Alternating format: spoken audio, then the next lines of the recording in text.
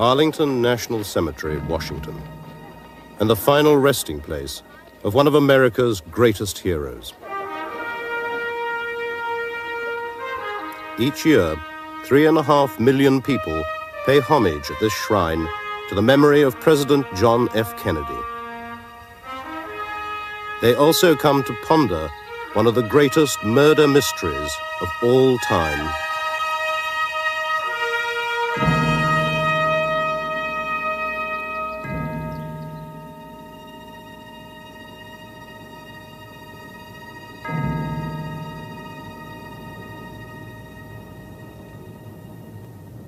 There was a monstrous cover-up of everything.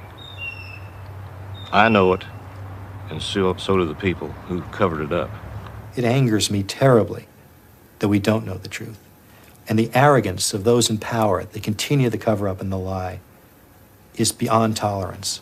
We're not a free country anymore because the people who are smart enough and powerful enough to take out a president like that and get away with it for 25 years are probably involved in other areas of the government.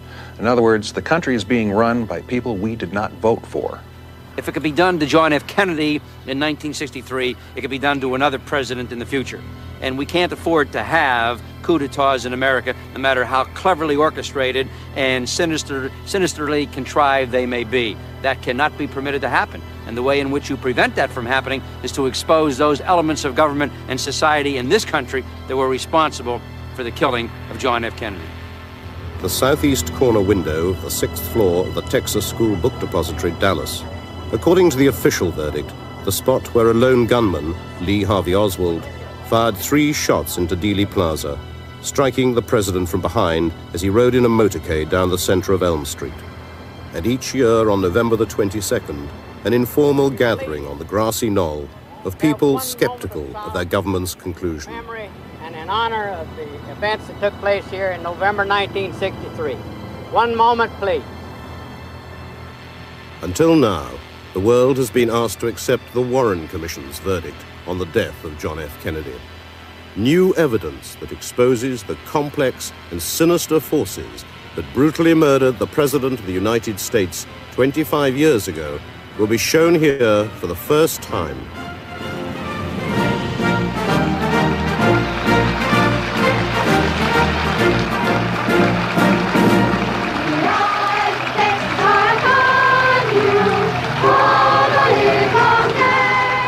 President Kennedy's last day began at a Chamber of Commerce breakfast in Fort Worth. In his entourage were Vice President Lyndon Johnson and the Governor of Texas, John Connally. Basically, his purpose for his visit to Texas, it was not just to Dallas, was to raise money for himself and for the Democratic Party, uh, and also to enhance his standing, uh, because he was looking forward to the election in 1964 couldn't let you leave Fort Worth without providing you with some protection against the rain.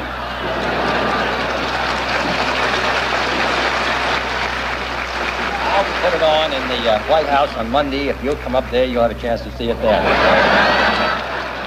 His second engagement of the day was a luncheon in Dallas, a six-minute flight away on Air Force One. And now the Lord bless you and keep you. The Lord lift up his countenance upon you and be gracious unto you. The Lord cause his face to shine upon you and give you peace both now and forever. From the dark, uh, overcast, the drizzling rain of Fort Worth to the bright sunshine when we landed uh, at Love Field in Dallas, uh, it promised to be uh, an absolutely spectacular day for the president, uh, for the vice president, for me. I was governor of the state. Uh, Ms. Connally and I rode in the car with president and Mrs. Kennedy he got a very, very warm reception. Schools had turned out, the school children were lining the street by the thousands. They were applauding, and it was a very happy, a joyful occasion, really. Two cars back from the presidential limousine was Senator Ralph Yarborough with Lyndon and Lady Bird Johnson. As we approached the city and then finally turned down Main Street toward the Trinity River, the crowd increased as we got to the heart of Dallas. And it's one of the most enthusiastic crowds I saw in any city we were in in Texas on that tour. That's on the sidewalks.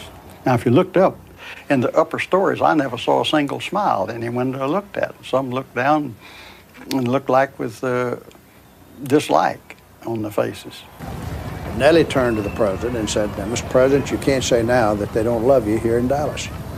And uh, within a matter of a few seconds after that, we turned uh, on Elm Street to go down to get on the uh, Stemmons Freeway to go out to the uh, Trade Mart where the luncheon was being held. And that's when uh, the shots occurred. Um, I heard uh, what I thought was a rifle shot. I immediately reacted by turning to look over my right shoulder because that's where the sound came from. I didn't see anything out of the ordinary and was in the process of turning to look over my left shoulder when I felt a blow in the middle of my back, as if someone had hit me with a doubled up fist, about like that. The blow was of, uh, of such force that it bent me over, and I immediately saw that I was uh, covered with blood. And I knew I'd been hit. And I said, Oh my God, they're going to kill us all and I heard uh, another shot that uh, was a loud shot almost like that. And immediately I saw blood and brain tissue all over the back of the limousine. I knew then that uh, the president had been fatally hit because Ms. Kennedy then, I heard her say, uh, my God. I've got his brains in my hand. The Secret Service in the car in front of us kind of casually looked around, looked up at the back of them, and rather slow to react. And we went under the underpass, and as we came up on the other side, I could see then the president's car, and there was Hill, whom I knew as a Secret Service man assigned to protect Mrs. Kennedy. He was lying across the back to hang on with arm over in there so he could hang on at that high speed. His face turned back towards us, just writhed in ang- agony and beating with his hand on there like uh, a terrible thing has happened. I knew then that Kennedy had been shot. And within several minutes, we came to Parkland Hospital, and the Secret Service immediately jumped out the minute Johnson was there. They practically pulled him out and formed a cordon around him, four or five, and one of them said, Mr. President. I knew then Kennedy was dead. And I walked up to the car where Mrs. Kennedy was still there on the back seat, lying there with her head bowed over, covering her husband's head, his blood running down her leg and by on her clothes, and twice saying, They've murdered my husband. They've murdered my husband. It's the most tragic sight of my life.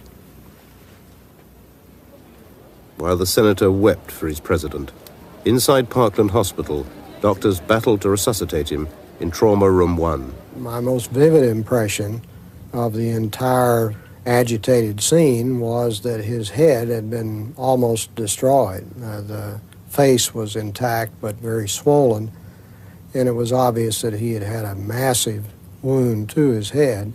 We decided uh, that uh, the president was dead, and uh, Dr. Clark, the chairman of neurosurgery, had come in in the meantime, and he had walked up to the head of the patient and looked inside at the wound and shook his head.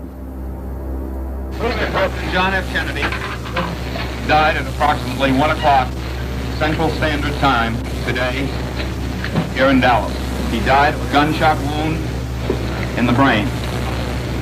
Dr. Burkley told me it's a, a simple matter, Tom, of uh, of a bullet right through the head. On duty at Parkland throughout these events was Aubrey Rike, an ambulance driver for the O'Neal Funeral Home. He was approached by the Secret Service. They told us to go into the trauma room and prepare the president to be moved. And had his head wrapped in in sheets.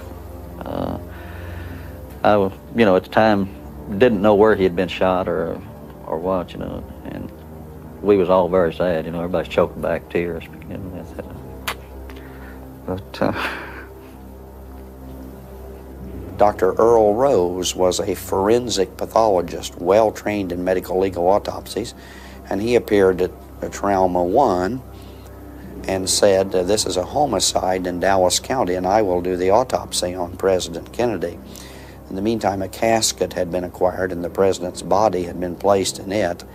And he was informed by the Secret Service that if he didn't get out of the way, he would be run over by the casket as they were leaving. This was the President of the United States, and they were taking him back to Washington.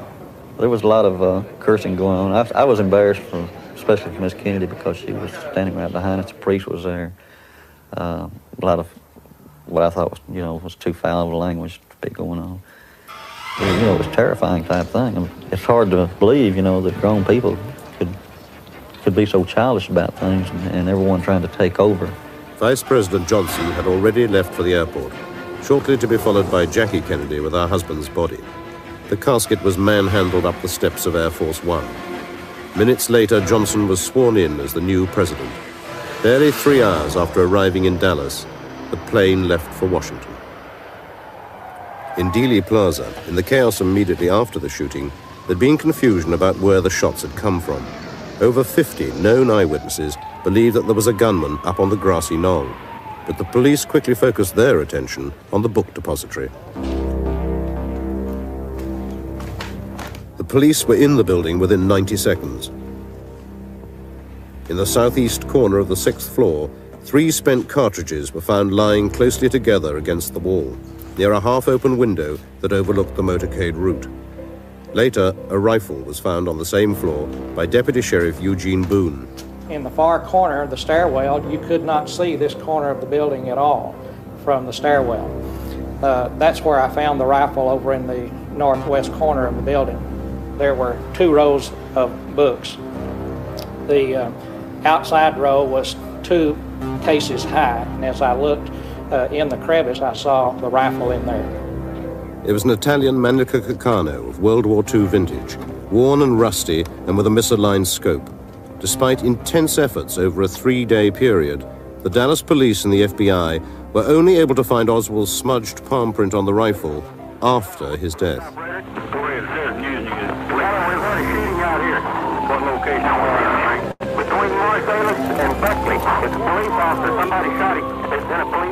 Forty-five minutes after the assassination, a police patrolman, J.D. Tippit, was shot dead in the Oak Cliff area of Dallas, three miles from downtown. Squad cars swiftly converged on the Texas Theater, a mile from the scene of the shooting. A man, behaving suspiciously, had slipped inside without paying and disappeared into the upper balcony. One of the first police officers on the scene was Paul Bentley. I came down from the balcony and entered the theater from this door right here. Oswald was sitting in this chair, and just as I entered, he jumped up as McDonald came up in front of him, Officer McDonald. He immediately pulled a gun from his waist. As I saw him pull the pistol, I dove over the seats and struggled, came down on the side of Oswald, or the suspect, struggling with him. I scraped his forehead with the bottom of this ring. I had some of the, the skin from his forehead under the ring when I got to the city hall. I didn't shoot him because uh, at that time other officers had converged and I was afraid if, uh, if I did miss, I might hit another officer. And it seemed like a hundred years before I could get that gun out of his hand and, and get it into my belt. And then after I got the pistol away from him, I let my pistol go back into the holster and then I popped him one upside of his head. The way he acted, you'd think he'd merely been arrested for perhaps a traffic ticket because he never had the usual symptoms of nervousness like uh, breaking out in a sweat or shaking or anything like that. He was just a real cool individual. And uh, you'd never think just by looking at him that uh, he was the one that was going to be accused of killing the president and Officer Tippit. Oswald, the enigmatic ex-Marine who briefly defected to Russia and was working at the book depository on the day of the assassination, claimed he was in the second floor lunchroom at the time of the shooting. The first to interrogate him was Gus Rose. I looked up and I saw some officers bringing a man in who was handcuffed. And when I asked them what they had, one of the officers told me that they had the man here who had killed Officer Tippit. And uh, I took the handcuffs off of Oswald and asked him who he was. He refused to tell me, so I searched him. And in his pocket, he had a wallet, and in the wallet was two pieces of identification. Uh, one card said Lee Oswald, the other said Alex Hidell when I asked him who that was or which one of these he was, why he became belligerent and something to the effect he said, You're the cop, you figure it out. Oswald, did you shoot the president? I didn't shoot anybody, sir. I haven't been told what I'm here for. You have a lawyer?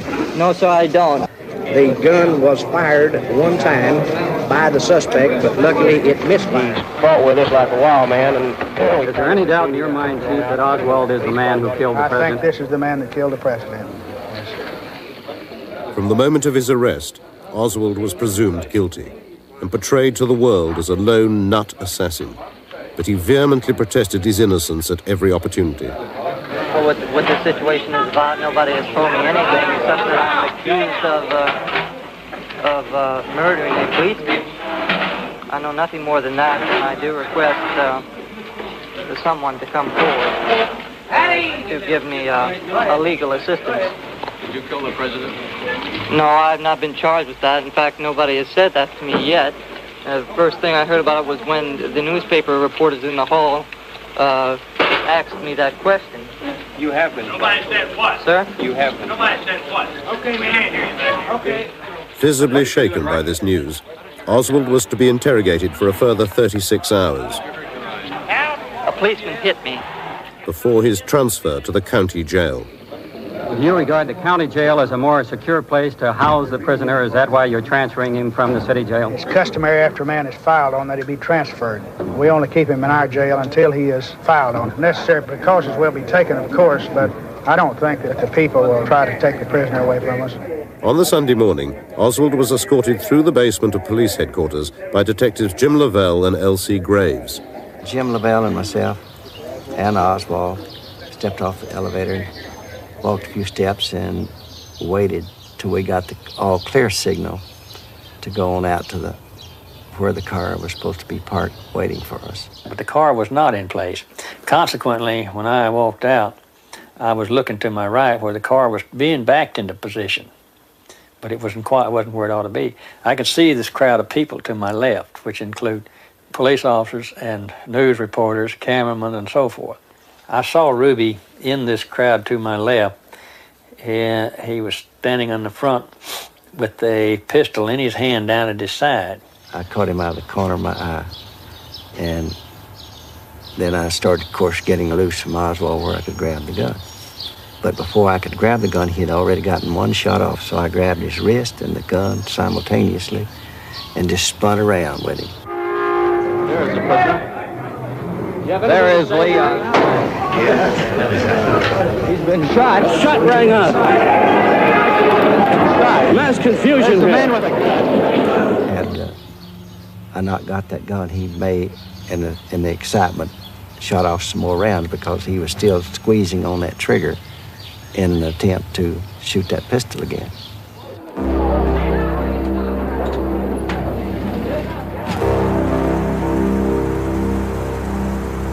I think Oswald really died just a short distance from the hospital because he stretched out every muscle in him tight and he just said, and then went totally limp. And as far as I know, he didn't make any move or sound after that. Mr. Oswald died at 107 our time in the operating room of the gunshot wound which he had received.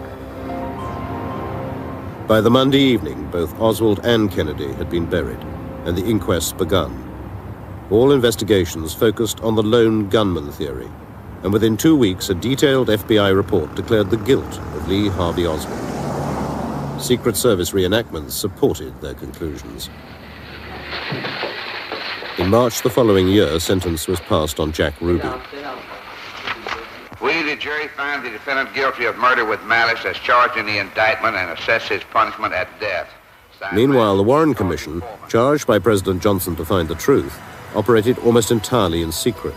Based in Washington, the commissioners finally came to Dallas. Their spokesman was former CIA Director Allen Dulles. Are you convinced that he was shot from the school book depository? Well, I think we better leave all that, you know, and I, not, uh, the evidence report will cover all, all of that, and we'll get into that. But uh, Are that you- question might lead to a lot more, and uh, Earl Warren, Chief Justice of the Supreme Court, also came, with Commissioner Gerald Ford, a future president. The prime purpose of their visit was to interview Jack Ruby, who had appealed against his sentence. A frightened man, he claimed he could not talk freely in Dallas and begged eight times to be taken to Washington to testify. The commissioners left, ignoring his pleas.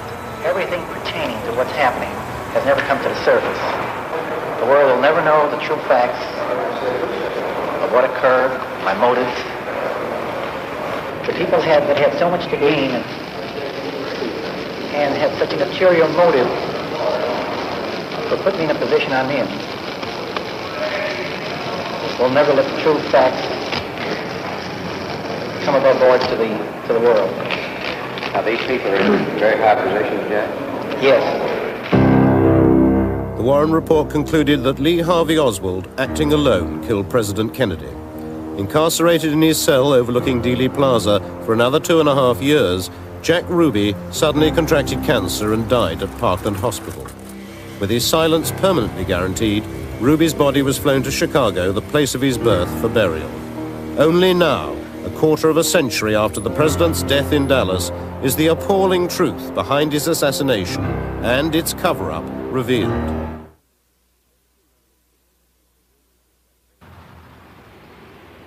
Secretary Marilyn Sitzman, on the morning of the assassination, joined her boss, Abraham Zapruder, an enthusiastic home movie maker, on the grassy knoll. His film of the passing motorcade was to become the most detailed and gruesome record of the president's death. We were looking around to see where would be a good place to be. And he looked here and he said, well, this standing up here would be a good shot. But he said, I, I got vertigo and I can't stand up there by myself. Would you stand behind me and hold on to me? Sure, why not? So he gets up here, I get up behind him, and I'm holding on to him.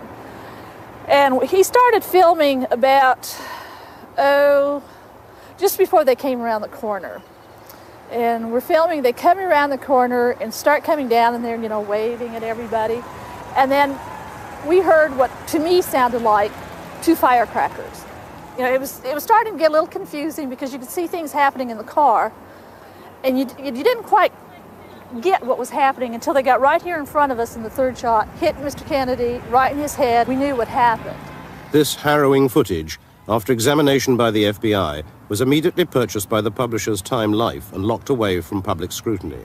Were it not for photo analyst Robert Groden, who gained access to the original and worked on it secretly, its real significance may have remained hidden forever. We had been told that the president had been shot from behind, from the Texas School Book Depository. If that had happened, he would have been thrown forward, the transfer of momentum of the bullet striking him in the rear of the head. But what we saw was the exact opposite. When he was struck, he was thrown to the rear and to the left, indicating a shot from the grassy knoll. The knowledge that we had been lied to scared me. Yeah, I felt if anybody knew what I knew, that I'd be in a great deal of danger. So I didn't tell anybody. I quietly worked on the film for years.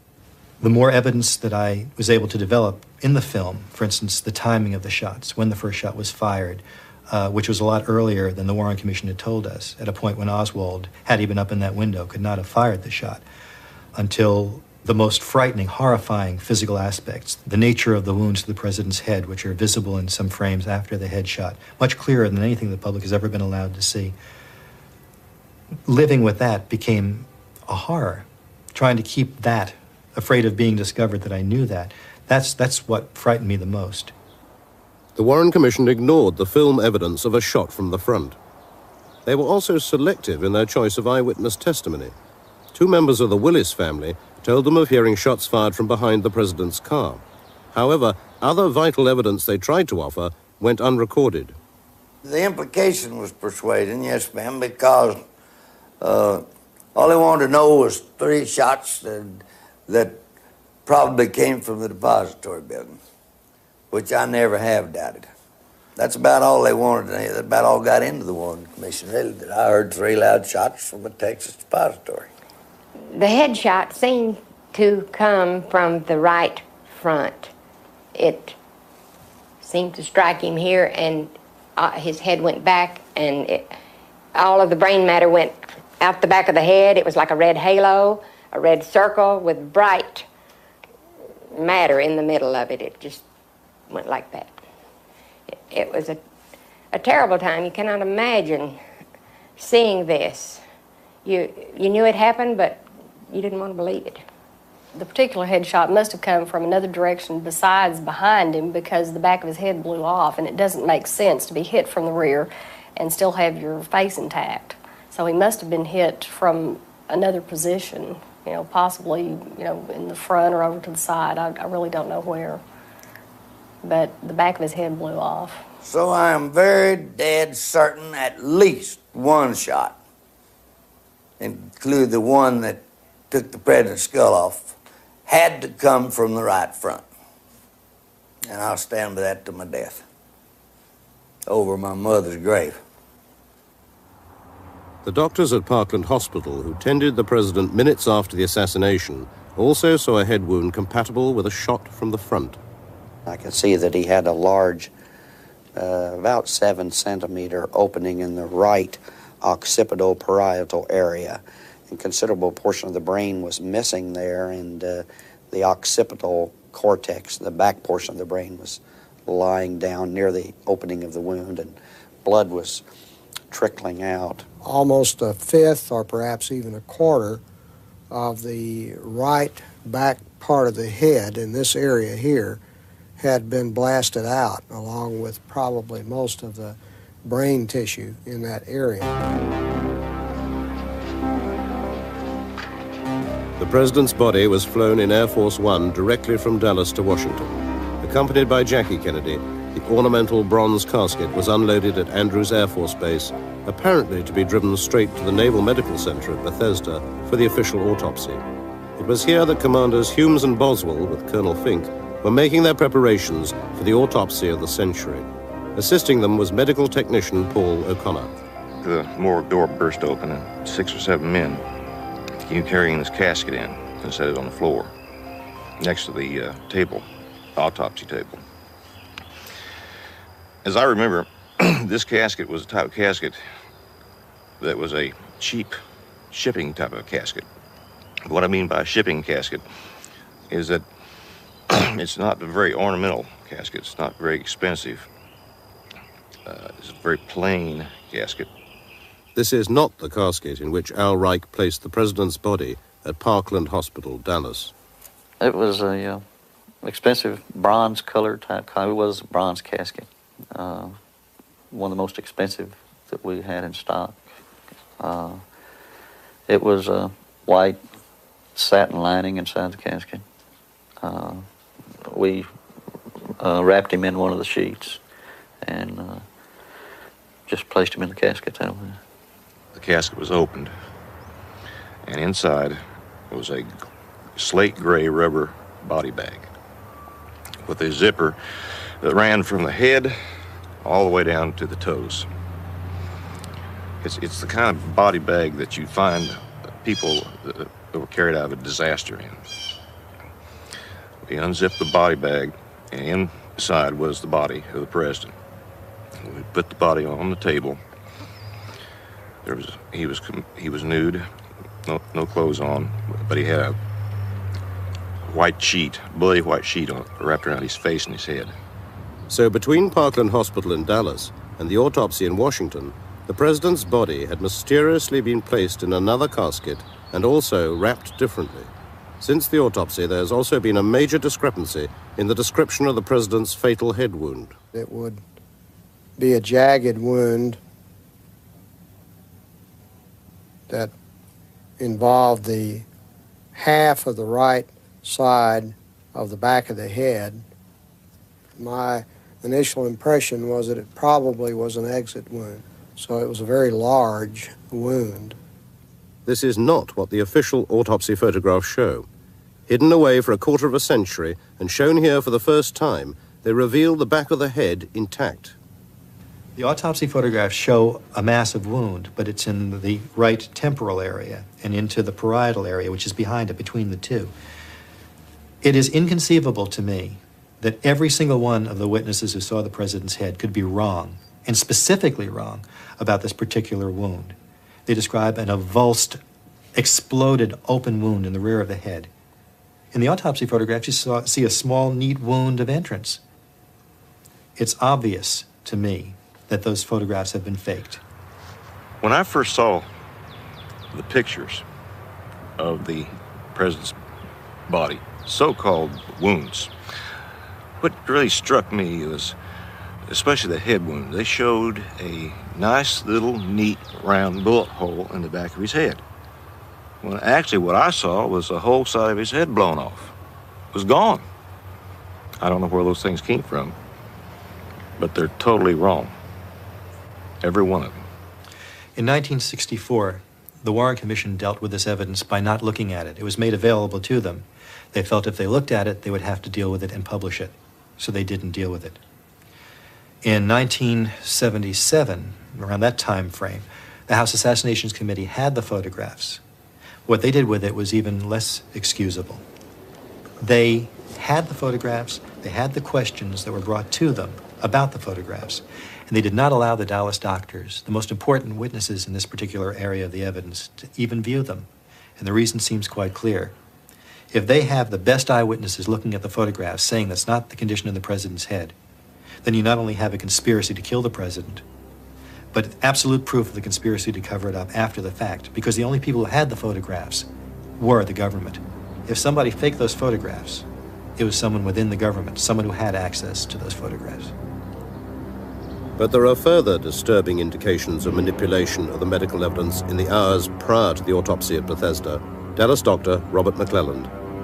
I would estimate that about 20% to 25% of the entire brain was missing. My job in working with uh, autopsies was to remove the brain. What struck me was when we removed the sheet, I looked down, I said, my God, he didn't have any brains left, literally. That, I was just astounded by it. I think everybody else was too, because there was just a gasp throughout the room. There was no brain to be removed at all.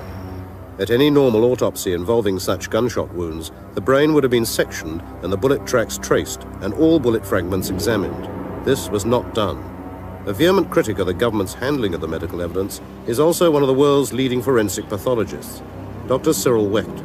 If the brain was not sectioned, then there could be no visualization of its interior.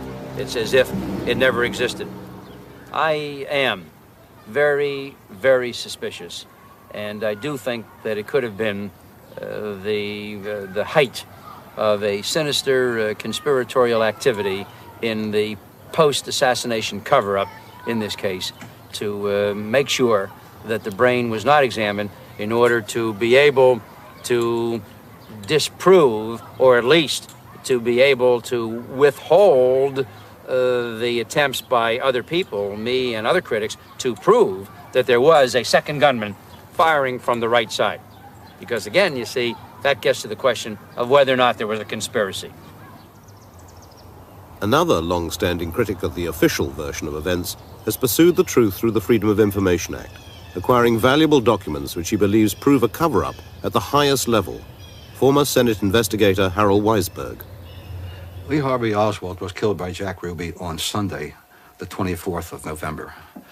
Nicholas Katzenbach was the acting attorney general and the deputy attorney general. And he knew immediately that Oswald wasn't going to be tried. They didn't have to put this evidence into court. So he takes a lawyer's yellow Lego pad, he writes out in longhand a memorandum to Bill Moyers, that was the channel to Lyndon Johnson. And in essence, he says, we got to convince the world that Oswald was a lone assassin and that the evidence was such that he would have been convicted if he'd gone to trial. This is before they collected any evidence. This was Monday morning. Monday after the assassination. The Dallas police were still collecting evidence and had to be stopped. After Oswald's death, the FBI swiftly requisitioned all the physical evidence, much to the chagrin of Police Chief Jesse Curry. I had a request, and I, I have it here, where Mr. Wade requested uh, that I request that you turn all of the evidence obtained in the investigation of Lee Oswald's assassination of the president over to the FBI for mailing to Washington. We're turning all of our physical evidence over to the FBI. This was on the direct orders of the head of the FBI, J. Edgar Hoover. Here you have the greatest police agency in the world. They're supposed to keep the president alive. He's killed in broad daylight on the streets of a modern American city. How can Hoover possibly admit that he couldn't know about this and he couldn't prevent it? There was only one way, by having a nut who was all alone do it. There was nobody to squeal on. So, from the beginning, J. Edgar Hoover had an instant vision. Oswald was a lone nut assassin, and that's all that anybody ever considered, anybody in official position. you can say, let me try and understand what the government did, how it worked this way. You can understand that maybe for a couple of days, they didn't want the truth to come out because they, they didn't know what was going to happen. They didn't want to frighten people. They wanted to preserve domestic tranquility. Was it going to be an attack on Lyndon Johnson or the Secretary of State? Was it going to be an invasion from abroad? Was this the beginning of a revolution? Those kind of things have to enter the thoughts of the people in, th- in authority in Washington. After a couple of days, when everybody knew this wasn't happening, then there's no excuse for the lying. The lie was that Oswald, a poor shot, fired his three bullets from the sixth floor window of the book depository in under seven seconds.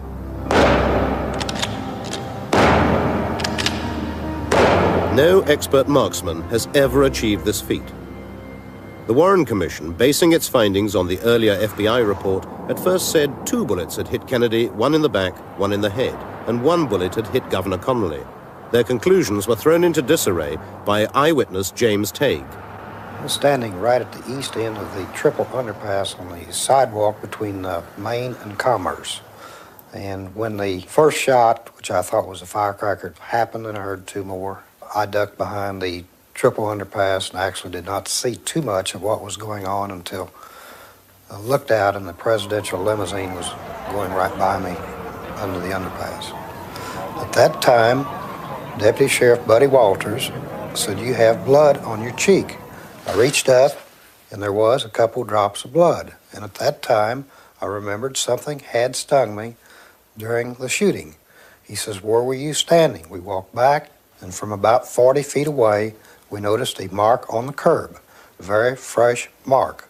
The FBI sends some agents from Dallas and they file a report that says there's no mark there. It must have been eradicated by the brushes using to sweep the streets. You know, there'd be no streets left in the world if that happened, but it was accepted. But this wasn't even in the street, it was on the curbstone. So, of course, they couldn't get away with that. So the commission got after the FBI and they sent Lyndal Shaneyfelt, a photographic expert, down and accompanied by Robert Gemberling, who was the case agent in Dallas on the assassination. They went, they got the pictures, they spoke to the photographers, they went exactly to where a point was, and there it was. Except that it was a little bit different. Instead of a hole, you can see the difference in color, you can see the difference in texture, and I know because I've examined it at the archives. It's darker and smoother. Instead of a bullet hole or a nick made by a bullet, you've got it all smoothed over in darker color. So they, they dig it up, they take it back to Washington, they go through this incredible charade of making a spectro- uh, scraping samples off and making a spectrographic analysis of what they know is not the evidence. They don't give a damn about the fact that underneath it is something that could have been a consequence if it hadn't been covered over. They have no questions about why would somebody want to hide this when a president is killed. And uh, then they destroyed the spectrographic plate when I asked for it. At least they say they did. And the court said to produce it. They said it doesn't exist. The explanation? Not under oath, understand, just a possible explanation. It must have done it to save space. A 32nd of an inch in the, in the world's largest collection of files, which the FBI has, they're saving space with 1 32nd of an inch. But they get away with this in court. They did not want a missed shot. It would not fit. And my testimony would prove that there was one missed shot that went over the limousine and hit the curb beside where I was standing. It did change the outcome of the Warren report. So late in the day, the Commission were left with only two bullets to cause all the wounds to both Kennedy and Connally, and one of those bullets had to have injured both men. To explain this, Arlen Specter, a counselor to the Commission, created the single bullet theory, known to critics as the magic bullet. The infamous magic bullet. We have that bullet exiting from President Kennedy's neck, moving forward and leftward and downward. It now stops in midair it turns to the right, it comes back a full 18 inches, stops again, and then slams into John Connally's back. It continues downward, and it goes through his wrist, and somehow they get that right wrist over to the left thigh. If you look at the Zapruder film, you'll see in the individual frames that John Connally's right wrist is not near John Connally's left thigh. The significance of this, the importance cannot be exaggerated. It is impossible to overstate it. Why? Because the single bullet theory is the sine qua non of the Warren Commission report. It's not a matter of how much weight and credibility do you give to it. It's a matter of whether or not you have a single bullet theory that permits you to conclude that there was only one person firing, whether it was Oswald or anybody else in the world. If you don't have a single bullet theory, then you cannot have a sole assassin. And if you move to that point, then you're into conspiracy by definition. And that's why it had to stop with Oswald as a sole assassin. And that's why they came up with the single bullet theory. There's no question in my mind that that 26 volume set should be taken from the shelves of all the libraries where they now rest in the United States from nonfiction and placed in the fiction shelves along with Tom Sawyer, Huckleberry Finn, and Gulliver's Travels. That's where they belong. Straight out of the realms of cheap fiction, Chicago's tough West Side and the birthplace of a notorious son. Jack Ruby, small-time hoodlum and runner for Al Capone in the 30s, based his life around gambling, narcotics and prostitution. His Carousel Club in Dallas was one in a long line of unsuccessful nightclubs where Ruby often played host to members of the Dallas police force and the criminal underworld.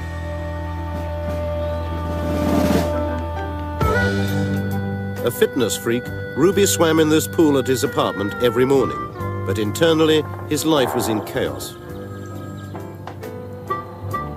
In the months preceding the assassination, his phone calls from the Carousel Club and this apartment to well-connected mob figures increased 10 and 20-fold, a pattern which had begun with the announcement in late April of President Kennedy's intended visit to Dallas.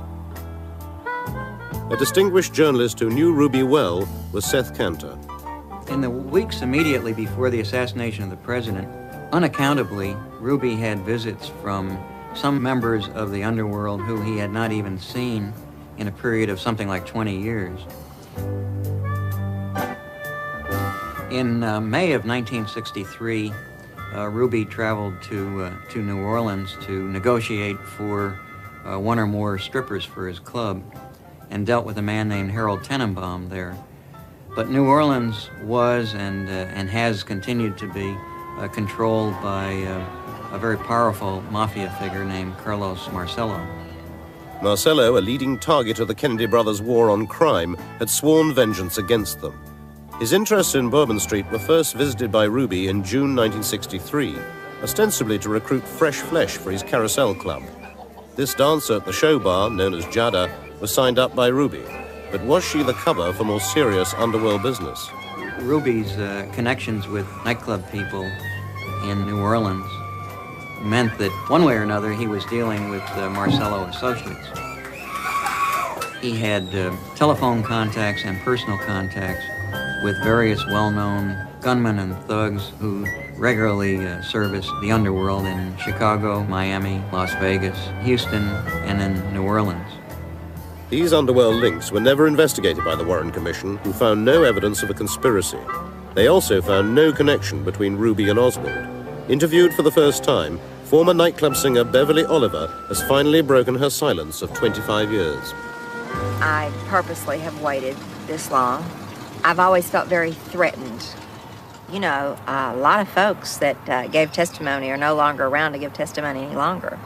I didn't want to become a statistic. I didn't want to be one of those people that shot myself in the back of the head with a shotgun. One night in particular, I recall about two weeks prior to the assassination, uh, being in the club. Uh, parking lot separated his club, the Carousel, and the club that I worked at, the Colony Club. So in between shows, the showgirls from the Colony Club would go over to Jack's club and watch their show, and in their show breaks, they would come and watch our show. So I had trotted over there that night and, and was watching uh, the show. And uh, there was a girl that danced there by the name of Jada. And she was sitting at the table with Jack Ruby and another man. And I went and sat down with them to have a drink. As I sat down at the table, uh, Ruby introduced me to the man sitting there at the table with he and Jada. And he said, Beverly, this is my friend Lee.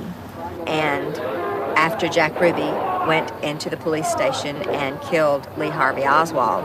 It was then that I realized this was the man that I had met in the club two weeks prior to the assassination of Kennedy.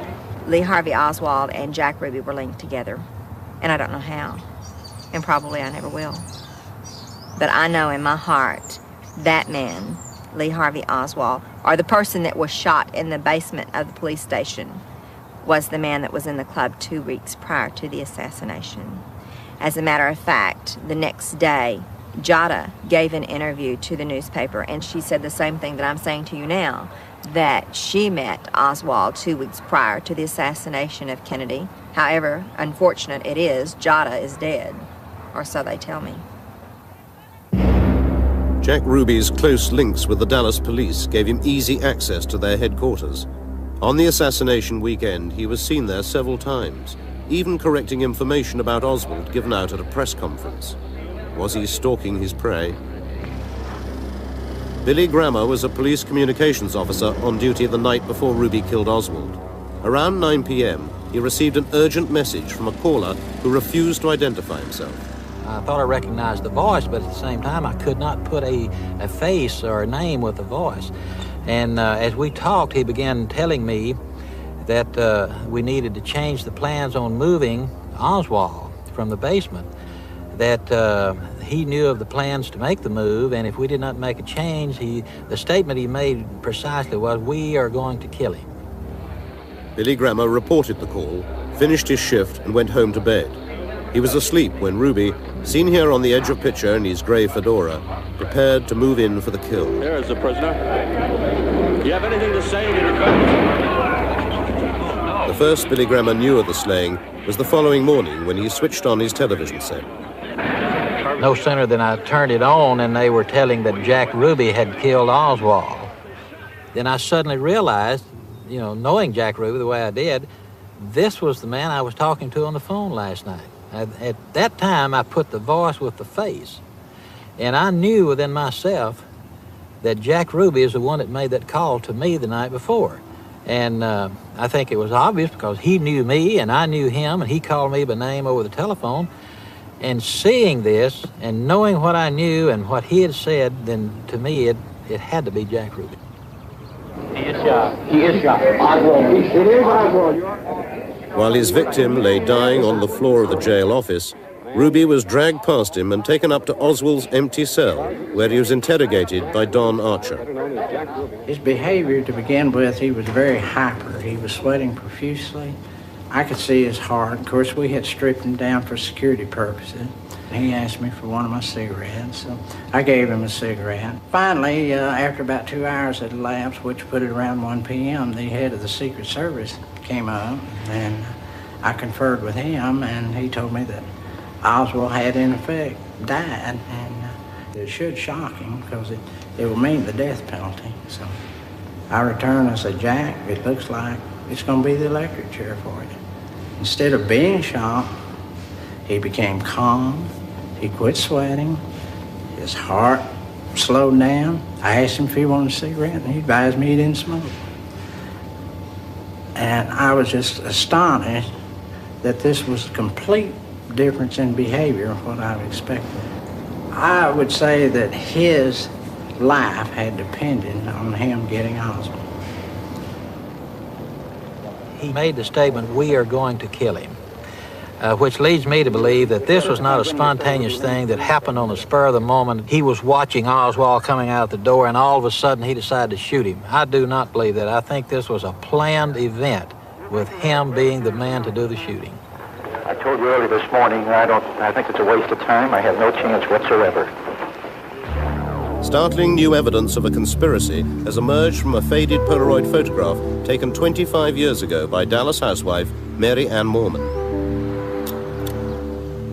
Facing the grassy knoll, she took her picture of the president within one-sixth of a second of the fatal headshot. Horrified by the experience, Mary Ann was never to use the camera again.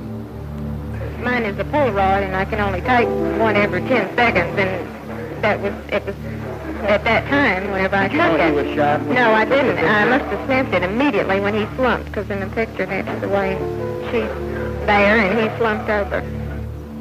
From the moment the president was hit until today, the terrible secret within Mary's picture has remained hidden. To me, it's kind of uh, frightening to think that it that this could be, and no one has uh, found it or cared to look for it. I'm talking about our federal agencies. That um, that something could have been there all this time and no one cared to do anything about it. But someone has. We will reveal for the first time the man whose image has come from within this picture and who fired the shot that killed the President of the United States.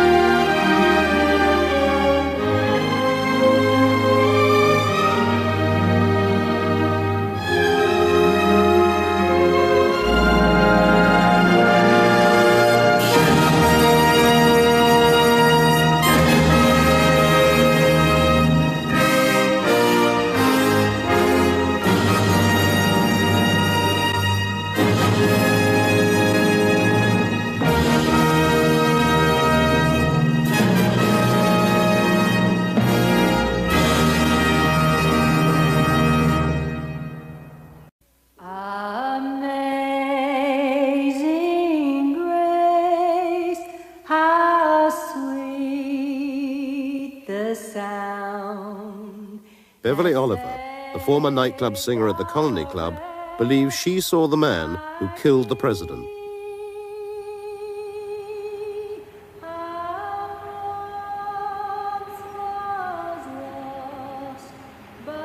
She was in Dealey Plaza on the morning of the assassination. She carried with her a brand new movie camera to film the president as he passed by. For many years she remained unidentified, and because of her distinctive headscarf, was known simply as the Babushka Lady. I had President Kennedy right in my zoom lens. You know, I could see Connally anytime. He's a Texan, right? Appreciate him, love him, he's great. But I wanted to see the president. In the carnival atmosphere surrounding the motorcade, there was no indication of the danger lurking seconds away in Dealey Plaza. When I first uh, heard a noise, I was not aware that that was a shot being fired. And maybe perhaps that's why I continued to film because I thought it was a backfire or a, a firecracker. I mean, I wasn't used to being around guns. I, I did not realize that those were shots until I saw in my the frame of my camera President Kennedy's head come off the back of his head. Then I realized that that was a shot. Uh, I don't know how many I heard. I know where I thought the shots came from. I was uh, the picket fence area in that around that large tree somewhere on the other side of those steps, but in the picket fence area. There was a figure there and there was smoke there. I will always believe that the man that shot President Kennedy was standing somewhere in the picket fence area. And no one will ever convince me any differently. Next to Beverly, as she filmed, was eyewitness Charles Brehm with his young son. He was swiftly besieged by newsmen. Tell us exactly what what you saw, sir. he was coming down the street, and my five-year-old boy and myself were by ourselves on the grass there on Palmer Street, and I asked Joe to wave to him, and Joe waved, and I waved, and the man... The man... That's all right, sir. You were ahead It was frightening. They took me and my five-year-old boy um, because we were surrounded by the two busloads of people there.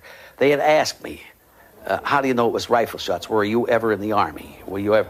I said, "Yes, I was. I was not only in the army, I was in combat."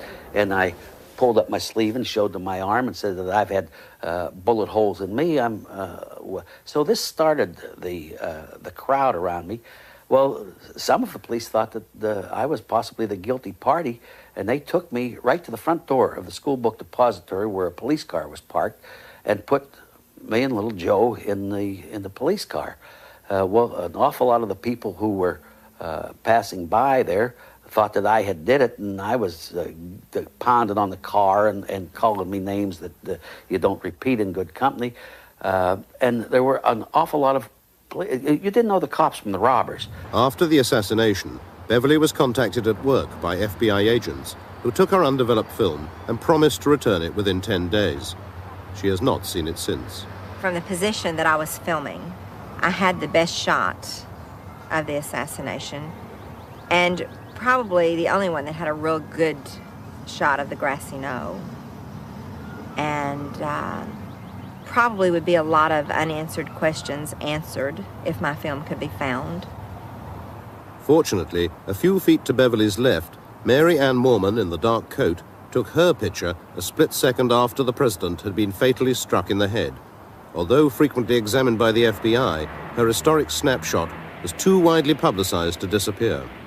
We know that the president's car was in the center. Its dramatic secret, however, has only recently been uncovered. After five years of intensive study of the Moorman picture by two researchers in Texas, Jack White and Gary Mack, there is at last convincing evidence of a gunman up on the grassy knoll. Here is the guy that we call Badge Man.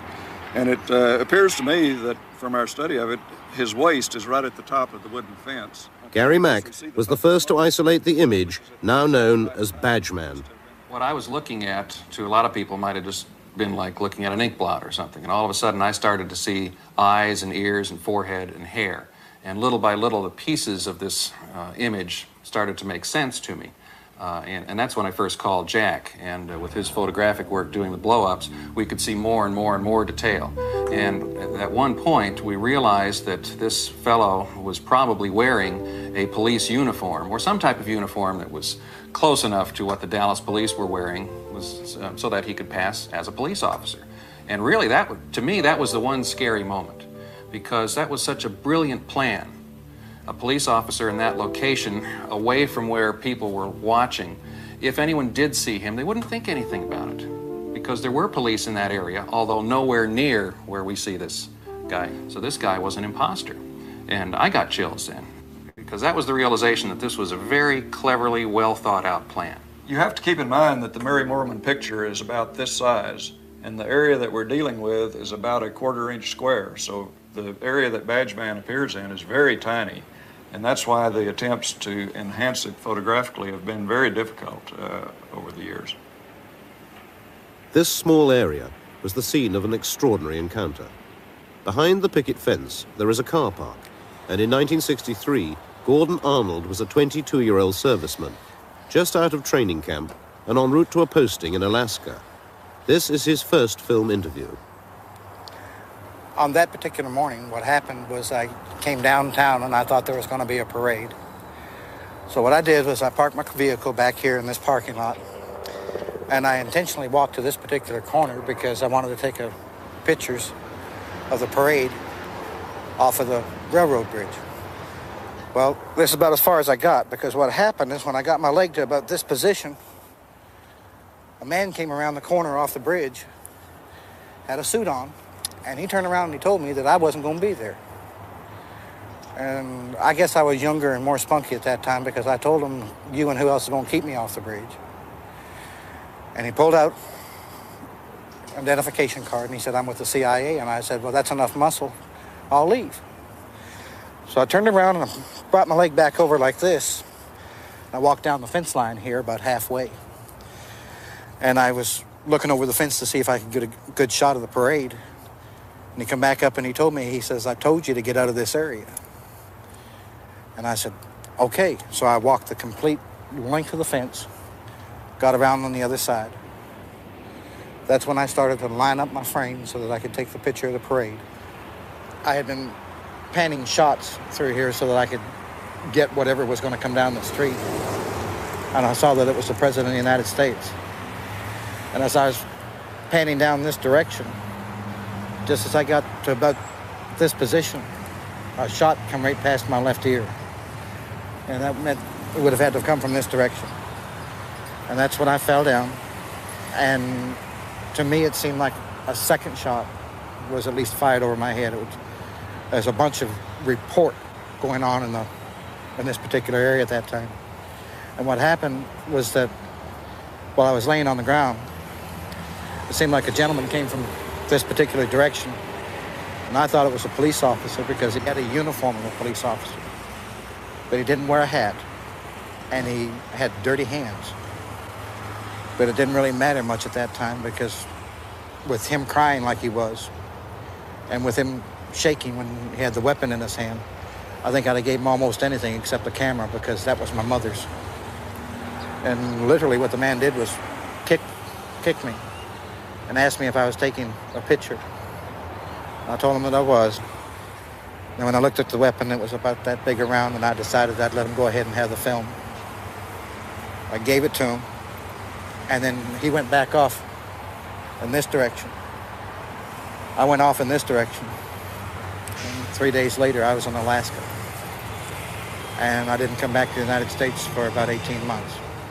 We spent a lot of time studying uh, the picture and looking at little details, and I guess in the back of our minds was a story that had come out four years earlier uh, by a man named Gordon Arnold, who claimed to be a witness to the assassination and claimed to have been standing up by the fence.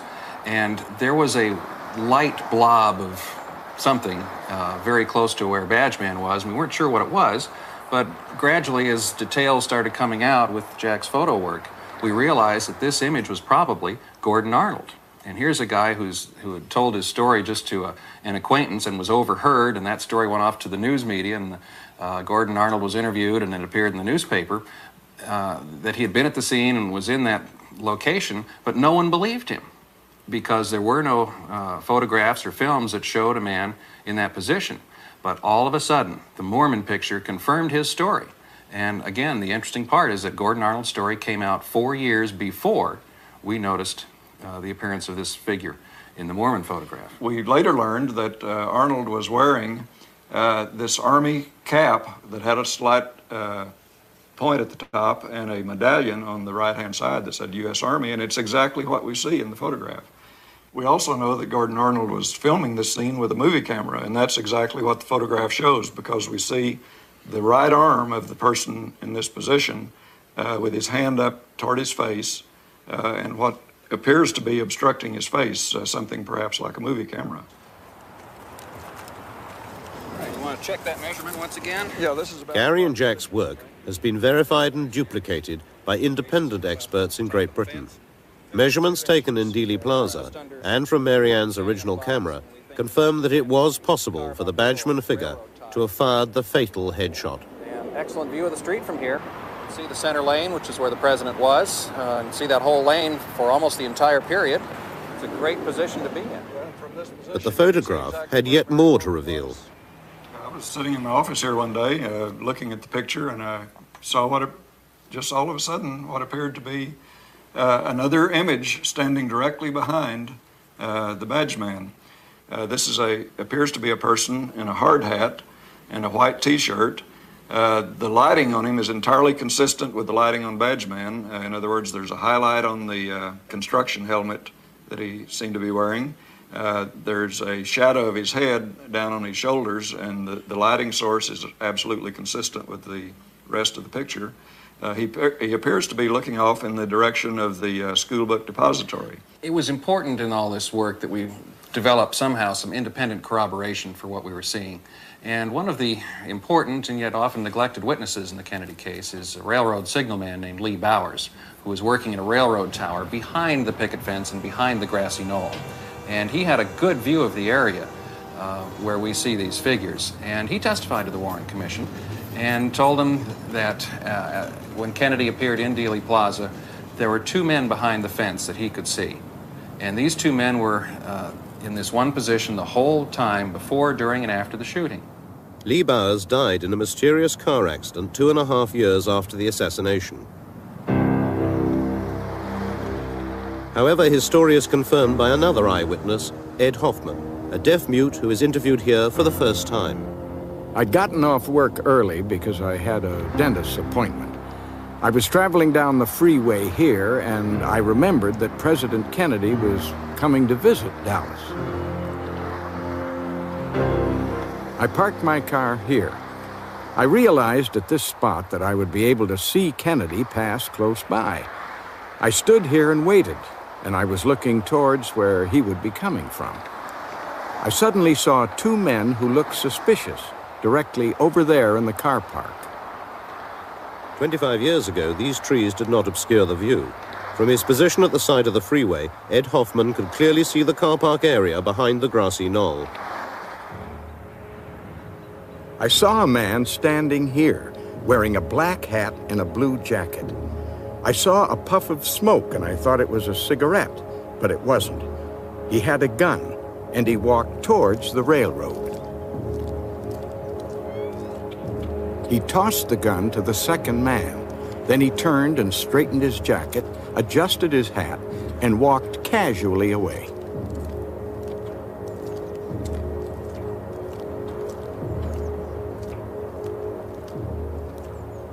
The man with the striped shirt, the railroad shirt, walked over to the electrical box with the gun. He took the gun apart. He put it in a toolbox.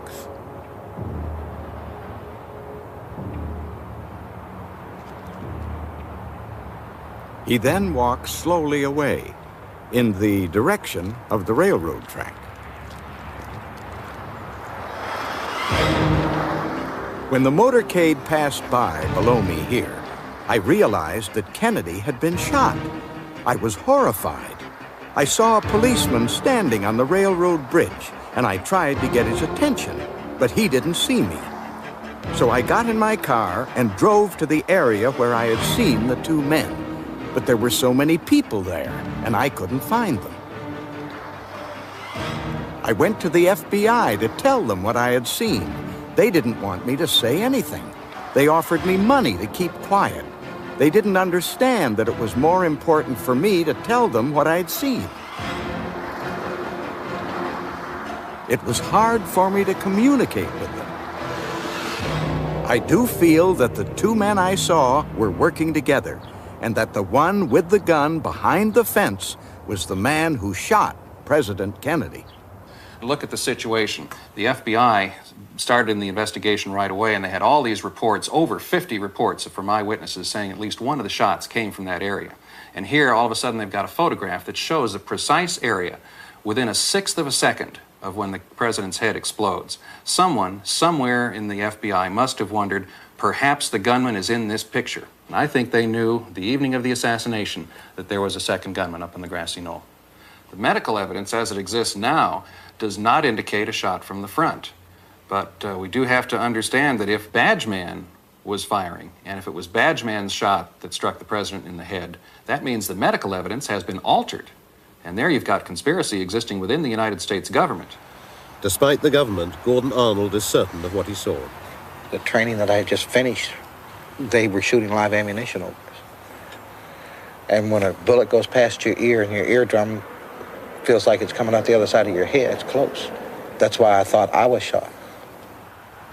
There's no doubt in my mind that I was there. And it did occur.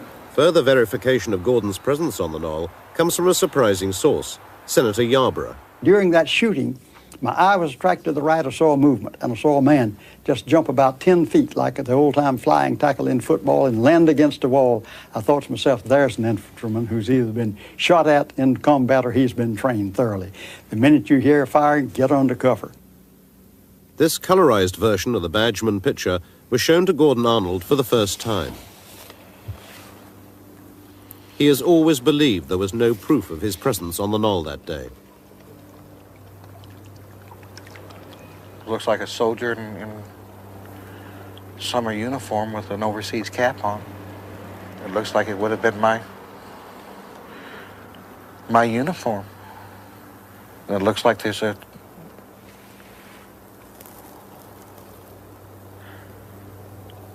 a camera. Or there's something up in front of the face.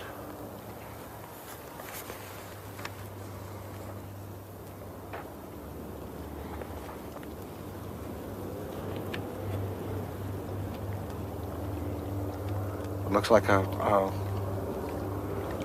a white spot. If it's a flash, it would be like off of the a muzzle flash. This looks like a police officer because it, that would be the badge. That would be the arm emblem. Would would this fella back here be the uh, the railroad man I asked you about this morning? Because when I was walking to the site, and I, I had never told anybody that I had when we were out there filming it, it reminded me that the, there was a, uh, a railroad worker just standing out there by the railroad tracks. But that, it, it, it looks like somebody's taking a, a picture. Yeah, I, I couldn't figure out why, why would I be standing crooked until I flipped that up, and if that's a muzzle blast or flash, then whoever's standing there would have been a fool to stand up straight. He'd been trying to get away from harm's way, is what it boils down to. And that could very well be me.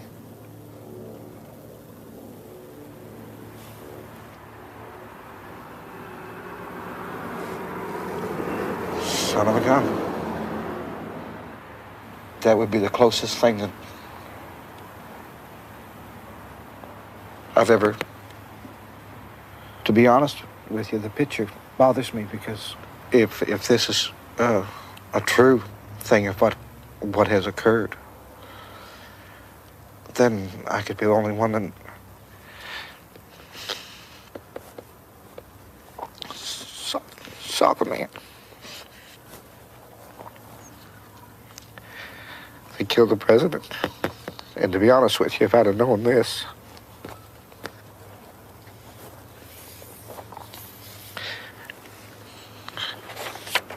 I wouldn't have given the any interview.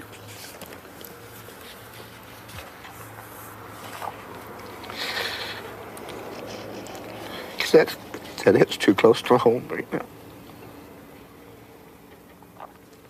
If the figure is real, then that means the witnesses were correct and the researchers who have spoken of conspiracy for 25 years now were also correct. It means the Warren Commission was wrong. There was a conspiracy. The question then is who was involved in the conspiracy? And alongside with that is was Lee Harvey Oswald involved in the conspiracy? Uh, one of the good things the Warren Commission did was literally itemize the last few days of Lee Harvey Oswald's life. And the problem for the Warren Commission now would become well, he had no opportunity to be with other people to plan something like this. So we now have to wonder seriously, perhaps for the first time, whether Lee Harvey Oswald even fired any shots. The search for the men who did fire the shots has taken a dramatic step forward due to a painstaking and dangerous investigation by one man, writer Steve Rivele. My goal throughout the last four years has been to identify the people who actually murdered the President of the United States, build a case against them, and bring them into custody so that they can be questioned. Because it seems to me that the only way we are going to learn the true nature of this conspiracy and identify the people who were ultimately responsible is through them. Writer Steve Rivele's lone pursuit of Kennedy's killers began four years ago.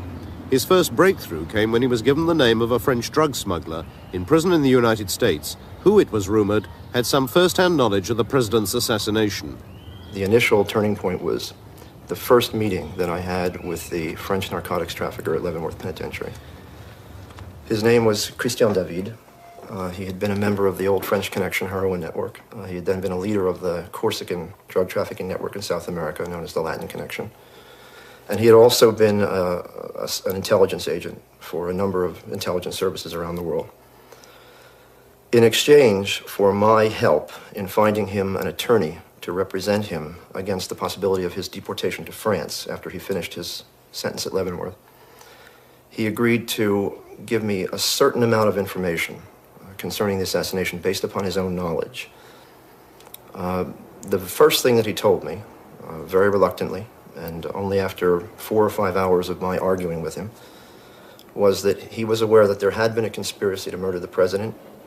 And indeed, in uh, May or June of 1963 in Marseille, he had been offered the contract uh, to kill President Kennedy. That was the initial breakthrough, if you will. He was eventually deported to France. I remained in contact with him. I went to Paris to interview him in, in two prisons in Paris. And in the fear that he would be either um, committed to an asylum or that he would be convicted of an old murder charge, he gradually gave me additional information about the assassination. His position was that there were three killers and that they had been hired uh, on a contract which had been placed with the leader of the Corsican Mafia of Marseille, a man named Antoine Guérigny. Guérini, he said, was asked to supply three assassins, high quality, uh, experienced killers, to, uh, to murder the president, and that Guérini did so. In the course of one of the first significant conversations I had with David on this subject, he told me that he had been in Marseille in May or June of 1963, uh, and that every evening he went to Antoine Guérini's club on the old port of Marseille to uh, meet people who owed him money. One evening, uh, Guérini sent for him, asked him to come to his office, which was above the club.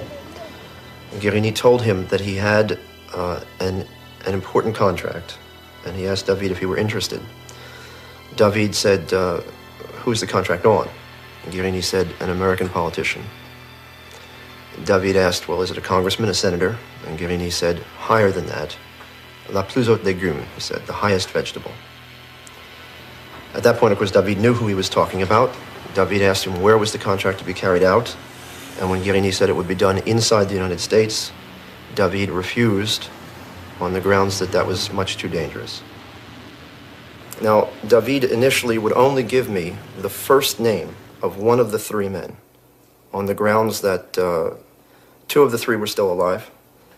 And since they were members of this Corsican milieu, which has a code of silence and a code of vendetta, if he named them, he, he himself would be murdered. However, he did agree to give me the first name of the, of the third man who he said was dead.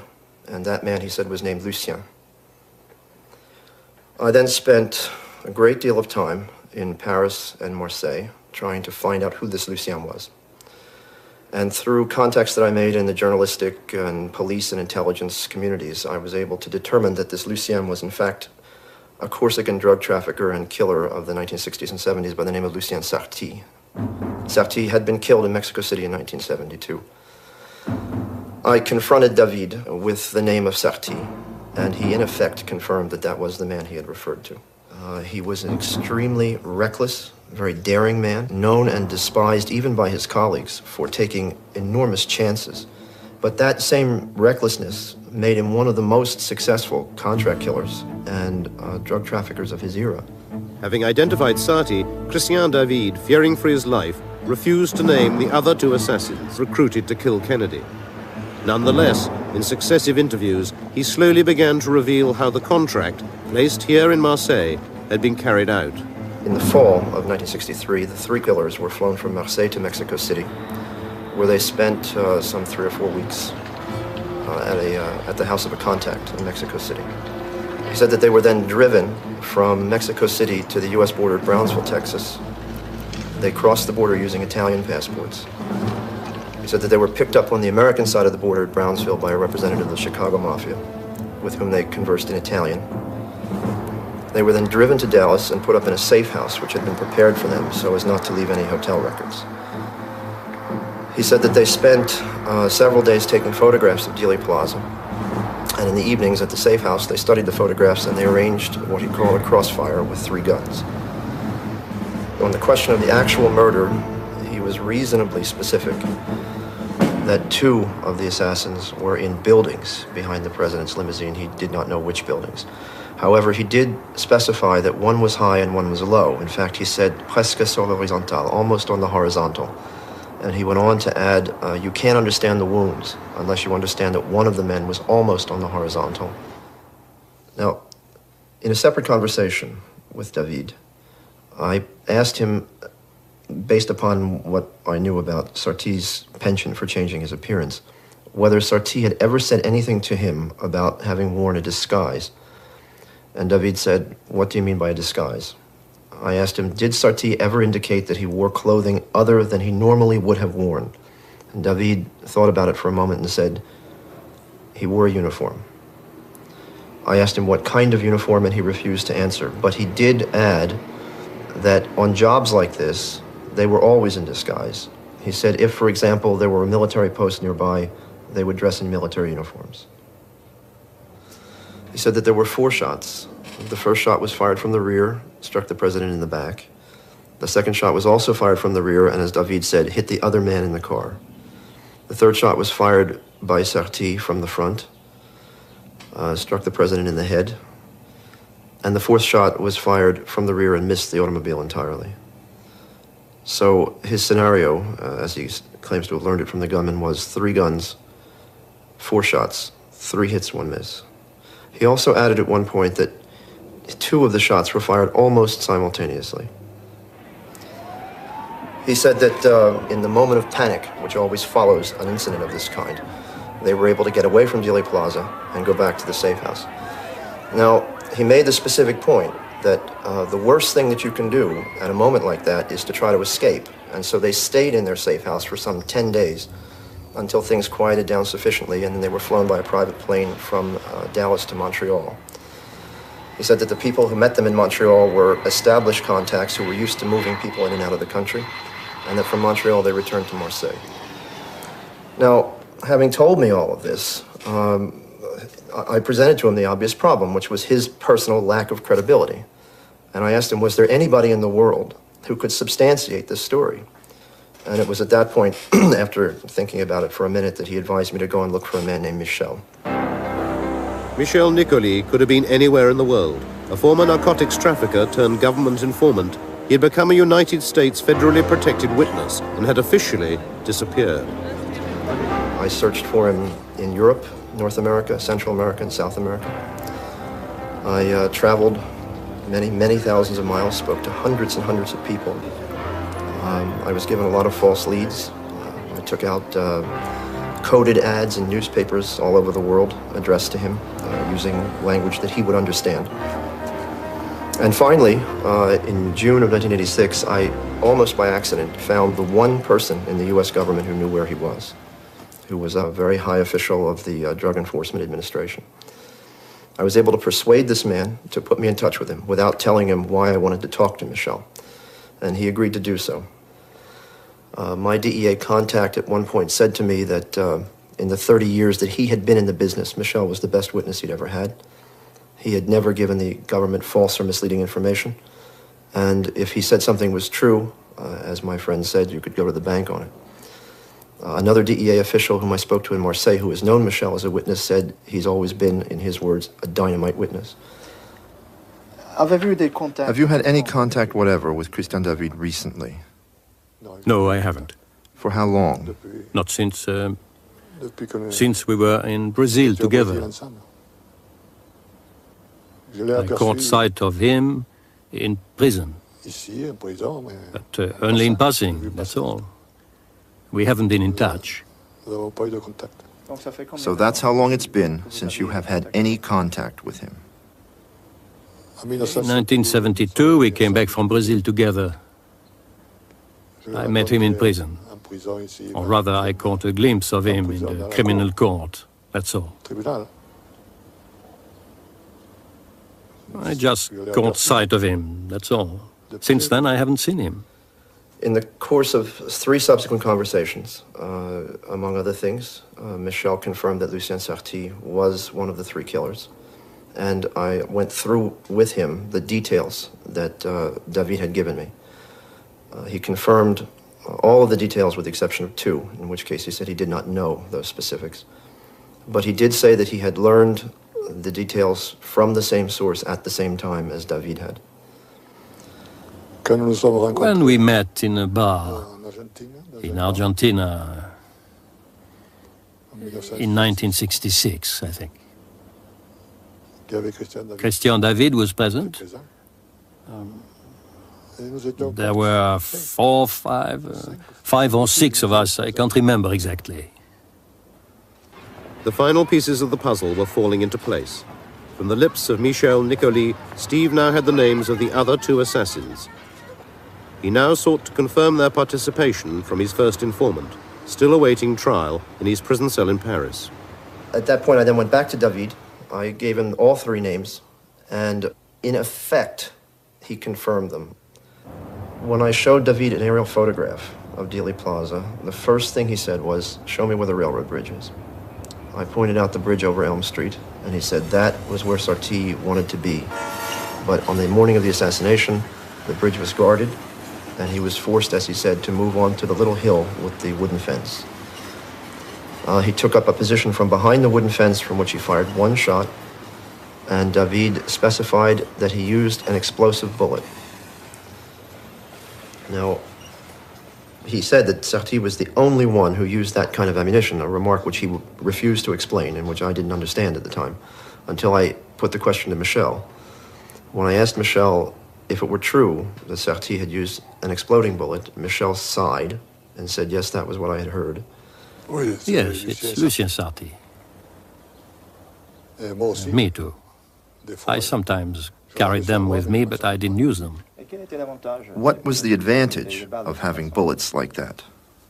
It makes um, it makes a larger hole in the body. And um, when the bullet flattens out, um, there aren't any traces, no marks, nothing. On the question of payment, uh, Michel agreed with David that the assassins had been paid in heroin, and he went a bit farther. Uh, in my first conversation with him, he indicated that although he did not know it at the time, it was he who converted the heroin payment into cash for the assassins. He indicated, in- at least initially, that the three men had appeared at his apartment in Buenos Aires uh, in the months following the assassination with, as he put it, a substantial quantity of heroin. He was surprised because, to his knowledge, it was the first time that any of the three of them had dealt in heroin. But given his reputation for not asking embarrassing questions, he simply agreed to convert the heroin into cash for them. Did they ever give you any indication about who was behind this contract? No, No, they didn't talk to me about that. It was uh, Christian David who told me that it was someone in the mafia, but uh, I don't know who it was. But it was known more or less generally in this circle of Frenchmen in South America that it was the mafia that was behind it. Yes. My own conviction at this point is that the contract probably originated with Carlos Marcello of New Orleans, who placed it in Marseille through his colleague Santos Traficante Jr., who had the closest relations with Antoine Guérini. Beyond that, it seems reasonable that uh, Giancana of Chicago was involved if uh, we accept David and Michel's idea that uh, the assassins were met at the border by representatives of the Chicago Mafia. And the fact that uh, Sarti's customers were primarily in New York, and the fact that the assassins evidently moved out of the United States through the Montreal corridor, which was very closely linked to the New York Mafia, also suggests that Gambino may have been involved. In your view, why would they go so far to find assassins for such a job?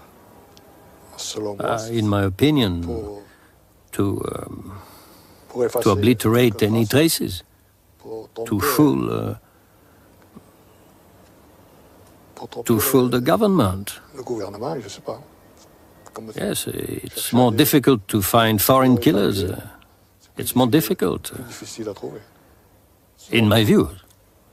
The Mafia had to hire white men for the job since it was to take place in the American South, which meant that they could not go to the other two centers uh, where one found assassins at that time, namely Beirut and Hong Kong.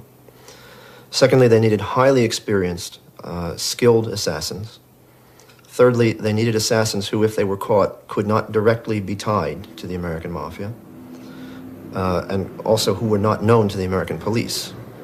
And fourthly, once again, if they were caught, assassins who could be counted on not to talk. When someone has a contract to kill someone, uh, he's not rubbing out the name, he's rubbing out the person. You just have to kill him, that's all. And according to who it is, you get paid more. According to who it is, and that's all. But after all, it was the President of the United States they were talking about. If, um, if they did it, uh, it's because um, they didn't give a damn. There are people like David who refused to do it. There were others who didn't refuse. But Sarti, would he have been capable of that? Oh, yes. As a killer, he's capable of anything.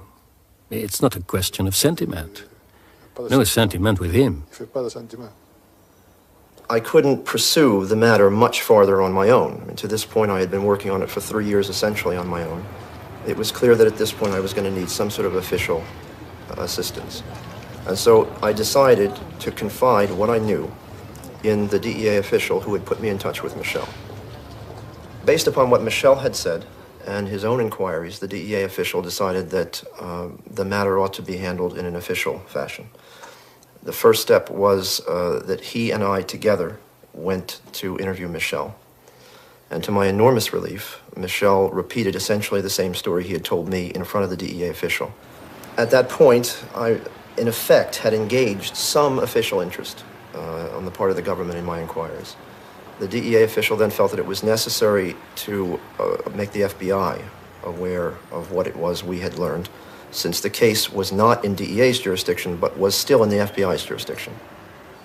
The essence of what I learned was turned over to the FBI by the DEA in 1987. An official of the FBI then interviewed Michel Nicoli and indicated that he was persuaded by Nicoli's statement. I assumed at that point that given the testimony by credible witnesses, the government would then move toward the indictment and the arrest of the people who had been named. So far as I can tell, since then, nothing has happened. Subsequent to that, I was able to learn from Christian David and other sources that the man who was in charge of the logistics and the organization of this plot was another Marseille gangster, a very important figure, was based here in Marseille for many years, named Paul Mondoloni, was for many years the liaison between the Guérinis at their headquarters here the, on the Old Port and the U.S. Mafia, specifically Santos Trafficante. Uh, they established that liaison in Havana when Mondoloni ran the Corsican casinos there, and it was sustained later when the Corsicans were thrown out by Castro and they were forced to move to Montreal uh, and establish a heroin uh, smuggling outpost there. Mondoloni would have been the ideal person to have, to have organized and, and uh, carried out this plot. The feeling on the part of the officials, both at DEA and FBI, however, was that before we could go to a grand jury, we would need two witnesses. We had potentially Michel Nicoli. They felt we would also have to have Christian David. However, Christian David has steadfastly refused to testify on this case until he is freed from jail. He obviously fears for his life. Now, all this is very frustrating. I mean, it's a very intolerable state of affairs because the men who murdered the President of the United States have been named by witnesses who even the government considers are credible. We, we have people we can put our hands on, people we can arrest, and nothing is being done about it. And yet until they're arrested and interrogated and the truth comes from their own lips, if they are in fact guilty, we may never know the, the resolution of this mystery. Uh, we may never have the truth about, about this matter. And that's a situation that I personally find intolerable. Christian David is still in Paris on the old murder charge, the shooting of a French policeman in 1966. He vehemently protests his innocence. His defense lawyer, Henri Jeremy, has great faith in the credibility of his client and his extensive inside knowledge of the criminal underworld. David is not anybody. He's a serious man and uh, American authorities knows that David is a serious man. David has been a long time in jail during his life, but uh, anyway, he has made a lot of things during his life. Then, when David says something, it's serious. But David has always been extremely reluctant to impart any details of what he knows about the killing of Kennedy, even to his own lawyer. Said yes, I know certain things. Could you tell me those things? I asked him. He told me, No, I'll talk when I'll be free. Yes, but he told me, I can, if you want, write to you what I know. I said, All right. And then he wrote to me a letter, a closed letter. And on this letter, it's written Cette lettre doit être gardée en dépôt par mon avocat jusqu'à ce que j'ai retrouvé ma liberté. Elle ne peut pas être ouverte sans mon autorisation. That letter must be kept in deposit by my lawyer until I am free. It's impossible to open it without my authorization. There is two signature, Christian David, Christian David. I think there is in this envelope details important to find murderers. Because I think there were murderers, and not only one murderer. That's what it is in this envelope. Uh, that's what I think about that. With the new evidence that has emerged from these investigations, so many of the mysteries surrounding the murder of the president can at last be explained. Not least of all, the manipulation of the medical evidence to conceal the devastating effects of the dum-dum bullet fired from the right front by Lucien Sarti. The use of such a distinctive missile and its trajectory would have been immediately apparent at a normal autopsy, as Dr. Cyril Wecht explains. A frangible bullet is one that is constructed to literally break apart upon impact. Some people uh, call it an exploding missile, some people uh, call it a dum dum, but they're not quite the same. I think the more correct technical word would be a frangible bullet.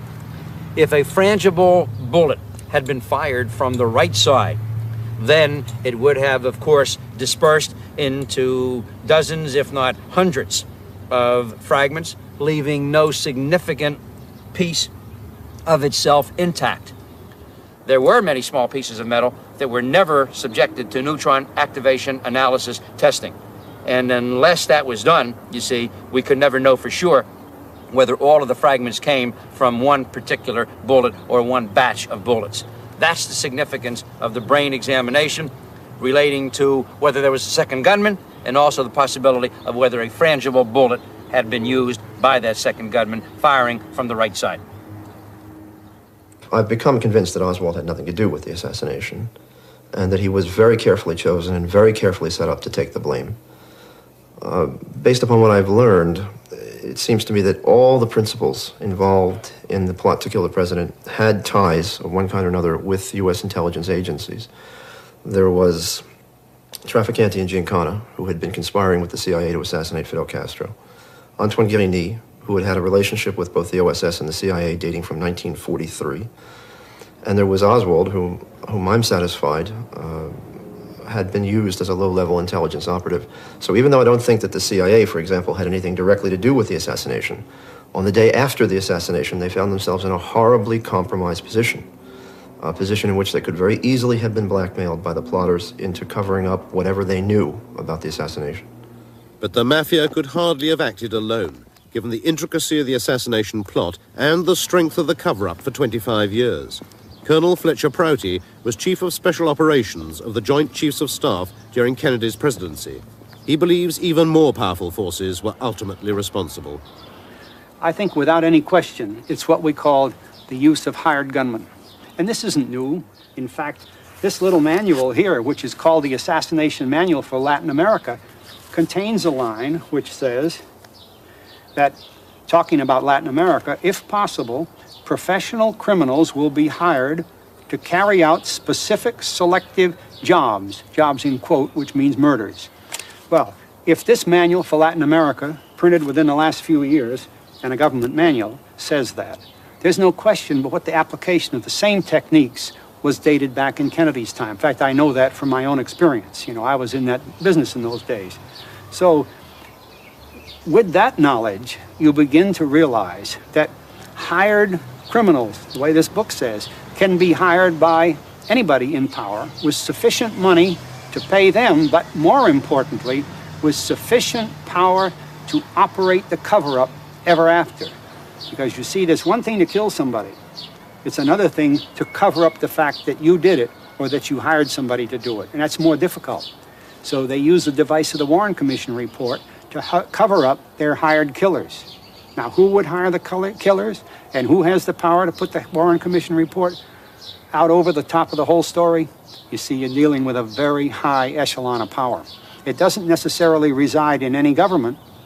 It doesn't necessarily re reside in any single corporate institution, but it seems to reside in a blend of the two. Otherwise, how could you have gotten people like the Chief Justice of the Supreme Court to participate in the cover up? the police in Dallas to participate in the cover-up, etc., and the media.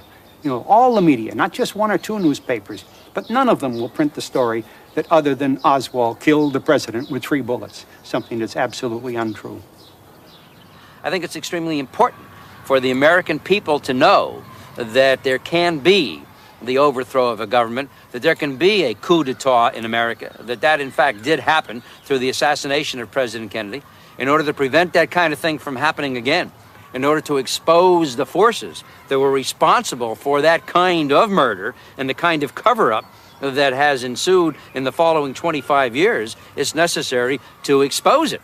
Otherwise, we can have the same thing repeated again.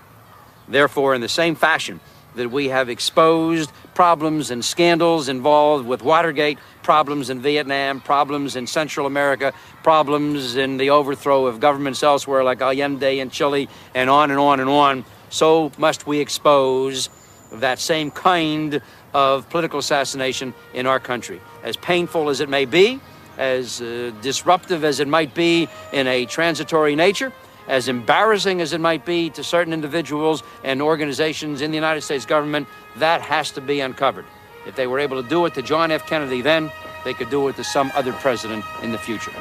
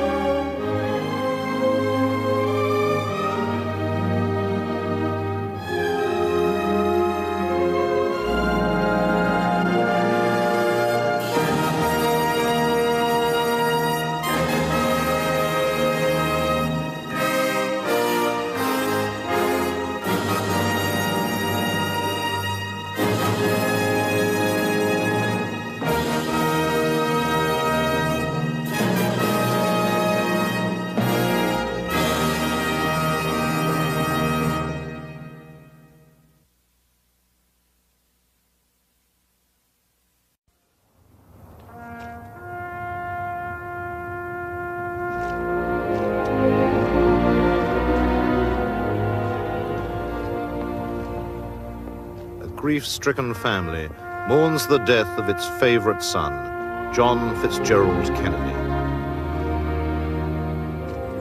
Their anguish is shared by a disbelieving world, appalled at the brutality of the slaying of the 35th President of the United States.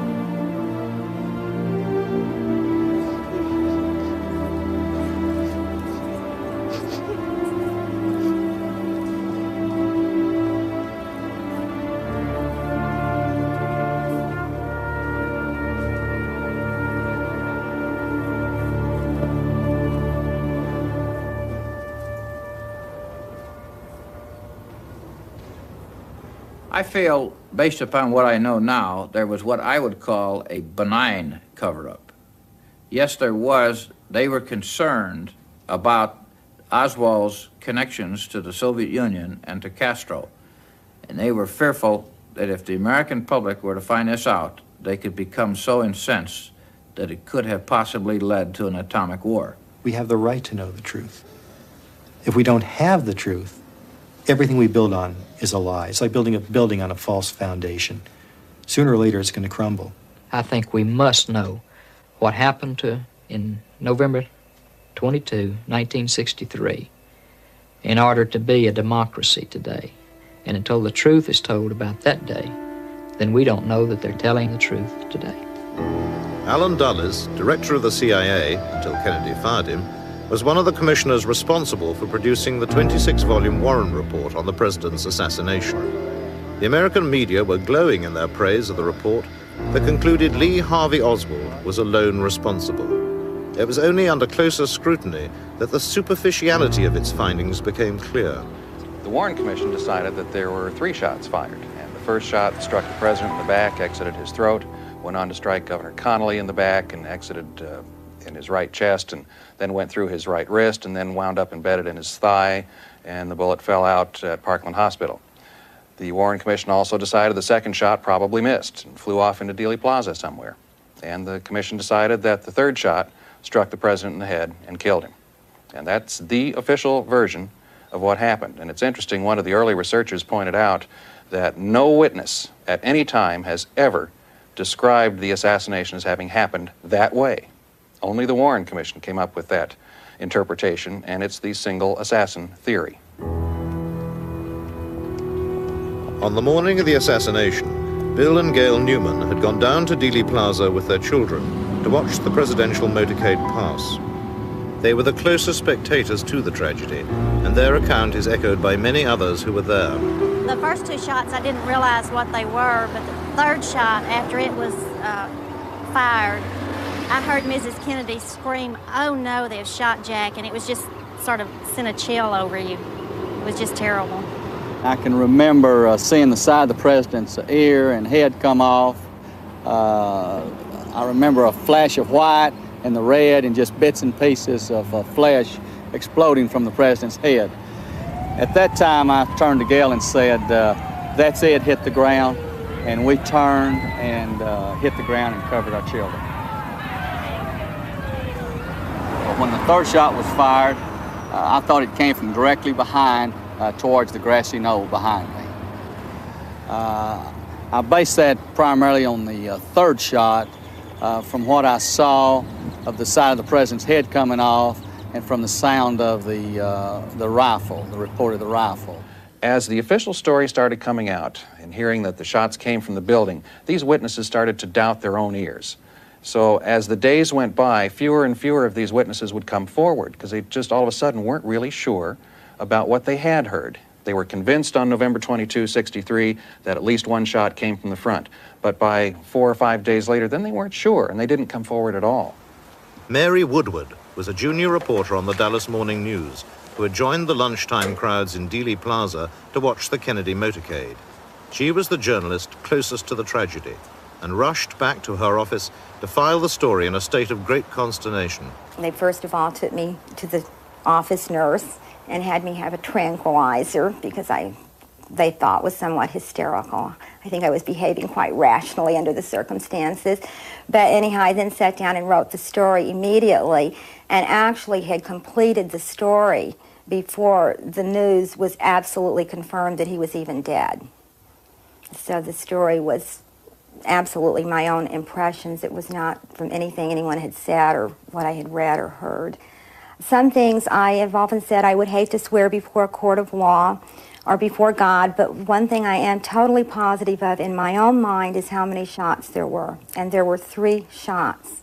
The second two shots were immediate. It was almost as if one were an echo of the other. They came so quickly. The sound of one did not cease until the second shot. With the second and third shots, I did see the president being hit. I literally saw his head explode.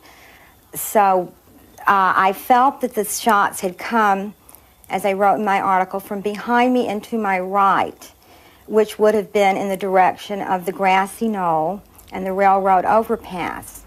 Because it contradicted the sole assassin theory, Mary's eyewitness account was quickly pulled and her version discounted civic leaders, responsible people, whether it be the mayor, the managing editor of the paper, almost felt it a responsibility to kind of not rock the boat, perhaps.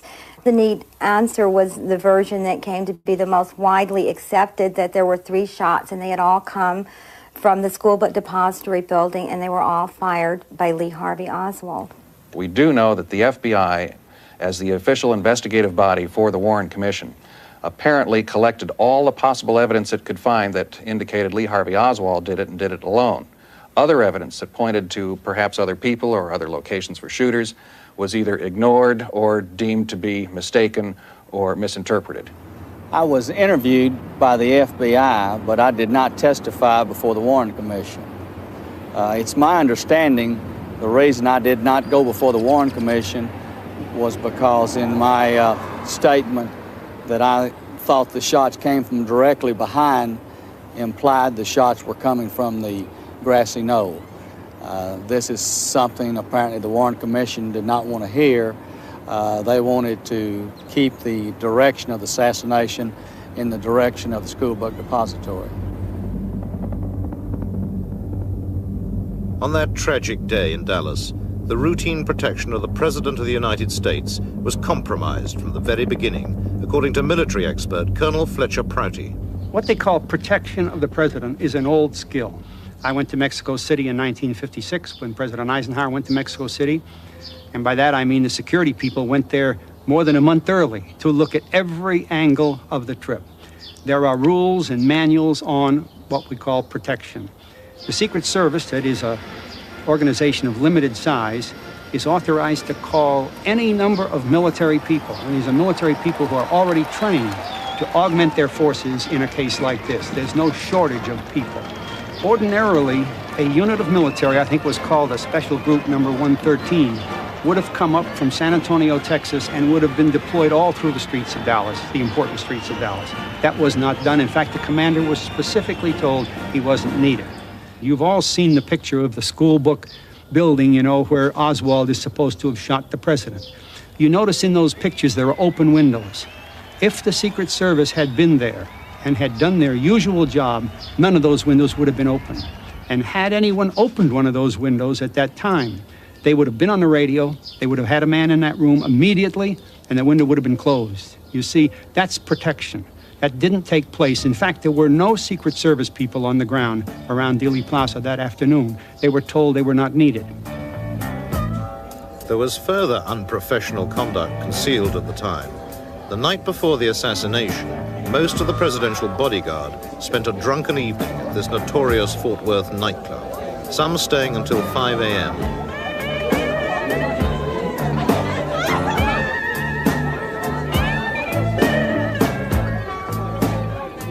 Drinking alcohol while on a tour of duty contravened all Secret Service regulations. It could well explain their failure to react when the deadly shots strafed the presidential car only hours later in what was to be a classic ambush.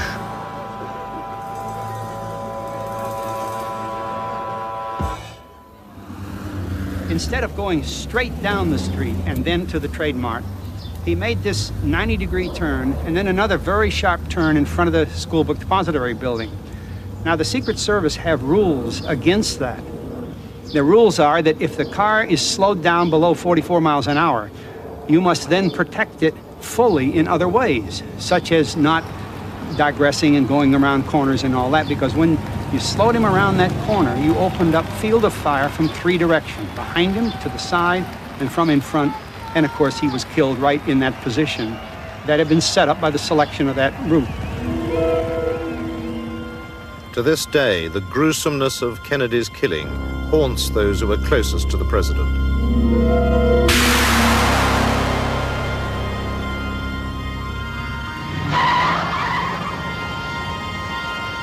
Riding a few feet from the limousine was Dallas police outrider Bobby Hargis.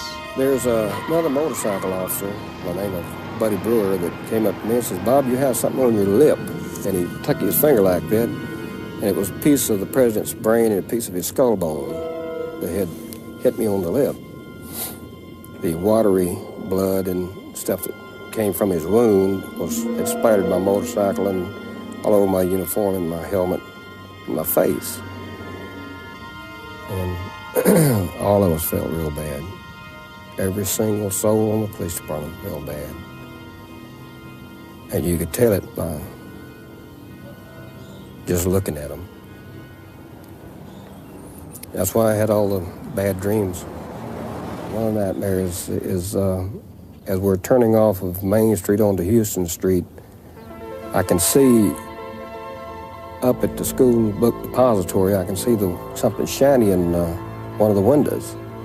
And then the shine goes off and becomes a gun barrel. And I turn around on my motorcycle to try to tell the Secret uh, Service people that there's something up there, and I scream and I yell, and they don't hear me. And uh, I do this all the way until the president gets shot, and no one hears me.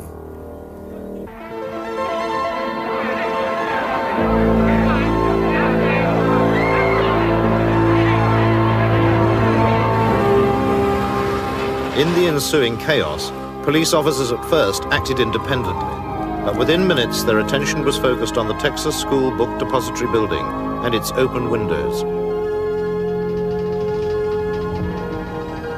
All the floors were systematically searched, but the first hard evidence was discovered in the southeast corner of the sixth floor by Dallas Police Detective Luke Mooney.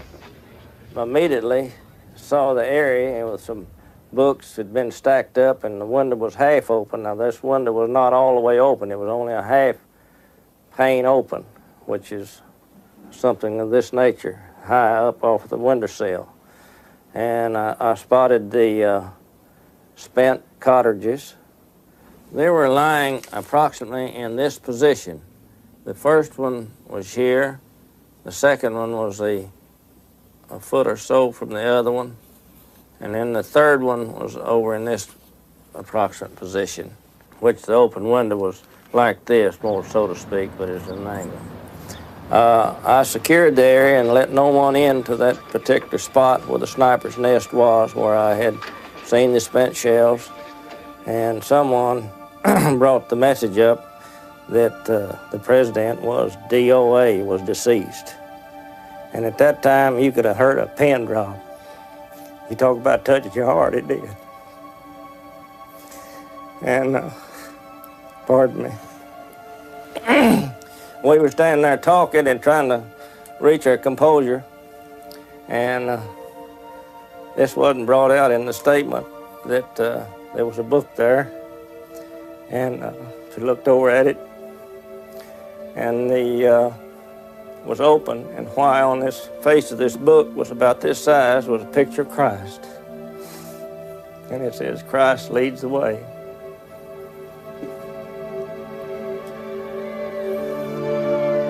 Outside Parkland Hospital, grief overcame the waiting crowd as the president's death was confirmed. The first to break the news was Senator Ralph Yarborough. I knew he was dead. I'd been around enough violence in my life to know he was a dead man. And the press came up and asked me uh, what had happened. So I said, there's been a deed of horror. An Excalibur has sunk beneath the waves. I thought that would tell them, in effect, what had happened without my saying he was dead. We made valiant uh, and unceasing efforts to resuscitate this man who was mortally wounded. And I think had we taken the opposite attack and said, oh, this man is dead, that even today people would be questioning and telling us stories about mortally wounded people who had been resuscitated when all hope was lost. So instead of taking that approach, we took the approach, let's save this man if we can, and we made what would be commendable, I think, even by today's standards, efforts to resuscitate him. State authorities wanted to do an autopsy, which is state law in state Texas, and uh, the federal people wanted to take it back to Washington, D.C. And there was a lot of pushing, shoving, cursing. They would pull, we would try to roll the casket out. Someone would grab it and try to roll it back towards the uh, trauma room. This went on for quite a while. It was push and shove type thing. Quite a bit of, uh, like I say, obscene language. I had to hold on to the cross on the casket because of the friction that you know where people's pulling it back and forwards and and uh, you know I I was scared to death. I you know I I was really frightened.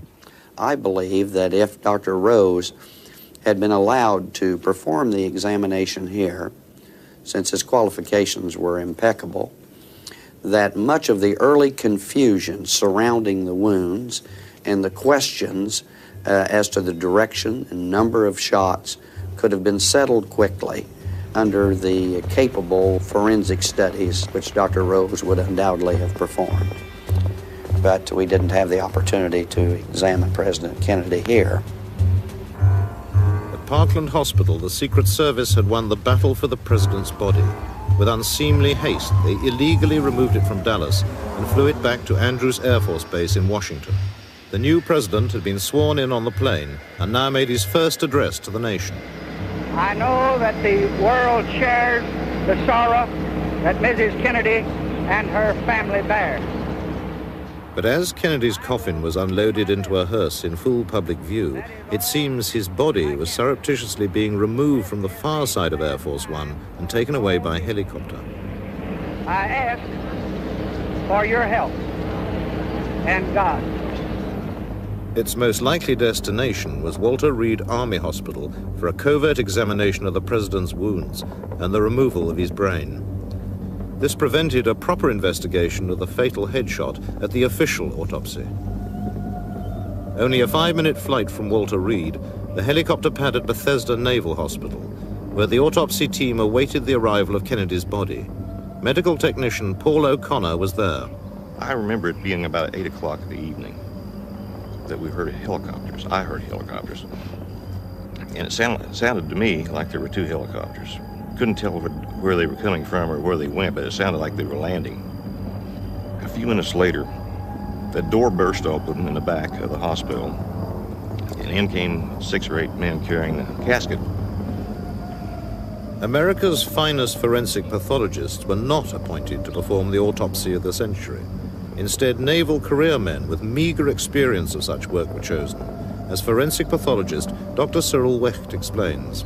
Humes and Boswell were in charge of hospital pathology at Bethesda, just like a hospital pathologist in civilian life. They had had no formal training or experience or practice in forensic pathology. It was incredible that Humes and Boswell should have been selected to perform this autopsy. Actually, these two doctors, Dr. Boswell and Dr. Humes, were commanding officers of a particular school, which was the school that I was attending. And their jobs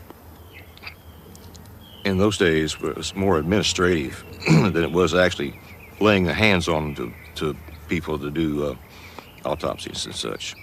I'd never seen them do autopsies all the time that I was there. As a matter of fact, I never even saw them ever, ever come in the morgue. There were, we know, about 33 people officially logged in the autopsy room that night. We know that there was an admiral, there was a general, there were FBI and Secret Service people. And these uh, people, Humes and Boswell, were career military people, just a couple of years shy of retirement. They were not about to stand up and say uh, to uh, their superior officers, we're going to do it our way. No way would they say that. They were kind of mysterious civilian people in civilian clothes were there. It seemed like they commanded a lot of uh, respect and attention. Sinister looking people. That they would come up and look over my shoulder or look over Dr. Boswell's shoulder and, so, run back and they'd have a little conference in the corner. Then all at once we there's nowhere comes down and says, stop what you're doing and go to the other procedure. And that's the way it was all night. And we just jumped back and forth, back and forth. There was no sm smooth flow of the procedure at all. So we see that Humes and Boswell were indeed controlled, and we know from their own records that they, Humes and Boswell, were not professionally competent and expert in the realm of forensic pathology. And that's how you got a botched, horribly inadequate, inept, in, in, inadequate, superficial medical legal autopsy in the case of John F. Kennedy. But manipulation of the evidence did not end with the legal autopsy. The National Archives in Washington received a metal tray containing all the vital medical materials relating to the case, including the president's brain. An inventory check three years after the assassination revealed that these items had vanished. In that inventory of October 30th, 1966, that metal tray containing the brain and the Kodachromes and the microscopic autopsy tissue slides are no longer listed. So somewhere between April of 65 and the end of October 66, these things were literally taken illegally, stolen, removed from the National Archives. And to this day, as we sit and talk, nobody in the United States government has ever accounted for these missing items. Can you imagine? Can you imagine what this would mean in a in a routine murder case? I can tell you, as a forensic pathologist testifying in a courtroom, if I came in in a murder that you know, not many people cared about, and the other side was asking, uh, where is the brain, and did you examine it, and what did you find, and so on. And I said, well, I chose not to examine it. Where is it? Uh, can you examine it today, or our experts want to examine it? Well, I don't have it any longer. It, uh, it was discarded, or so on. You know what would happen to that case, probably? The judge would throw it out of the courtroom. But in this case, the government hasn't been concerned, and my colleagues in forensic pathology were not concerned. And yet there's not one of them would ever tolerate that kind of aberrant, unacceptable, unethical, immoral, and illegal procedure or policy in his own office. Not one of them. But in this case, it just rolls off their back, along with the acceptance of the single bullet theory and all the other things. In the confusion following the assassination, the police arrested a dozen suspects in and around Dealey Plaza. All were later released. Three of those taken into custody were discovered in the marshalling yards close to the book depository, hiding in a railroad boxcar which was about to leave the area. No official record exists of who they were or what they were doing, yet their arrest was widely photographed by the press. They have become known as the Three Tramps. It was determined in uh, late 1970s and early 1980s that one of the three tramps, the taller of the, of the three, bore a striking resemblance to a man by the name of Charles V. Harrelson, who was convicted of killing a federal judge in San, San Antonio, Texas. A man who uh, claims to have killed at least five people previously, has been tried for some of those, and a man who has all of the right connections. Charles Harrelson is one of America's most notorious criminals. He's currently serving a life sentence for murder in a maximum security jail. On November 22nd, 1963, I was with a friend at 12:30 in the afternoon having lunch in a restaurant in Houston, Texas. It wouldn't be the first time I've been accused of being somewhere I wasn't, and I probably won't be the last. But no, I, I did not kill John Kennedy. He, uh, he's connected to organized crime figures, the Dallas underworld, uh, Santos Trafficante, uh, Carlos Marcello, uh, R.D. Matthews, considered the strong arm man in Dallas in 1963, and Ruby claimed that he was his best friend.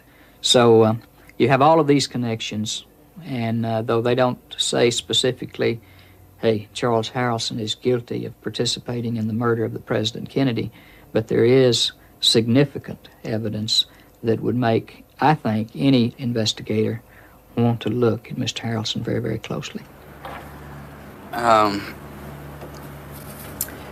that is a photograph of one of three so called tramps uh, who were apprehended and then mysteriously disappeared on the day of the Kennedy assassination.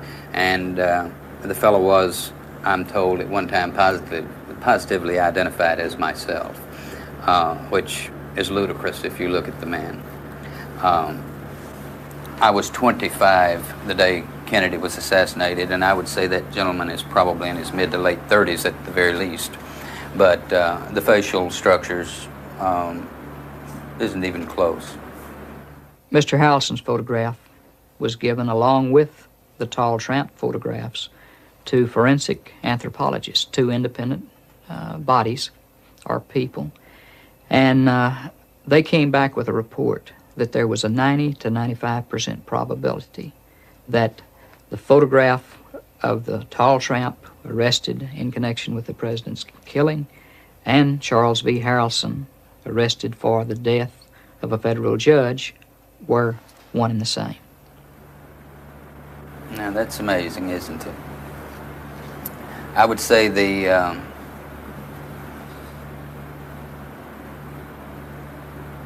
that is closer, much closer, but. Uh, I'm sure that um,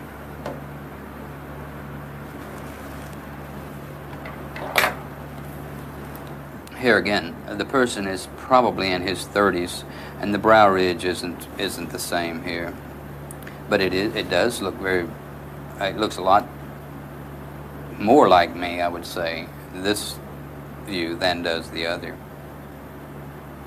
Are they the same person? Yeah. Big Bird? Yes. It's amazing. But uh, no, I I don't know the gentleman, and uh, never did know. Everyone who was involved in that thing has been eliminated. Had I been involved in it, I would have been killed. Had I been approached to be involved in it, I would have laughed. Because it's obviously a case of immolation. You're going to destroy yourself by doing something like that because the agency involved in carrying out this assassination cannot have someone with first-hand information regarding the assassination. No way. The country would destruct if that came forth. Also kept under wraps and not investigated was the criminal underworld of strip club owner Jack Ruby, Oswald's executioner.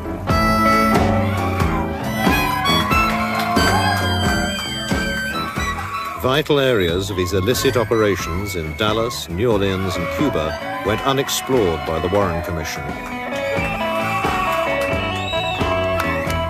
But Ruby's twilight world held many of the secrets behind the assassination. At Parkland Hospital, minutes after the tragedy, one member of the press corps who knew Jack Ruby well was to have an extraordinary encounter. Reporter Seth Kantor. Just after I entered, there was a group of uh, nurses and doctors uh, standing around with a lot of concern, and Jack Ruby came up to me. He said something to the effect that, "Isn't this just terrible?" And uh, he looked he looked as if he was extremely distressed. I shook hands with him, and uh, uh, I had known him previously. And uh, Ruby asked me what I thought about his closing his places of business uh, for a day or two out of concern for what had happened. And I told him I thought that was a good idea and to please excuse me, I had to go on. I guess that encounter with Ruby took maybe 25, 30 seconds. It was very clear to me who I had talked to and uh, who I had uh, called by name and who had called me by name and who I had shaken hands with and everything. But when the Warren Commission report came out, they said that uh, probably under the stress of, of everything that was going on, that I, uh, I most likely was confused and that I talked to Ruby at the police station several hours later. Ruby denied he'd been at Parkland, and the Warren Commission believed him rather than Seth Kantor. I was dismayed when I picked up my copy of the Warren Commission report and discovered uh, what what they had decided about my testimony. And um, among other things, I immediately began to wonder, you know, who else they had talked to, who they chose not to believe, and why. A pristine bullet, which the commission was to allege had wounded both Kennedy and Connally, magically appeared on a stretcher at Parkland. Jack Ruby's coincidental appearance inside the hospital was not the only fact the commissioners chose to ignore. They certainly didn't want to go into the fact that uh, members of the American, of the United States underworld were dealing with the CIA uh, in connection with uh, plans to get rid of Castro. Lyndon Johnson was very anxious for the Warren Commission to complete its work, to button things up and get out a report. And they were not anxious at all to open up areas of doubt or areas which needed further investigation. And one of those areas was the Jack Ruby business.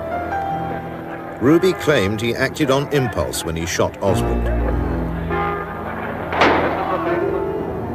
His real motives were never explored.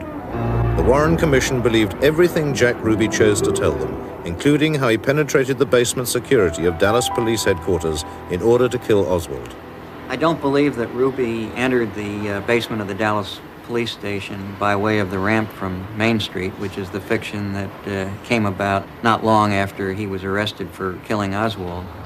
The policeman on duty at the top of the ramp was given a, uh, a lie detector test, and he insisted that Ruby did not pass him at any time. And the lie detector test given by the police department uh, bore that out. Uh, Jack Ruby did not come down that ramp. I'll go to my grave saying he didn't come down that ramp. If anybody could have ever proved to me beyond a reasonable doubt that he came down that ramp, I feel that I was man enough to, to admit that, yes, maybe I made a mistake or was negligent in some area. But no, nobody's ever proved that to me, and I'll go to my grave saying that man did not come down that ramp. Only four minutes before he gunned down Oswald in the basement, Ruby had been at the Western Union office on Main Street, cabling money to one of his strippers. According to the commission account, he then walked down the street and simply slipped down the basement ramp unnoticed by Officer Vaughn, a view denied by researcher Larry Harris. Well, clearly, Jack Ruby did not enter the basement via the Main Street ramp, as the Warren Commission concluded. And indeed, when Congress reopened the investigation in the late 1970s, they concluded he did not come down the ramp, and they cited eight witnesses who stated that Ruby did not come down the ramp, and, and several of these witnesses knew Ruby personally. They, the Congressional Committee concluded that Ruby most likely used an obscure entrance into the building that was located in the alleyway behind me.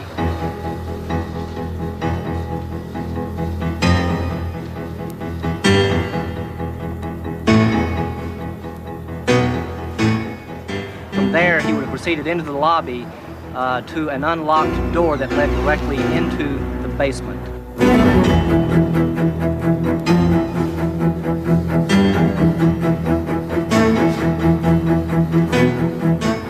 He would have gone down that stairwell and actually entered into the parking garage area of the basement and proceeded toward the railing, up through the railing and into the spot where he was standing when he lurched forward to shoot Oswald.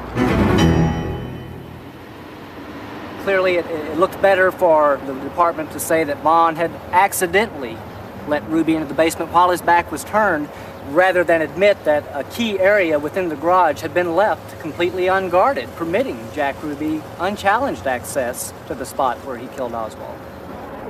Larry's conclusions are supported by the immediate comments of several police officers recorded by live TV cameras just after the shooting.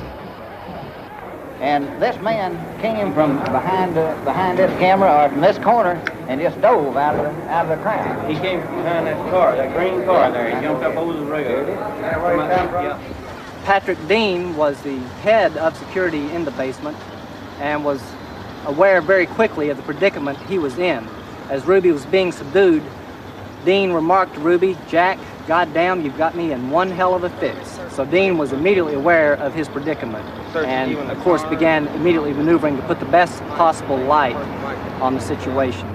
There was about 15 to 20 men that had searched this place prior to uh, 30 minutes. Uh, in fact, searched it twice, about an hour before and then 30 minutes. The late Patrick Dean was adamant that the only way Ruby could have gained access to the basement was via the Main Street ramp. I'm positive that, that that door leading from the city hall proper into the basement was locked by the maintenance man in my presence that day on, on the inside of the basement side. And I also had two men stationed at that door. But I am positive that that, that door was locked. Now, that, that door possibly could have been opened by someone from the other side. However, no one did come through there because, as I say, two men were stationed there as guards for that particular door that led from the city hall proper to the basement. Two reserve officers who'd been stationed there earlier that morning had been reassigned to points outside the building directing traffic, so that this left an area of vulnerability from the stairwell to the point near the railing where Ruby shot Oswald. The police blundered with Oswald's murder, but the security of the president had been a Secret Service responsibility. The Dallas police had been powerless to prevent the assassination. They were also powerless in carrying out a proper investigation afterwards. We have the evidence, they claim, of three bullets being fired at the president, one hitting uh, the Governor Connally. Well, policemen would take those hard bits of evidence and begin to put this thing together. And first of all, would show that they could not have done the damage they did, the lethal damage they did, with only three bullets. If you come to this conclusion and you do it accurately by physical evidence, you throw the entire Warren Commission report out. The policemen working on the street are accustomed to solving murders, and they would go right ahead of it with it unless somebody stopped them. So somebody stopped them, there's your cover up. The FBI in Washington had at first given their full cooperation to the Dallas police. Their field agent in Dallas, in charge of the Oswald file prior to the assassination, was James Hosty. He was directed to help the police in their initial interrogation of Oswald. But within hours, these orders were changed. I was approached by one of the senior agents from the uh, counterintelligence squad and was told that there were now new orders and I was not to talk to Oswald anymore and I was not to cooperate with the police department in any manner uh, concerning Oswald's background. I have since determined that those orders came directly from Assistant Director William Sullivan, who was in charge of the Foreign Counterintelligence Squad. He was also the person who had direct liaison with the National Security Council. The National Security Council is the President, the Vice President, the Secretary of State, and the Secretary of Defense. Uh, that's about as high as you can get. Hosty's Washington superiors knew much more about Oswald than they were willing to divulge. Consequently, his surveillance of Oswald had also been based on incomplete information. I was not aware of the fact that President Kennedy, through the CIA, was attempting to overthrow Castro and that Fidel Castro had threatened President Kennedy. Had I known this, I would have immediately been concerned about Lee Oswald because we knew he was pro Castro. Had I known this, then uh, we could have put a whole different light on the situation. It was here in Neely Street that Hosty first attempted to contact the Oswalds in March 1963. His visit was routine because of their links with Russia. But they had moved on. Later in the year, Hosty spoke to Marina alone, prompting an angry note from Oswald, hand-delivered to the FBI three weeks before the assassination. The, the note which I subsequently determined was from Lee Oswald was unsigned. It was quite short. It just said, uh, if you want to talk to me, uh, come talk to me. Don't bother my wife. I don't want you talking to her without my being there. If you don't uh, cease and desist on this, I will take this up with the proper authorities or words to that effect. I had uh, thought it was somebody else at first and just uh, put it into my file drawer until I had a chance to look into it further. Late on the afternoon of uh, November 24th, the day Oswald was killed, uh, I, I was told by Supervisor Ken Howe to go to the office of Gordon Shanklin, the agent in charge of the Dallas office. He wanted to see me. I was called in there, and Gordon Shanklin reached down into one of his uh, uh, desk drawers and took out the note and handed it to me and said, Here, I don't want to ever see this again. He said, Oswald is dead now. There can't be any trial. Now, this was the reason why it was legal to uh, get rid of this uh, note at this time, since there was no trial and President Johnson was adamantly opposed to any hearings. The uh, FBI then felt it was all right to dispose of uh, this note. I was then, I then tried to, tried to tear it up and throw it in the wastebasket. Gordon Shanklin said, "Don't get it out of here. I don't want to ever see it again." So I then took it out, and I was going to burn it, but that would have been a little bit messy. So I thought it would be much easier to flush it down the toilet, and that would get rid of it permanently. It wasn't till a week later that uh, President Johnson gave in to uh, congressional pressure and called the Warren Commission together. Of course, by this time, uh, the FBI and probably the CIA and uh, the Navy Department and the State Department had uh, suppressed a lot of different things, and this was one of probably many of them. Miami, Florida was the city visited by President Kennedy four days before his death in Dallas. It was also the unlikely location for a bizarre meeting 13 days before the assassination, in which details of the plot to kill Kennedy were set out with stunning accuracy. A Miami police informant secretly taped a conversation with a visiting right-wing activist in his seedy downtown apartment. It is broadcast here for the first time. I don't know, Kennedy's coming here, I think on the 18th or something like that, to make some kind of speech. I think it's the 18th he's supposed to be here to make a speech. I don't really know what it's about. You can bet you want to know. You're going to have a lot to say about Cuban because there's so many of them here. Willie Somersett, a union organizer with extensive right wing political ties, was the Miami police informant. Joseph Milteer was the wealthy, rabble rousing racist from Quitman, Georgia. In charge of the surveillance operation was Miami detective Everett Kaye. Well, we had to set up the tape recorder in Somersett's apartment in order to uh, to make the recording where he met with uh, with this other uh, man, uh, Milteer. In order to do so, uh, it was a very large tape recorder that was made especially for uh, intelligence work, weighing approximately 40 pounds.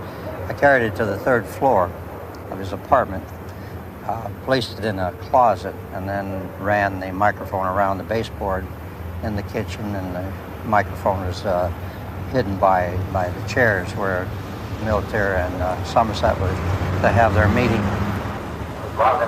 More bodyguards, it's more easy. Huh? More bodyguards, it's more easy it is to get him. Well, how the hell do you figure the best way would be to get him? Uh, from an office building uh, with a high powered rifle. You think he knows his apartment? Sure he is. Sure he is. And they're going to really try to kill him. Get this Kennedy, I mean, get this Kennedy, I'll tell you, it's going to be a hard proposition, I believe. You may have it figured out to get him, you may have it figured out to get him an office building out, but I don't know how them Secret Service, they never cover all them office buildings uh, and anywhere he's going. Do you know whether they do that or not? Well, say, uh, if they have any suspicion, they would, of course. But without suspicion, the chances are they would. To take him out there, take it up there in pieces. Assemble it, take it out in pieces. They take them apart. Astoundingly, the conversation came up that this man wanted to know how many people that President Kennedy had that was his look-alike that went with him. And our informant wanted to know why, and he said, well, there was plans to assassinate him. The further conversation on the tape revealed that uh, the assassination was to take place uh, from an office building with a high-powered rifle. There was no particular city mentioned, uh, nor was there any particular person mentioned that was to do the assassination. The tape was made on uh, November the 9th, and John F. Kennedy, President Kennedy, was due in Miami on the 18th of November of 1963. So the close proximity of the tape being made and his visit uh, made quite a few changes in the security. They changed the motorcade, and uh, I believe that he was helicoptered, and rather than have a motorcade, uh, additional men were um, secured. Uh, uh everyone was made aware that uh, that, that there may be a problem, so there was a drastic change in the procedures. It wasn't as accessible in this city as he might have been in, in the past. Boy, if that Kennedy gets shot, we gotta know where we at. Yeah, but you know, boy, that, that would be a real shame if they do that. There wouldn't be any stone unturned there at all, no way. Oh, hell no. And, uh, they'll, they'll pick up somebody within hours after. And they might be able to have, oh, yeah. Just uh, throw, the, throw the public off. Yeah, that's right. Well, somebody's gonna have to go to jail if he gets Milteer later boasted to Somersett that he went to witness the assassination in Dallas. The question was Was Joseph Milteer in Dealey Plaza? Was he in Dallas to witness the execution of the president? And if so, was he photographed? I looked at some of the photographs of the crowd, combed the photographs of the crowds in Dealey Plaza around Houston Street and Elm Street. And I did find in several photographs of one spot on Houston Street a white haired man who looked amazingly like Joseph Milteer. In my opinion, given the measurements of the ears, the eyes, the nose, the mouth, I'm convinced that the man in the photographs is Joseph Milteer. We know that he made a phone call from Dallas to Willie Somersett, the informant, that day, saying that President Kennedy would never again return to Miami. Therefore, it is likely that he was there. And given the nature of this and the way Milteer felt about the president, it seemed very likely that he would indeed be in Dallas. We thought we did a good job and was very grateful the fact it did not happen in Miami. It could have very well happened in, in Miami, um, as it did in Dallas. So it, it, touched, it touched each of us uh, very, very closely, particularly myself, as hearing the words that they were going to assassinate President Kennedy. How the hell you way uh, from an office building uh, with a high margin rifle? And they're going to really try to kill it. Milteer was interviewed by the FBI and then released. He perished in a mysterious house fire a few years later. The Warren Commission ignored the Miami connection and a further opportunity to determine the truth. It is important to all of us to find out what really happened to President Kennedy. Because what happened to him could happen to anybody else. If a conspiracy can kill the President of the United States, who among us is safe? The people who know something, why don't they just bring it out and tell the truth? Why lie about something? Somebody knows that they're lying. I know they're lying. Why? If they lied to us, how much are they lying to us in other areas? And if they're lying to us, can they do it again and again and again? And if so, this is not a democracy. This is a, a hierarchy, a government or a people ran by certain powerful individuals who have the ability to dispose of anyone who's not going along the party line, so to speak. Not a whole lot different from what I was taught uh, occurred in the USSR all these many years. The truth is the most important thing.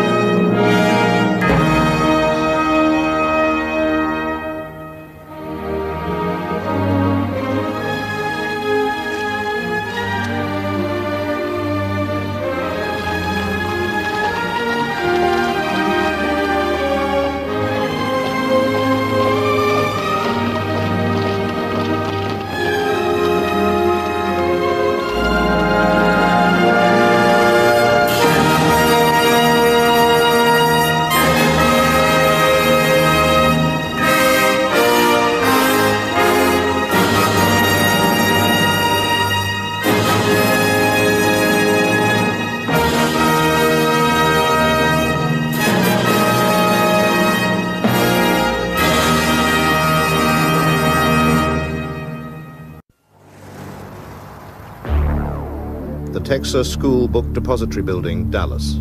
From this sixth floor window, Lee Harvey Oswald allegedly fired the shots that killed the President of the United States on November the 22nd, 1963. Lee Harvey Oswald, a figure of mystery, murdered before he could reveal what he knew. While the truth about him remains obscure, the myths abound. He was average Joe, that was all. He was behaving like someone who was belligerent and not showing any remorse for anything he had done. You were a nice fella, seemed like. Very courteous, nicely kept. Oswald was the perfect patsy. He looked guilty, not just of the murder, but of anything. A very sullen, dark kind of a man that I wouldn't want to be friends with. He seemed to be such a nice man, and everybody thought he was, and he appeared to be because he was very good with children. And they started making a villain out of a man who genuinely was probably a hero.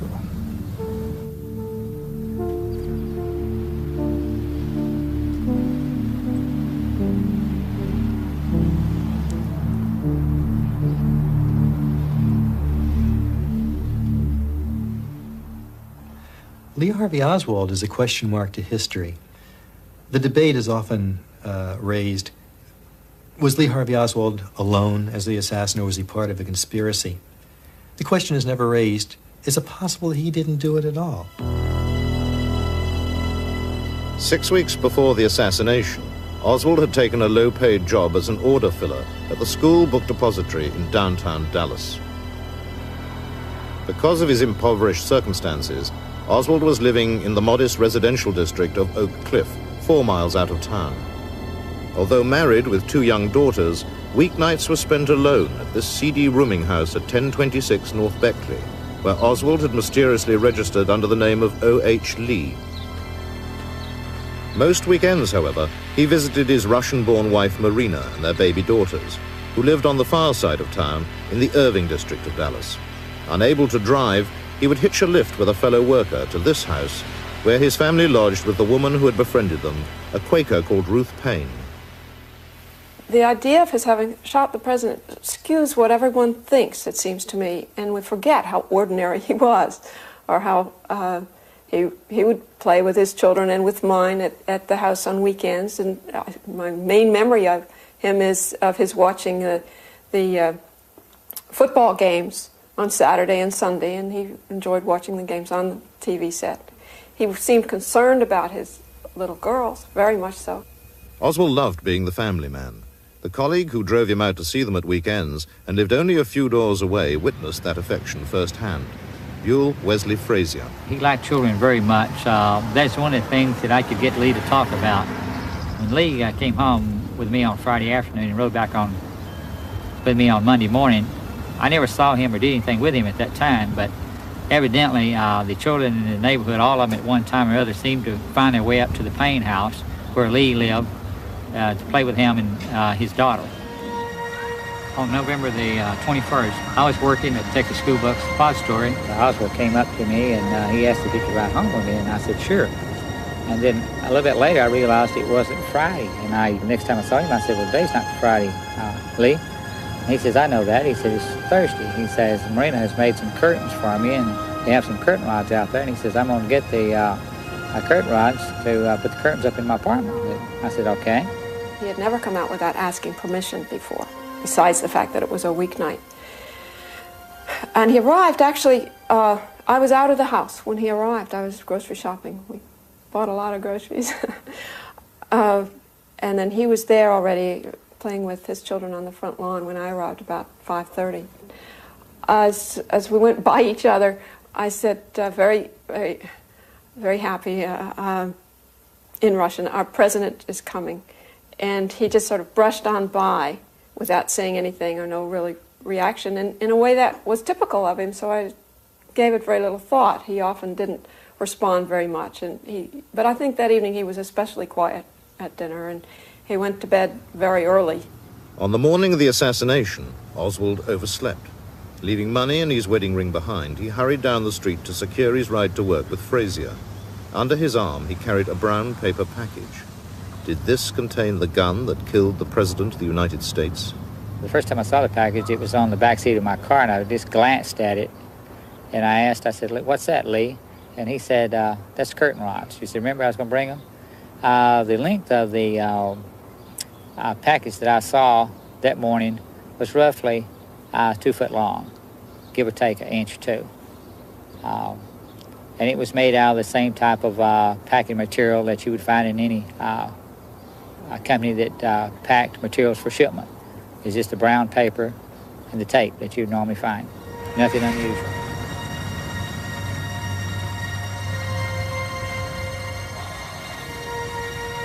What we actually uh, talked about that morning was that uh, I mentioned, I said, uh, President Kennedy is going to be coming to town today, and I said, you know, i never seen a president. I said, I sure would like to get a chance to see him up close. Well, at that time, I didn't know that the motorcade in which he would be riding would come right by where we worked. He did not make any comment at all about where the president was coming to town. It didn't seem to interest him one way or the other. I parked in the parking lot at uh, Texas School Book Depository. Lee got out of the car, uh, took the package that he said contained curtain rods, and uh, he put uh, one end of the uh, package in the cup of his hand and the other up under his armpit put the package under his arm that way, and he walked off toward take the school bus depository up on Elm Street. The package could not have contained Oswald's rifle, for even when dismantled, it was three feet long. The Warren commissioners, who investigated the assassination, ignored Frazier's unswerving testimony, insisting the weapon had been smuggled into the depository in Oswald's brown paper parcel. Harold Norman, another of Oswald's co-workers, also found nothing unusual in his behavior that morning. I saw, well, about 30 minutes, I'd say, before the uh, motorcade supposed to be coming through. And uh, the reason why I, I know I remember seeing him is because he's an order filler, and I'm a checker. So I have to check the orders and uh, make sure that they go out correctly to where they're supposed to go. But meantime, after the, I seen him on the first floor, I didn't see him anymore. As far as eyewitnesses go, there was a woman named Carolyn Arnold who spoke to Oswald on the second floor moments before the shooting. Now, the motorcade was running six minutes late. Oswald, had he been up there, would have had no way of knowing this. He would have been up there on the sixth floor. He would have been waiting for at least 10 or 15 minutes in that so called sniper's perch to shoot at President Kennedy as, as he either came toward the depository or as he went toward the triple underpass. One way or the other, he would have had to be up there at that time. He wouldn't be in the lunchroom on the second floor. Now they are waving, and here comes Jackie waving by. And Mr. Kennedy. President's car is now turning onto Elm Street, and it will be only a matter of minutes before he arrives at the Trade Mart. Uh, it, it, it appears as though something has happened in the motorcade route. Something, I repeat, has happened in the motorcade route. There's numerous people running up the hill alongside Elm Street. Stand by just a moment, please. Put me on, Phil. Put me on. The motorcade is coming by here. The presidential car coming up now. We know it's the presidential car. You can see Mrs. Kennedy's pink suit. There's a Secret Service man, spread eagle, over the top of the car. We understand Governor and Mrs. Connally are in the car with President and Mrs. Kennedy. We can't see who has been hit, if anybody's been hit, but apparently something is wrong here. Something is terribly wrong. I'm in behind the motorcade, trying to follow them. It looks as though they're going to Parkland Hospital. And just now we've received reports here at Parkland that Governor Connally was shot in the upper left chest, and the first unconfirmed reports say the president was hit in the head. That's an unconfirmed report that the president was hit in the head. A priest has been ordered. Emergency supplies of blood also being rushed to the hospital. Just a moment. Just a moment. We have a bulletin coming in. We now switch you directly to Parkland Hospital and KBOX News Director Bill Hampton. The President of the United States is dead. It's official. As of just a few moments ago, the President of the United States is dead. What I remember is being told that it was an oral report rather than a visual one, that the uh, president had been shot. And uh, then it was really quite a while later that we heard that he had died. Um, and when I first heard that he'd been shot, um, I went and got a little votive candle and lit that. And Marina said, Is that a way of praying? And I said, Yes, that's just sort of my way. Um, we were both just very distressed and, uh, you know, let lunch sit on the table, neither interested in eating as, as uh, we followed the coverage. A little later on, you know, life went on. We had children to take care of, and, and, she, and she was hanging out some laundry in the back line when I heard on the TV that uh, the shots were thought to have been fired from the school book depository building.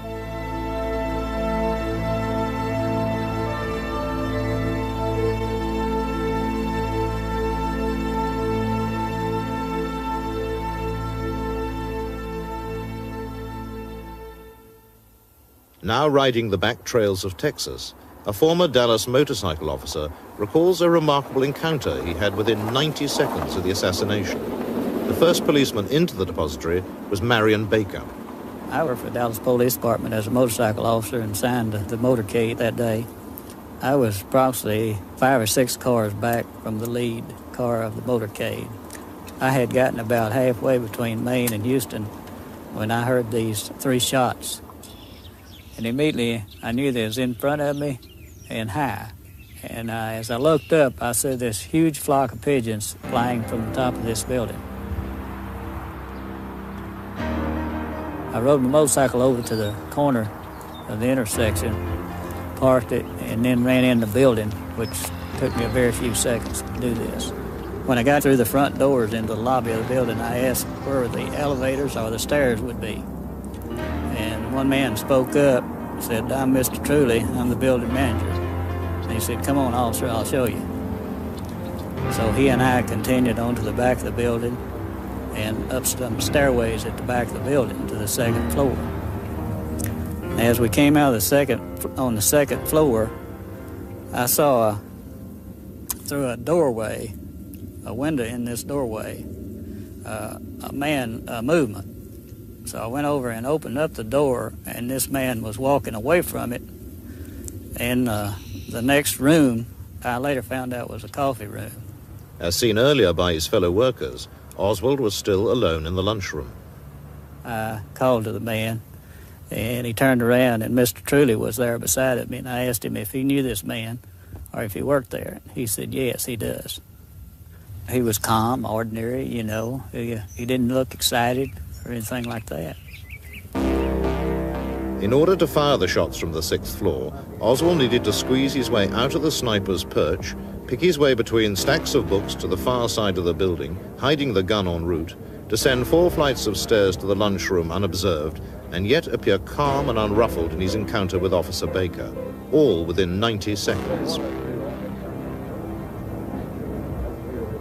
Less than 15 minutes after the shooting, the police were broadcasting a wanted description that closely fitted Oswald. Who provided that description is not known, but it led to the immediate arrest of Oswald lookalikes, even in Fort Worth, 30 miles away. Attention all squad. The suspect in the shooting at Elm Houston is reported to be an unknown white male, approximately 30, slender build, height 5 feet 10 inches, weight 165 pounds, before to be armed with what is thought to be a 30 caliber rifle. Meanwhile, the real Oswald had made his way to a taxi rank a short distance from the depository, and after politely offering the first cab in line to another passenger, had asked to be driven to the street where he lived in Oak Cliff. At his lodgings, he rushed to his room, collected a jacket and revolver, and was last seen by his landlady shortly after 1 p.m standing at the bus stop outside 1026 North Beckley. A mile from Oswald's rooming house, in another part of Oak Cliff, a further drama was unfolding. Waitress Helen Markham, on her way to work, was about to become the principal witness to a brutal slaying.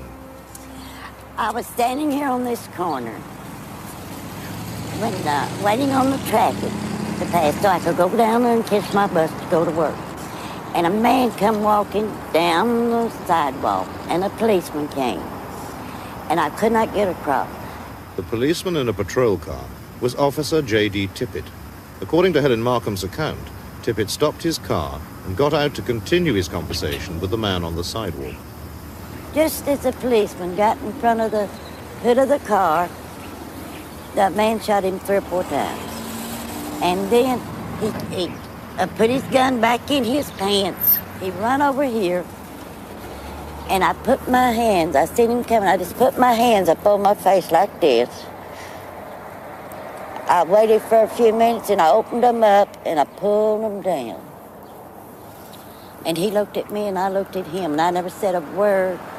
And just like a flash of lightning, with big glassy eyes, he run off across the field, out that lot there, down, right across there, went over the fence and down the alley.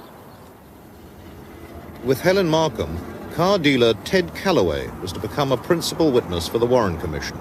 At a police identity parade later that day, they both picked out Lee Harvey Oswald as the killer of Officer J.D. Tippit. I was sitting in my office when I heard what sounded to be five pistol shots coming from behind my office in the direction of 10th Street. Well, I jumped up, ran out to the sidewalk, and as I did, I saw a man jump through the hedge carrying a pistol. And he angled across the street to the sidewalk and continued to run in my direction, holding his pistol. When he got almost directly across from me, I yelled at him, Hey man, what the hell is going on? And he had his pistol right here, and he, he nearly stopped and he turned in my direction and said something, but I couldn't understand what he said. So he continued walking down Patton Street. I called to a friend of mine. I said, follow that guy, see where he's going. The different routes taken by the fleeing assailant were not the only contradictions in the accounts of these key witnesses. He was wearing a light shirt, a brown jacket, and, and a light gray trousers. He was wearing a black pair of trousers, a white shirt, and a, either a real light tan or a light gray Eisenhower type windbreaker.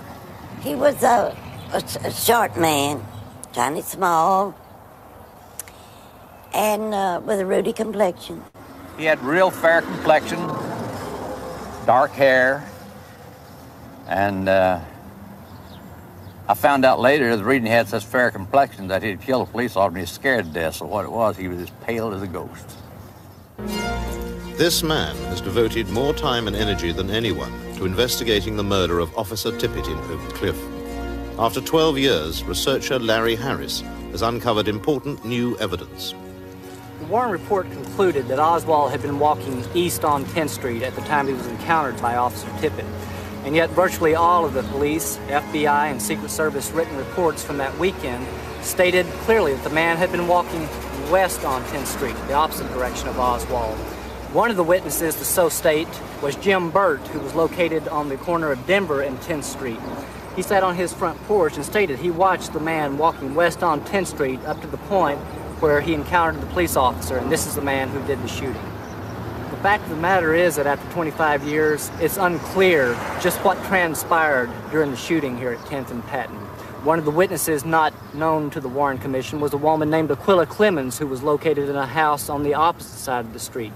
She came out immediately after the shooting and said she saw two men, one of whom was short and chunky, standing near the police car, and these men ran off in opposite directions.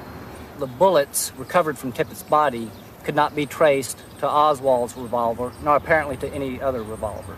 There were references uh, on the police radio tapes to, to an automatic weapon, two references.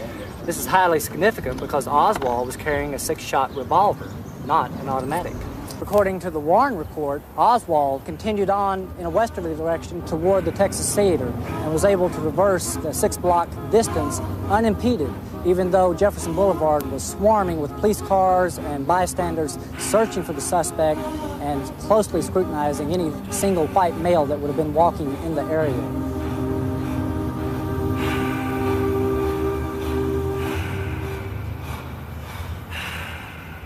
An agitated figure was seen to dodge into the Texas Theater without paying and disappear into the upstairs balcony. Butch Burroughs was the ticket collector on duty that day. Uh, we were playing two movies called uh, War is Hell with Audie Murphy and Cry Battle with Van Heflin. And uh, we started the movie at 1 o'clock and I was counting candy behind the candy case. And he also slipped in around between one and one seven. According to the official record, 107 was the time at which police officer Tippit was slain.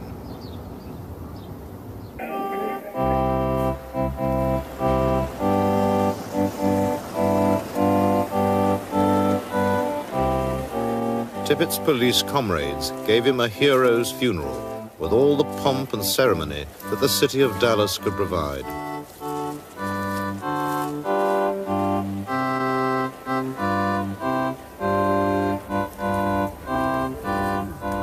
Mrs. Tippit became a very wealthy widow. Donations poured into Dallas for the family of the police hero slain in the line of duty, confronting the presidential assassin, Lee Oswald. I don't know what this is all about. Back up. Back up, man. Here in Dallas, the man all America is looking at at this time is 24-year-old Lee H. Oswald, being interrogated at the Dallas City Police Building. At the time of his arrest, in a theater in the Oak Cliff section of Dallas, he was subdued after killing a Dallas police officer with a snub-nosed revolver. struggling with another officer, striking him with that pistol. And during that struggle, he was heard to shout, It's all over now. I got me a president and a cop, and I'll try for two more. A fanatic in every sense of the word. McDonald yelled for help, and the other officers in the theater and I managed to subdue the man, disarm him, and handcuff him. We asked him why he shot the officer, and he made the statement, I haven't done anything to be ashamed of. This is all the information we got out of him on the way downtown. After we pulled into the basement and set up the wedge, we told him we would hold him in such a way that if he did not want his picture taken, he could duck down below the level of the outside guys walking around him and get into the station without anybody taking his picture. And here again, he says, I haven't done anything to be ashamed of, and he did not try to hide his face in any way as we went in on the elevator up to the third floor and set him in the interrogation room. Except for the arresting officers, I was the first investigative officer that talked to him. He said he hadn't shot anybody, hadn't shot an officer or anybody else. And the only thing that he would admit to was hitting an officer in the mouth. He said, "Now, nah, our cop in the mouth," is the way he put it. He said, "I will admit to hitting a cop in the mouth," but he said, "I won't admit to uh, shooting anybody." And his answers that he would give to questions were as almost like they'd been rehearsed. Sir, shoot the president. I work in that building. Were you in the building at the time? Naturally, if I work in that building, yes, sir. Back up, man. Did you shoot the president? No, they're taking me in because of the fact that I lived in the Soviet Union. Did you shoot the president? The prime piece of evidence against Oswald seemed to be the antiquated bolt-action rifle discovered on the sixth floor of the depository 30 minutes after the assassination. However, both the FBI and the Dallas police were unable to positively tie the weapon to Oswald. This became a matter of increasing embarrassment to Police Chief Jesse Curry. Chief, we understand you have the results of the paraffin tests which were made to determine whether Oswald had fired a weapon. Can you tell us I what understand those that it was. I understand that it was positive. What, what, do- what- what does that mean? It only means that he fired a gun. Uh, th- this uh, doesn't. was there, were there powder burns or powder marks on his uh, cheek or I don't know that. I don't know All that. Do you know about on his hand? Yeah. That he fired a gun, A Chief, gun. not the rifle or the pistol. That's right.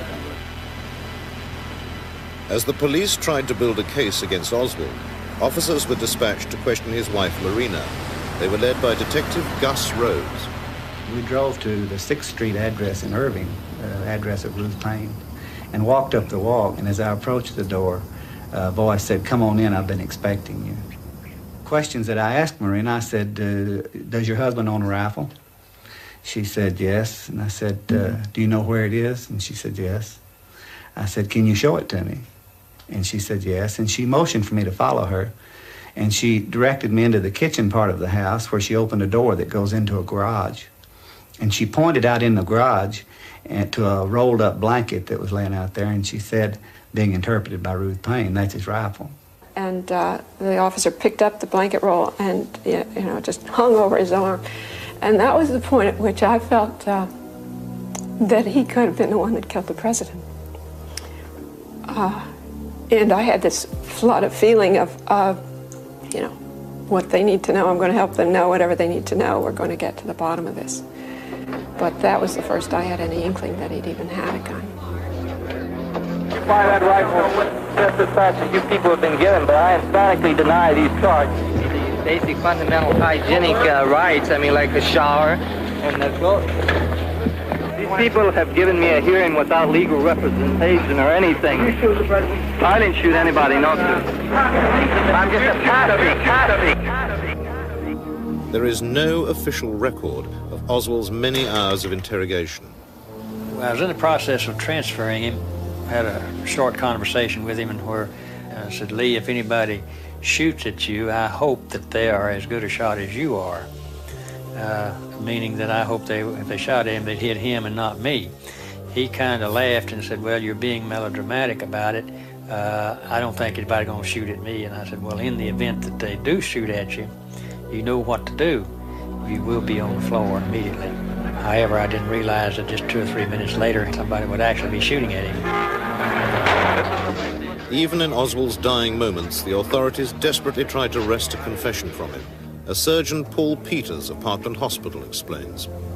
There were Secret Service men intermingled with the operating room personnel, as there were dozens of people in the operating suite at that time.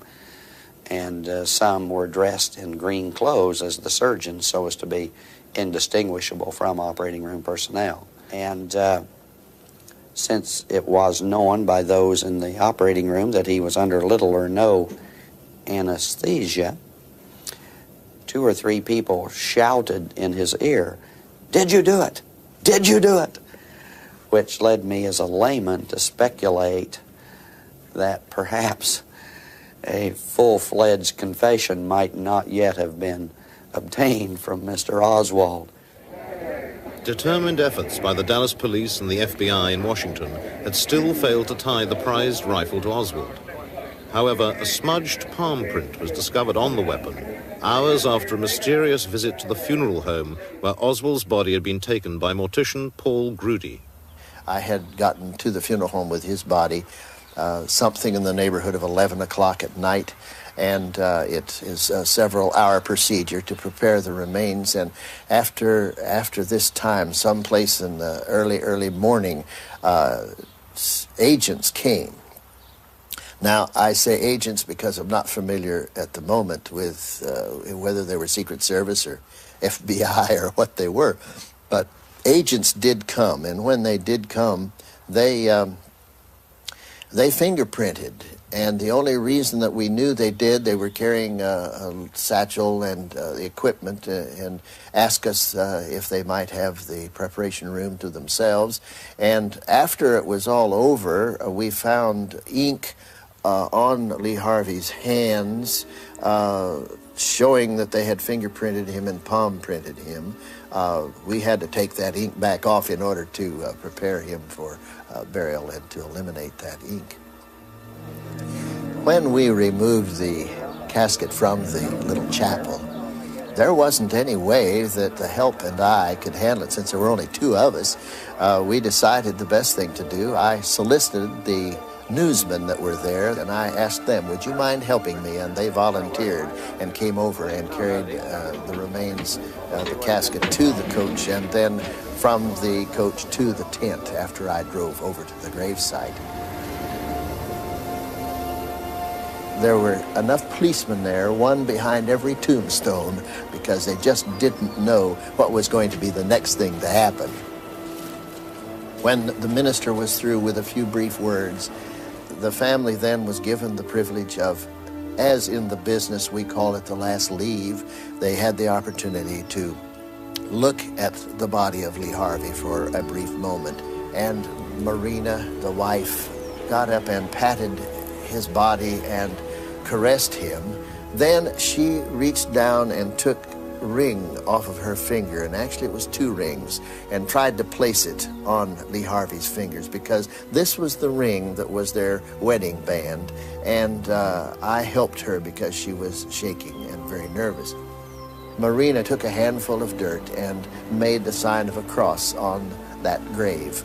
And then the family departed and uh, went back to protective custody. But the man given such a simple burial in Rose Hill Cemetery was far more complex than portrayed by history. Well, Oswald was a pretty interesting fellow. He's not nearly the one dimensional character that the Warren Commission has painted him to be. He was in the Marine Corps and did very well. He had a high security clearance. He was stationed over at, at Sugi. He was a radar operator. In fact, he was one of the guys that would track the U 2 flights over Russia. So it's not like he was the perennial loser that uh, we, we tend to have this image of him now.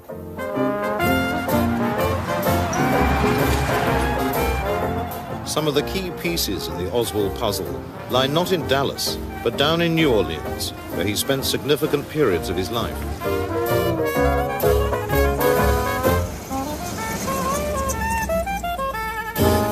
In an unbroadcast interview with a local radio and television station only months before the assassination, Oswald spoke about his life. I was born in New Orleans in 1939. Uh, for a short length of time during my childhood, I lived in Texas and in New York. Uh, during my junior high school days, I attended Beauregard Junior High School. I attended that school for two years. Uh, then I went to Warren Easton High School, and I attended that uh, school for over a year. Then my family and I moved to Texas, and uh, I continued my schooling there. Uh, then I entered the United States Marine Corps in 1956. Uh, I spent three years in the United States Marine Corps, starting out as a private, working my way up through the ranks uh, to the uh, position of buck sergeant. And uh, I served honorably, having been discharged. He had an honorable discharge, uh, and then just a few weeks later wound up in Russia saying that he was going to renounce his American citizenship. Uh, and it's interesting that after he had supposedly said that, he was given a dishonorable discharge from the Marine Corps. It's fascinating that when he did go over to Russia and was introduced to the woman who later became his wife, his Russian was so good that she thought he was a Russian. So we suspect that he was trained. And it is known that the uh, military in this country had uh, training programs for defectors, and we suspect Oswald was in that program. We don't know it, but we suspect it. A glimpse into his true role in Russia may have been revealed by the hesitant way in which he described his relationship with the American embassy there. I worked in Russia. Uh, I was under uh, the protection of the uh, of the. Uh, I was, that is to say, I was not under the protection of the uh, American government, but that is, I was at, at all times uh, considered an American citizen. at no time, as I say, was I did I renounce my citizenship or attempt to renounce my citizenship, and at no time was I out of contact or with the American embassy. It's quite possible that his mission in Russia was sponsored by the U.S. State Department, which did participate in some fake uh, defector programs back in those days. It's entirely possible, and it certainly would fit with the kind of person we think Lee Harvey Oswald was. One person with no illusions about Oswald's role launched his own investigation into the Kennedy assassination in 1967. The former district attorney of New Orleans, Judge Jim Garrison. He was employed by the Central Intelligence Agency, and he was obviously drawn into a scapegoat situation and made to believe ultimately that he was penetrating the assassination. And then when the time came, they took the scapegoat, the man who thought he was working for the United States government, and killed him real quick. And then the machinery, disinformation machinery started turning, and they started making a villain out of a man who genuinely was probably a hero. Six months before the assassination, Oswald had taken a mundane job with the Reily Coffee Company. But it seems his real activities were centered a few blocks away. From a small office on the corner of Lafayette and Camp Street, Oswald managed a local chapter of the pro Castro Fair Play for Cuba Committee. Operating from an adjoining office was a sinister figure named Guy Banister. About Guy Banister, it's difficult to say much about him because he always stood in the shadows and pushed someone else to the front. He was a strongly disciplined man, uh, perhaps the outgrowth of his many years as a special agent in charge of the Chicago office of the FBI. But he was a key man in the assassination. And that's clear from the fact that Oswald's sheep dipping, his, his his being portrayed as a communist was done out of Guy Banister's office. So he was sheep dipped for months as a communist by giving literature. Lee, hand this out today. This is your assignment. I came across the fact that Oswald, a private in the Marines, had taken uh, a Russian examination.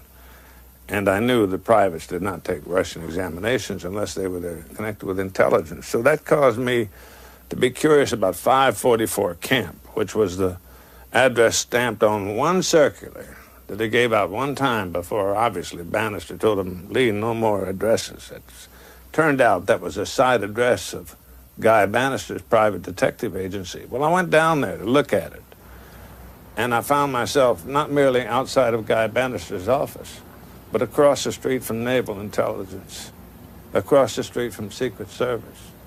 Around the corner was the Crescent City garage, the garage for the intelligence community. And then two doors away, the Reily Coffee Company. I used to be in the FBI. I knew people in naval intelligence, and they were either across the street, around the corner. The whole intelligence community was there. And right in the middle of it was Guy Banister having Oswald Sheep dipped as a communist. You're a Marxist? Well, I have uh, studied Marxist philosophy, yes, sir, and also other philosophers. But are you a Marxist? I think you did admit on an earlier radio interview that you that you consider yourself a Well, Marxist. I would very definitely say that I uh, I uh, am a Marxist. That is correct. But that does not mean, however, that I'm a, a uh, communist. What is the difference between the two? Well, there's a great deal of difference. Such, several uh, American parties in several countries are based on Marxism, such as Ghana, uh, Ghana. Uh, certain countries have uh, characteristics uh, of a socialist system, such as Great Britain with its uh, socialized medicine. These then are the differences between an outright communist country and countries which adhere to leftist or Marxist uh, uh, principles. In your work with the Fair Play for Cuba Committee, uh, what are you advocating? We advocate restoration of diplomatic trade and tourist relations with Cuba. Most lunchtimes, Oswald would leave work and stroll down Magazine Street to the Crescent City garage, where government agents parked their cars and had them serviced. One such agent was observed contacting Oswald by the owner of the garage, Adrian Alba. During his lunch break, Oswald often sat in this office, browsing through gun magazines and chatting to Mr. Alba, who was also a keen rifleman. Oswald showed particular interest in how to go about ordering guns through the mail. The authorities tried to tie Oswald to the ordering of the assassination weapon by a coupon allegedly found amongst his possessions, torn from a June issue of one of Alba's gun magazines. Oswald, however, had ordered his rifle from a February issue of the magazine.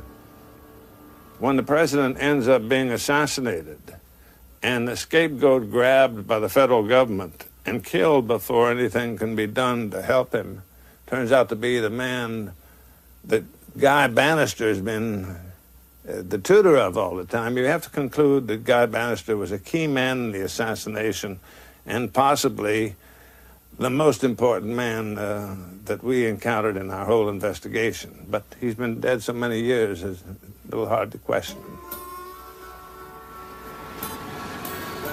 Clinton, a sleepy country town 130 miles from New Orleans, and the unlikely venue for the further sheep dipping of Agent Oswald.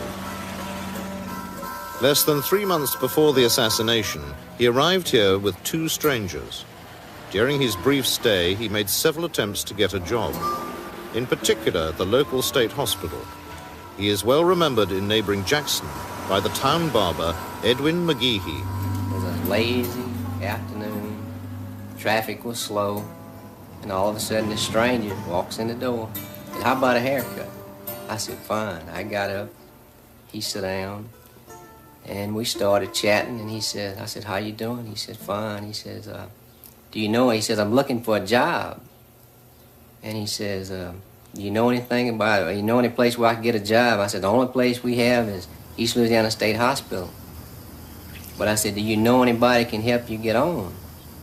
And he says, I don't know of anybody. He says, I'm from New Orleans, and he said, I don't know anybody could help me. Well, I said, I can direct you to our representative, Mr. Reeves Morgan's house. And uh, he was he jumped when I said it was a mental institution. He, really he just jumped like that. And he says, uh, Do they have all kind of jobs there, like electricians? He said things like you say would make you remember him. That would that was my distinct impression. And uh, he just didn't need a haircut. I don't I don't know what he was up to. Oswald could not drive, but nonetheless he took to the back lanes and found his way to the remote homestead of the local state representative, Reeves Morgan. Well, I was in the house there burning some trash out of the fireplace that had accumulated, and I heard a knock on the door. I got up, and there was a young fella. I invited him in, and he said he wanted a job over at the hospital. He understood they had a vacancy over there in the electrical department. He seemed like a nice young fella, about like the average fella, or maybe better, better than some of them. I went to lunch on the day of the assassination around at my mother-in-law's house. She invited us, my wife and I, to eat. And his picture was flashed on the TV. And I said, my goodness, I said, I know that fella from somewhere. I said, that's the same guy that was here. And Lee Harvey Oswald, he said, he introduced himself as Oswald, Lee Oswald, he said. And I called the FBI man down there, and he said he knew he'd been up here already, and that's the last I ever heard of them. And uh, I said, surely they'll be by, you know. And I kept looking for them. They never did come by. And uh, I thought that was strange. The reason why they wanted to get Lee Oswald into the Jackson State Mental Hospital was so that uh, with a change of a document or two and picking up a doctor or two to testify for the government, they could make him appear to be insane. He was utterly sane, just as he was uh, absolutely non-communist. But in the sheep dipping program that was underway, it was important to try and make him appear to be crazy.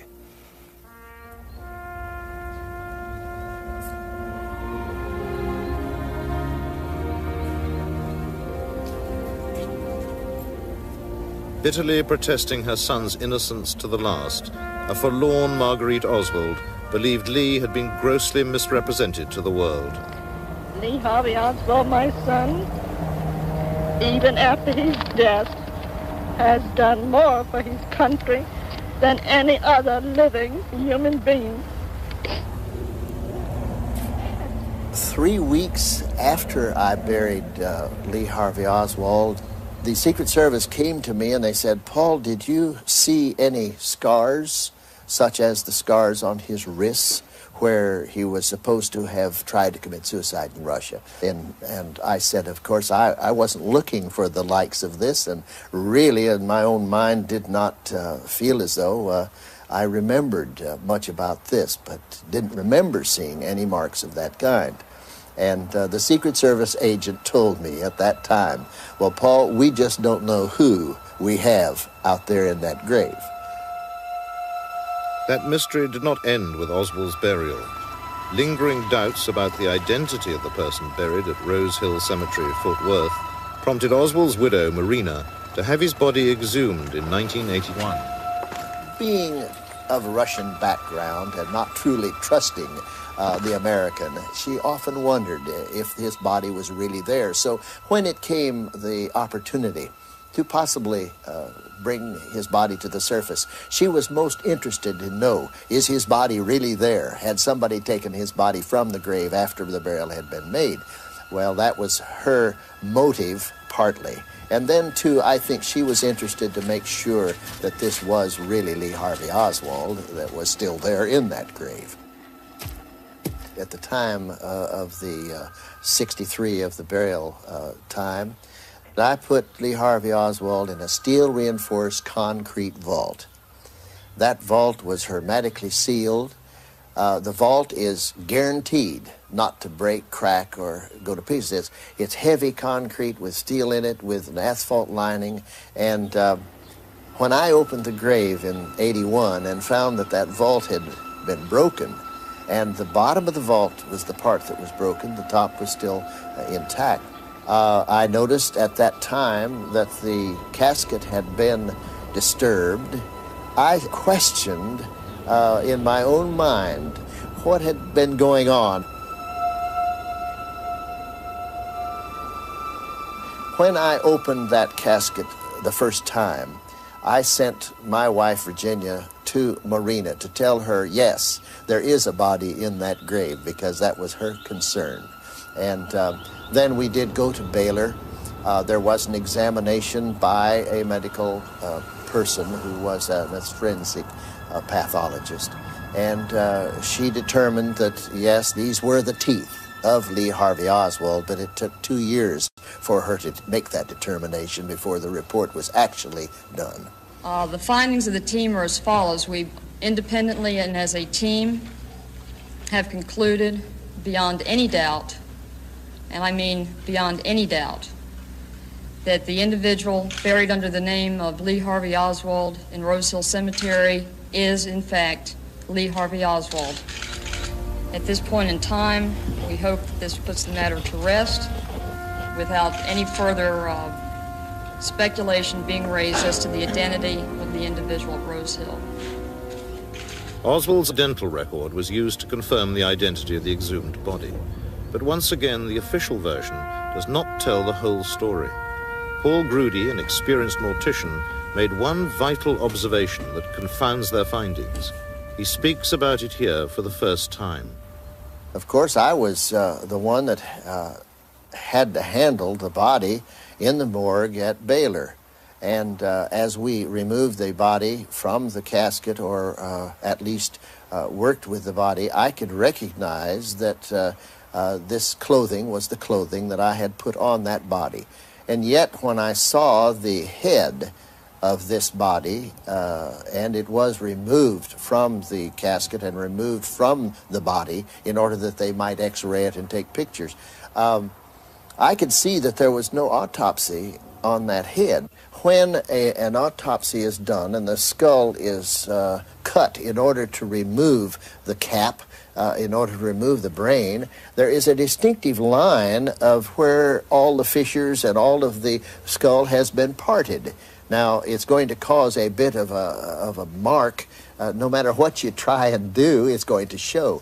And uh, knowing that I handled the body originally, and there was an autopsy on that head, and now to see that there was no autopsy on the head made it in my mind pretty clear that something had transpired that had caused this. And uh, I feel as though someone had gone to the cemetery uh, off hours, had uh, taken a uh, the head of really of Lee Harvey Oswald that now was dead. Uh, how he got that way, I don't know, but at least it was the head, and uh, had brought the vault to the surface as best they could, being a, a heavy item as it is, a tripod, uh, lifting that uh, body, uh, lifting the body and the vault out of the grave. In the process, the bottom of the vault fell, breaking the vault uh, causing the casket to, to deteriorate to a degree. Uh, then, of course, uh, removed the head of the one that was there that had been autopsied and put this head in its place so that we would find the teeth of Lee Harvey Oswald. That's my theory. This is what I think happened. Uh, whoever caused that was the same uh, faction that caused the assassination in the first place, but it, uh, in my mind, a, a cover up had taken place. Lee Harvey Oswald was not the individual who assassinated President Kennedy, nor was he the individual responsible for policeman Tippit's death. I want to know why, after 25 years, the federal government of this country maintains that Oswald and Oswald alone was responsible for these murders. The individual that I know is Lee Harvey Oswald. I don't think had it in him to be a person capable of uh, committing such a uh, crime as uh, murdering the President of the United States.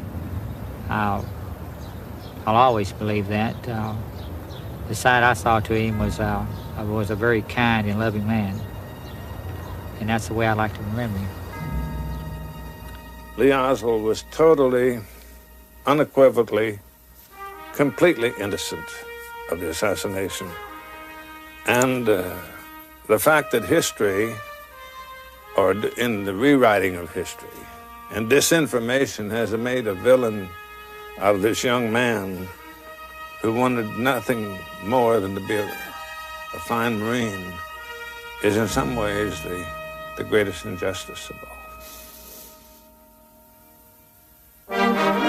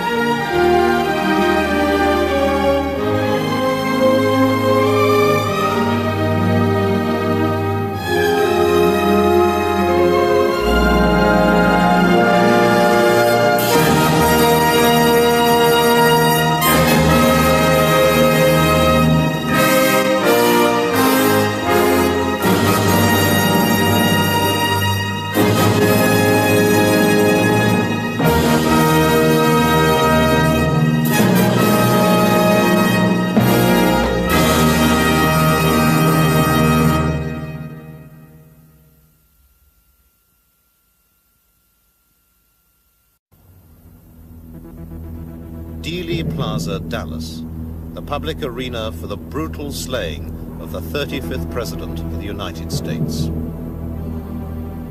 The assassination of John F. Kennedy on November the 22nd, 1963, in this tiny acre of Texas, changed history and the lives of millions. And for those closest to the tragedy, the awful memories of that day and the ensuing controversy live on thank you.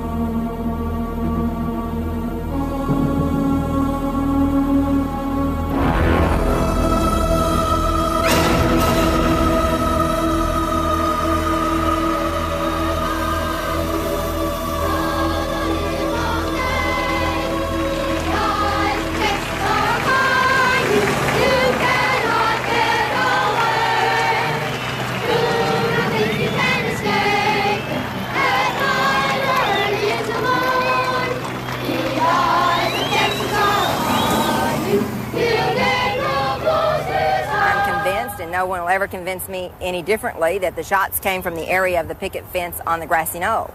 No one will ever convince me. I saw it. I believe that's where it came from. And the only way that I'm ever going to believe any different is be, when I stand before the judge on the judgment day and he tells me. But I, I know what I saw, and that's what I saw. Major Phil Willis, with his wife and daughter, was also in Dealey Plaza. He is certain that the fatal headshot came from the grassy knoll. Hell, I'll tell you, 90% of the people in Dallas, Texas, and probably the United States have heard all this over, have since decided that, as well as the second investigation uh, held in the House of Representatives in Washington. And, uh, and no one will ever convince me. I know damn well the shot that blew his head off came from the right front. It had always seemed to me that had the car speeded up, had there been better reaction on the part of the driver, they were only yards from what at least I perceived to be safety by getting on the expressway. But the car seemed to just, it didn't move. After that first shot, it just didn't move. And the thing that has over the years continued to rather haunt me about the whole situation was the feeling that did that first shot miss, as I felt it had, if it did miss, had that car speeded up, would he be alive today? Even now, those eyewitnesses closest to the killing suffer their own haunting images from that dreadful day. The headshot, seeing his head blow up, I can see it just as plain. It's red, it's very brilliant, it's cone shaped, going back.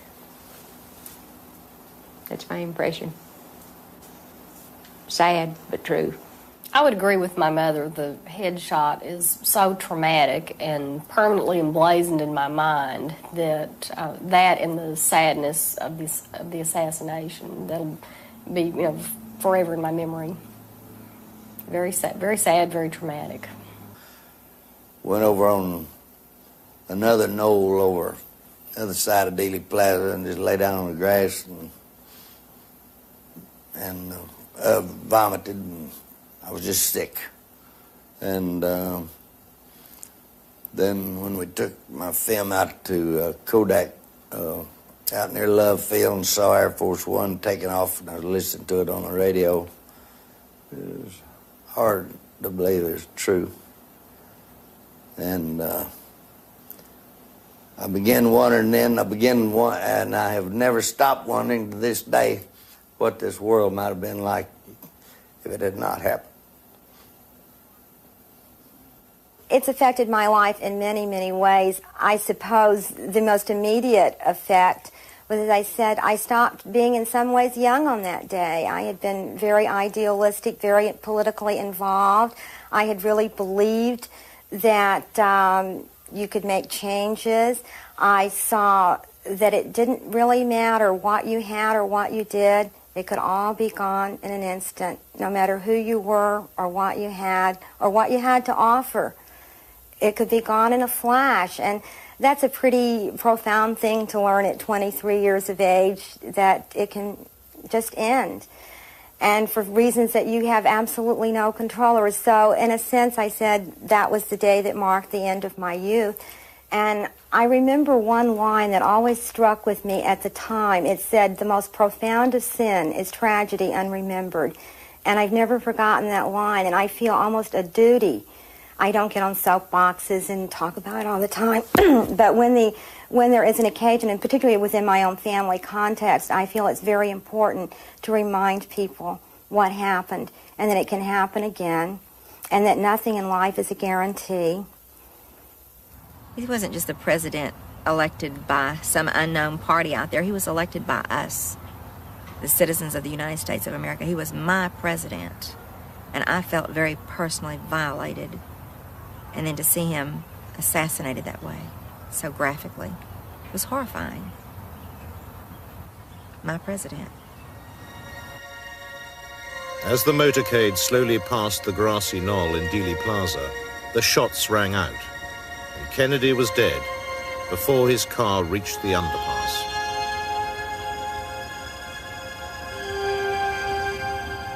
When the Secret Service bodyguards finally realized what had happened, there was a frantic four-mile dash along the Stemmons Freeway to the nearest hospital. At Parkland, Kennedy was rushed to Trauma Room 1, where surgeons did everything they could to revive him, despite the massive head wound observed by Dr. Robert McClelland. Was not a small opening at all. I would estimate that um, probably a quarter or at least a fifth of the back right side of the skull was gone. I stepped up and looked and I could see inside President Kennedy's head on the right side near the back. We call it the occipital parietal area.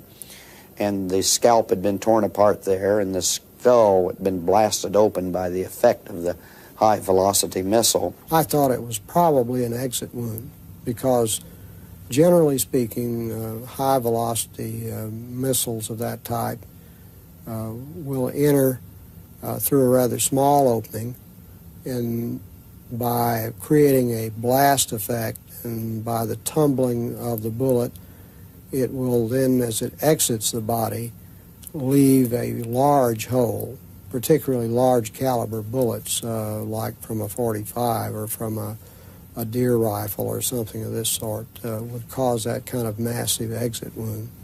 We had taken the casket in the room in the meantime and and uh, prepared it, and Miss Kennedy came into the room and uh, she was, you know, standing there looking at him very calm, uh, holding back tears. You know, it's just it. She was emotional. I mean, not she was never never did cry, and uh, she took uh, her wedding ring off her finger and tried to place it on his finger. Of course, his a lot larger, and so uh, you know, struggling with. I got some K-tail jelly there that they use, and greased his finger, and we got it on, up on his finger as far as it goes. And uh, then the priest came into the room and administered last rites to him. They sent for Father Huber. And he was ushered in. There was a huge crowd, of course, milling out in the hall. And he was sort of shoved through the doors. And, and the scene, I'm sure, was overwhelming for him, as it was for most of us. Our president was lying there dead. Uh, his wife grief stricken, and all of us more or less stunned. And uh, so he came in and turned to his little book and started reciting something which he considered appropriate. And Mrs. Kennedy uh, felt that, probably rightly so, that he wasn't giving the proper uh, phraseology at that time. And she said, No, no, don't you understand?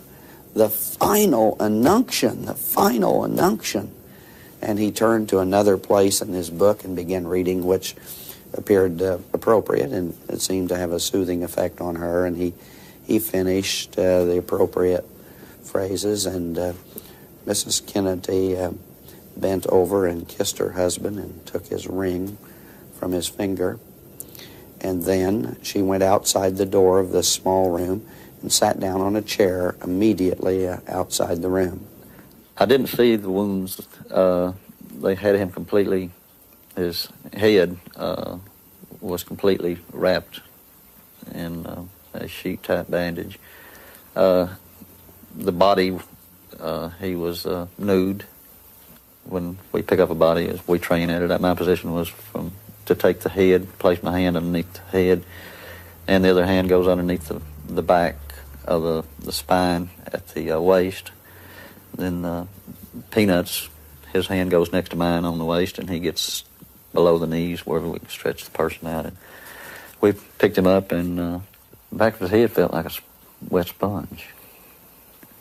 It was just real soft, and uh, as if you know, was, uh, you know, skull was part of his skull was missing.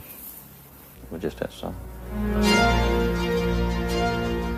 While the president lay dead at Parkland, another tragedy was unfolding a short distance from downtown, in the Oak Cliff district, where police officer J.D. Tippit had been gunned down by an unknown assailant. It came out over the radio that uh, the suspect had gone into the Texas Theater. Well, we continued on into the Texas Theater, and uh, Kenneth and I entered the theater, and about the time we entered, well, some more officers came in behind us, and there were also some officers around the back. While we were in the theater, probably 150 to 200 people had gathered out front of the theater, attracted there by all the noise. They had been told on television that the president had been shot.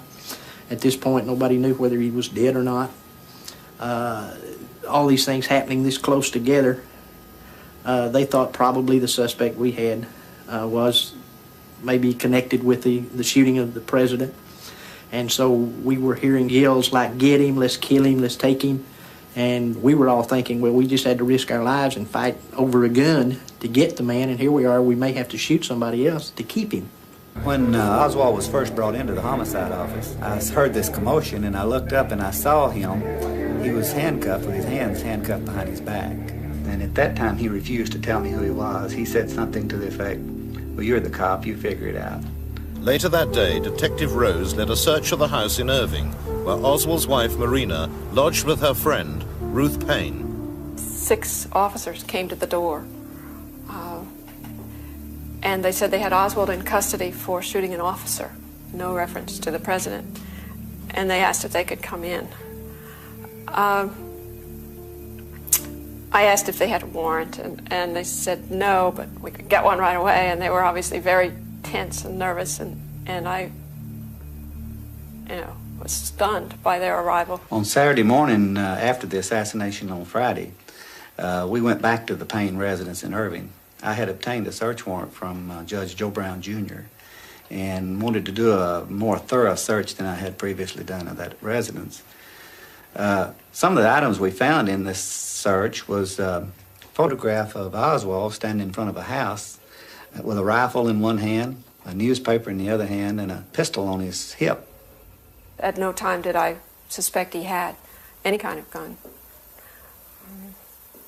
You know, that picture showed up later with uh, that Marina had taken. I recognized the location as the back of their Neely Street apartment because uh, she'd taken me out there to pick some flowers to take home one time when I was visiting there in the spring before. Uh, and it, as you know, he was carrying both the rifle and the pistol at that point.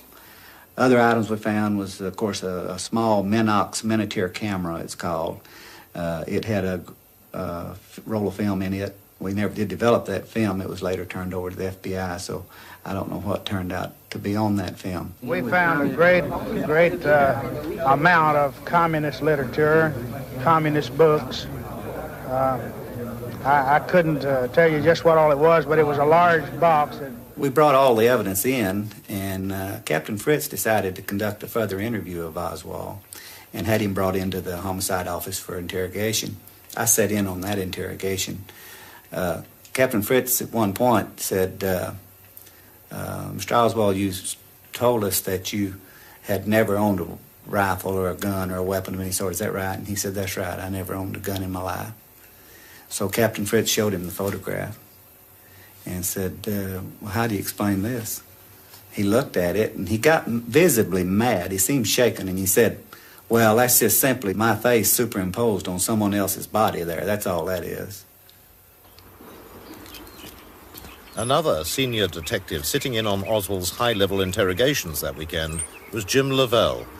Mr. Kelly with the uh, Secret Service who was the head of the Secret Service out of Washington, had flown in. I guess it was the next day, perhaps on Saturday. Asked him if he knew anybody named Alex Hidell. He answered no, and they asked him if he had ever used that name at any time, and he answered no. And he said, Well, isn't it a fact that uh, when you were arrested, you had an identification card with your picture on it and that name on it and your billfold? He said, I believe that is correct. And Mr. Kelly said, Well, how do you explain that? And he said, I don't. During my uh, tenure with him, he was a very calm and cool and collected individual.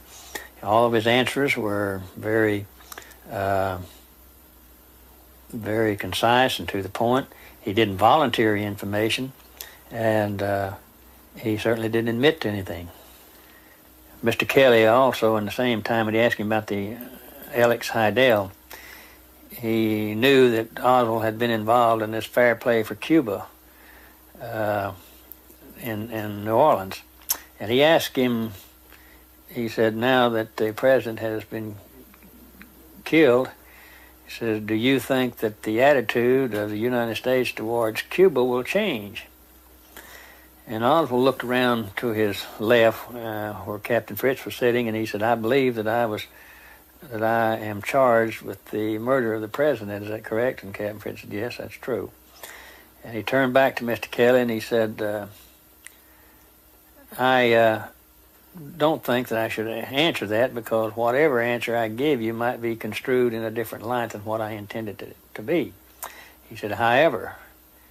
in all countries, and this country is no exception, when a leader of the country either dies or gets killed or something, there's always a second in command that takes over. And he said, in this case, I believe his name is Johnson, and I don't think that his views towards Cuba are any different than the president's. An early arrival at police headquarters was the FBI agent in Dallas who'd been assigned to keep an eye on Oswald prior to the assassination, James Hosty. His behavior when I talked to him on the afternoon of the assassination for approximately one hour was that of a person who was very calm, cool, and collected.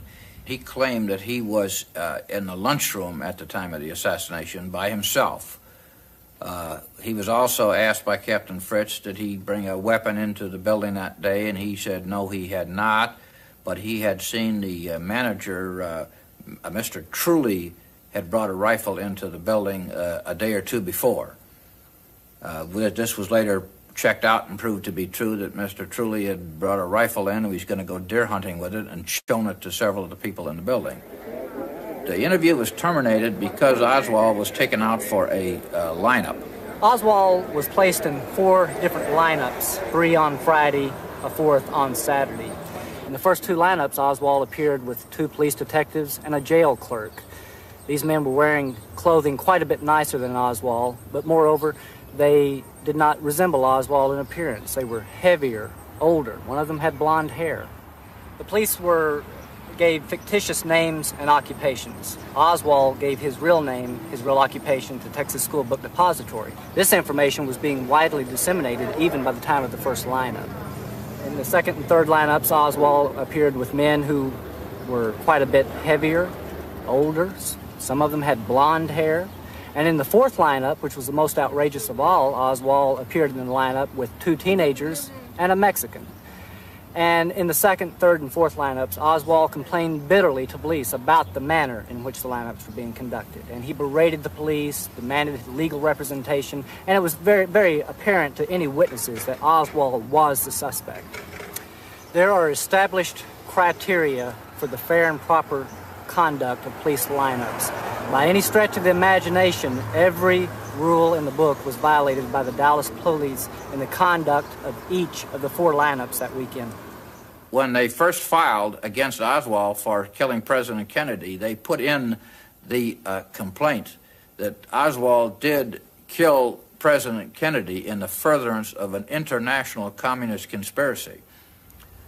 The White House called down to the district attorney and vehemently objected to that, in which then the district attorney removed this statement from the original complaint.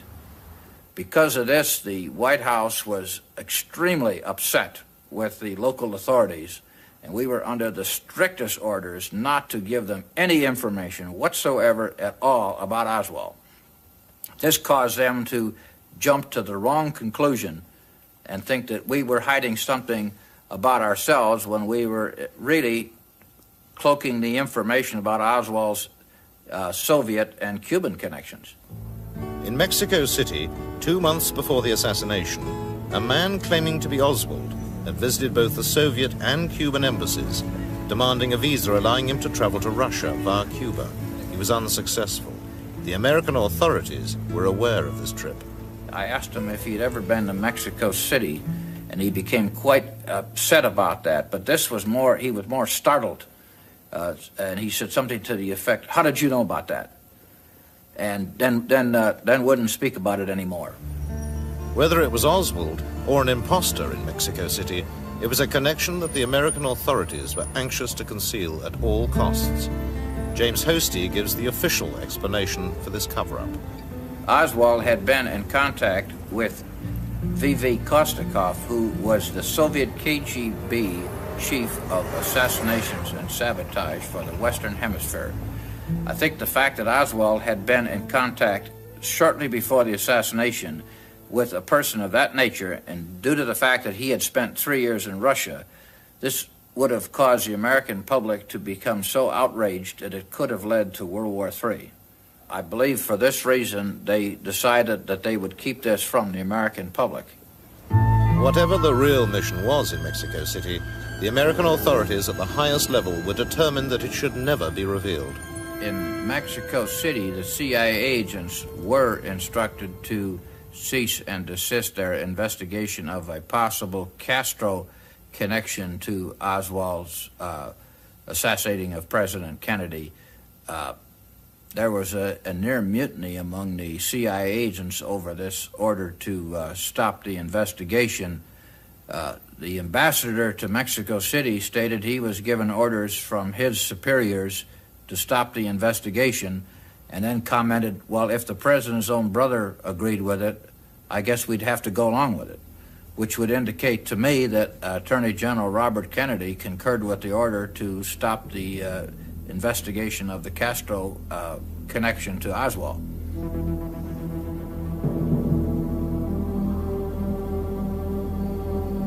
In the holding cells of police headquarters in downtown Dallas, time was running out for Oswald.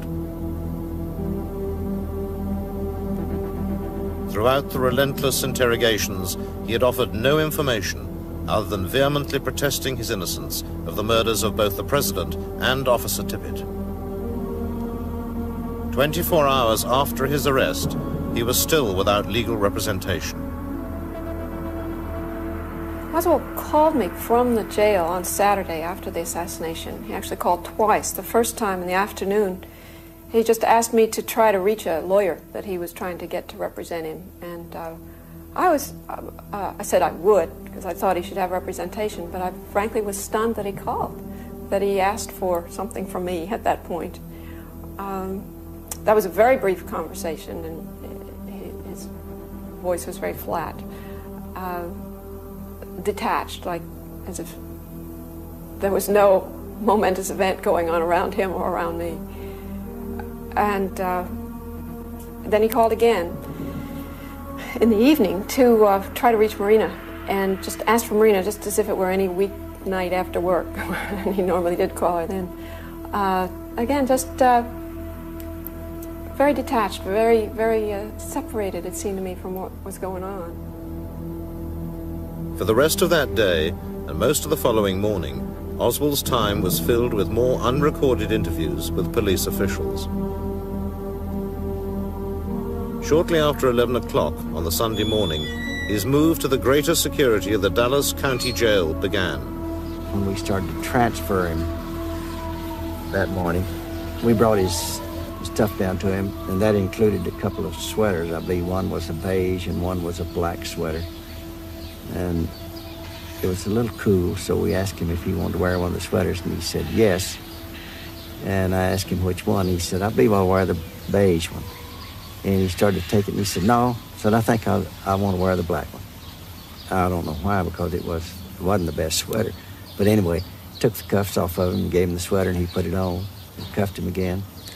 And in talking with Chief there, I suggested to him that morning that we take Oswald out of the elevator on the first floor, put him in a car on Main Street where there wasn't any people, and we could be into the uh, uh, county jail before uh, anyone realized that we were transferring him. But he did not agree to that because we were already obligated to transfer him so the press could take pictures and everybody else could see it.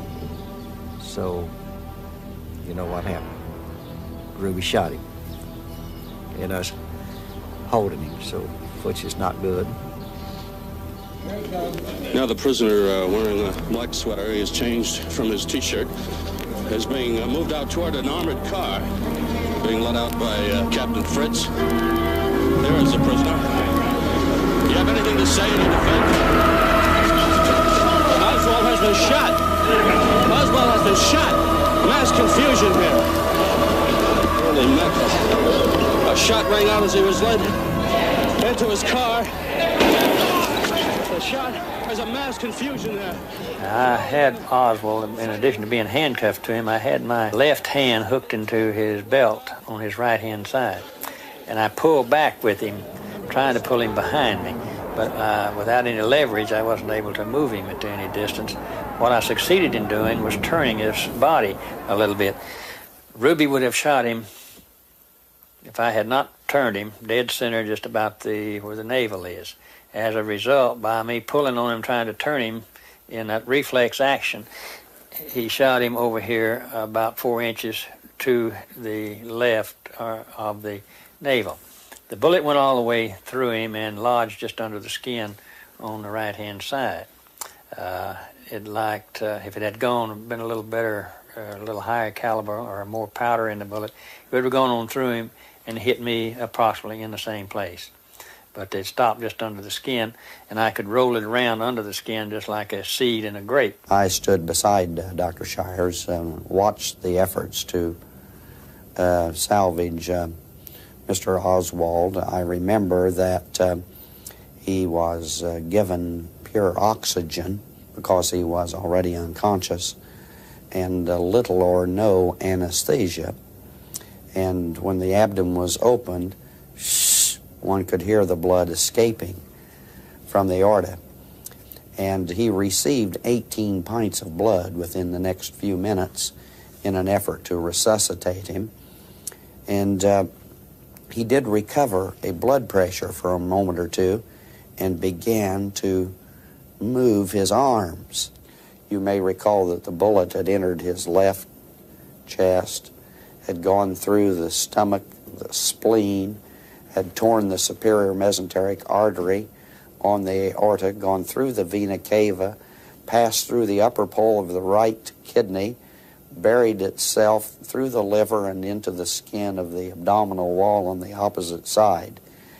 And uh, at that time, there were few, if any, survivors in America of a simultaneous injury to the aorta and vena cava, which was the major injury that Mr. Oswald sustained. I was probably about 25, 20 to 25 feet from the point of the shooting, and I was looking in that direction. And when the shot was fired, it didn't really sound like a pistol shot. It was a muffled sound, but I knew that it was a shot. And my first thought was that probably some older officer that was ready to retire, that was probably, I figured, bereaved and grieved over the shooting of Tippit. That uh, really, that's what that's my, that's what my first thought was that it was some policeman that shot him. My first thought was that one of my fellow officers had shot Oswald. But as the crowd began hollering, the gun passed in front of my face, and I grabbed at it, but I missed it, and I kept hollering, somebody get that gun, somebody get that gun. And there was a voice came from this pile of humanity that said they had the gun, and suddenly I ended up with Ruby. We drug him back into the jail office where we restrained him and began to get handcuffs on him. Chief Curry, along with Captain Fritz and other top administrators, had originally planned uh, it was my understanding to transfer Oswald during the night, but outside political pressures coming from as far as Washington insisted that Oswald be shown that he hadn't been coerced into a confession, that he hadn't been beaten, and that the world exposure be granted on this subject. After all, he was an assassin accused in killing President of the United States. Chief Curry did not have the final say uh, as to when or how Oswald was transferred. It came from from his superior, which was the city manager at that time. So, again, uh, we knew better than to transfer him under those conditions, but we didn't have any choice. I was uh, fairly certain in my mind when I saw uh, Lee Oswald lying on the floor that he was he was going to die. And then I went to Parkland Hospital, and certainly he, he, he was dead. And that's when I met his wife, Marina, and his mother, Marguerite. Marina, through an interpreter from SMU, a Russian interpreter, uh, she asked him that uh, could she see the body. And the doctor told me, said that she shouldn't see the body. They have, they just, they just done an autopsy on him, and he wasn't even cleaned up yet. But she insisted on seeing him, and uh, his mother, Marguerite, was there, and she insisted on seeing him. So I took them in to view the body. And there was a tear in the right eye of Lee Oswald, and Marina asked through the interpreter, was he crying when he died? And the doctor responded, told her that uh, no, some people die with their eyes open, some die with them closed, but this tear, he was not crying when he died.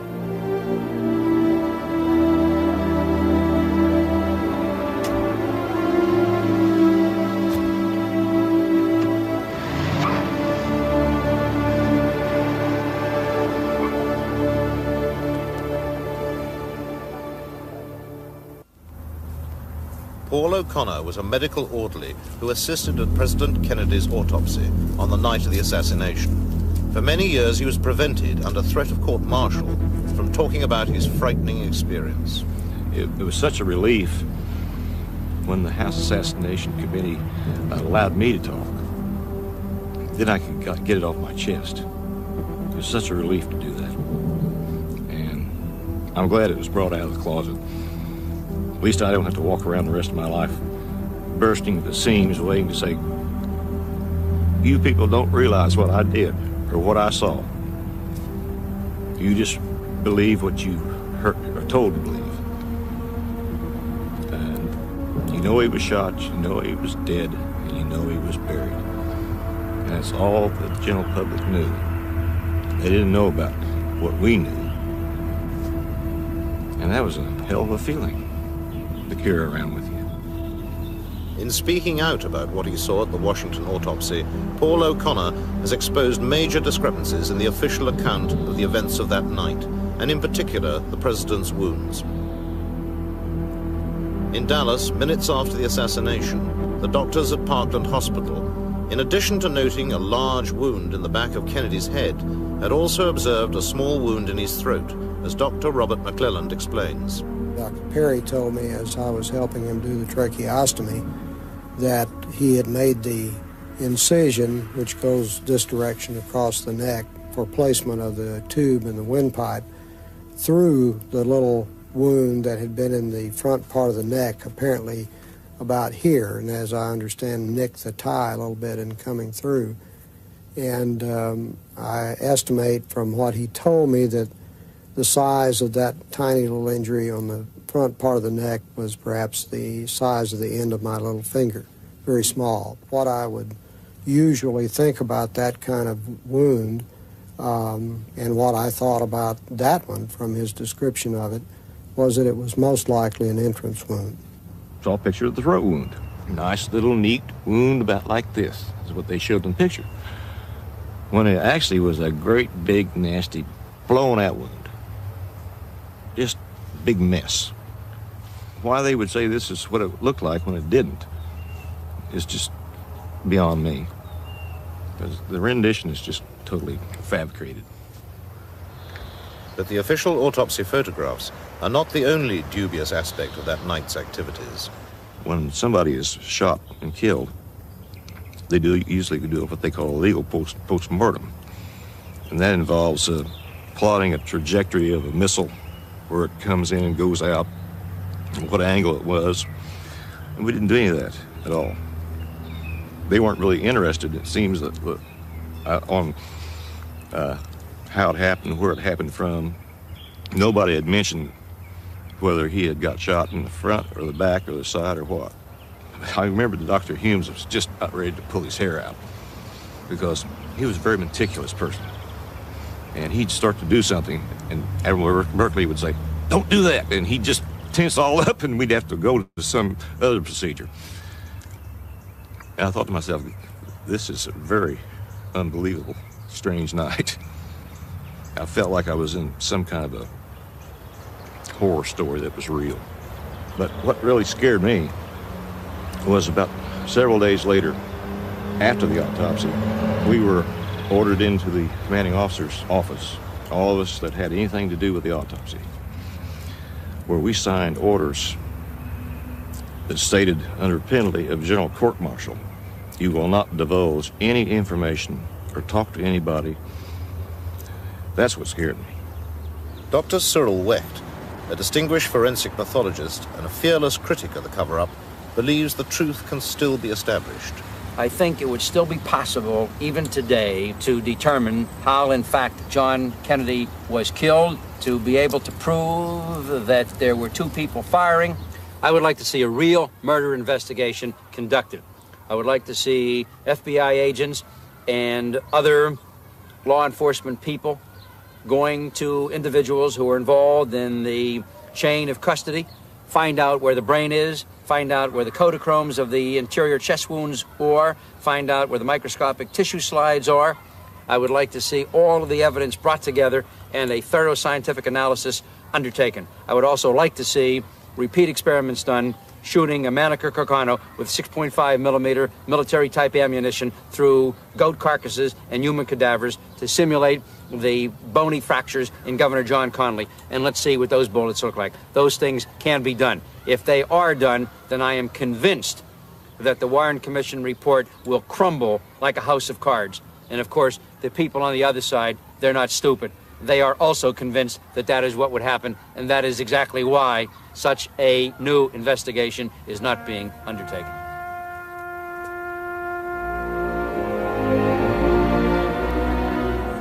But the questioning voice of the American people refuses to be silenced. Each year on the anniversary of the assassination, a dedicated band of disbelievers meet on the grassy knoll in Dealey Plaza, typical of those millions of Americans who've refused to swallow their government's official line. Through their diverse efforts and their persistence, critics such as these have kept the quest for the truth alive.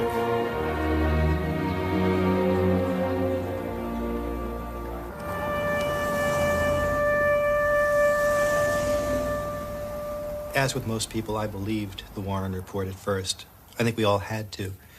We needed to know that there was no nameless they that got away with this, that it had been solved. But the more that was written, the more that we learned, the more questions there were. For every question that was answered, there were 10 more new ones that needed to be answered. And I felt that for, for my own sake, for all of our peace of mind, we needed to know more of what happened to President Kennedy. They didn't tell us the truth. It's a very valid criticism of the Warren Commission that it failed to follow up many, many important leads and witnesses that came to its attention. One of the best examples, I think, is the fake Secret Service man up on the grassy knoll and a Dallas police officer. Within a minute or two after the shooting, Officer Joe Marshall Smith ran up on the grassy knoll following the other witnesses. That's where they all went initially. And Joe Smith pulled his pistol when he spotted a man behind the picket fence up on the grassy knoll. And this was a man dressed in coat and tie. And this man, even looking right into Smith's revolver, said, Hey, I'm Secret Service. And he pulled out some credentials that to Officer Smith indicated that he, this man was legitimate. Smith left him alone and went away, investigating other areas in the plaza. The important part is that the Secret Service at no time had any agents anywhere in Dealey Plaza, with the exception of the agents who were riding in the motorcade. So here's a guy passing himself off as a Secret Service agent to a Dallas police officer, and there was no Secret Service agent there.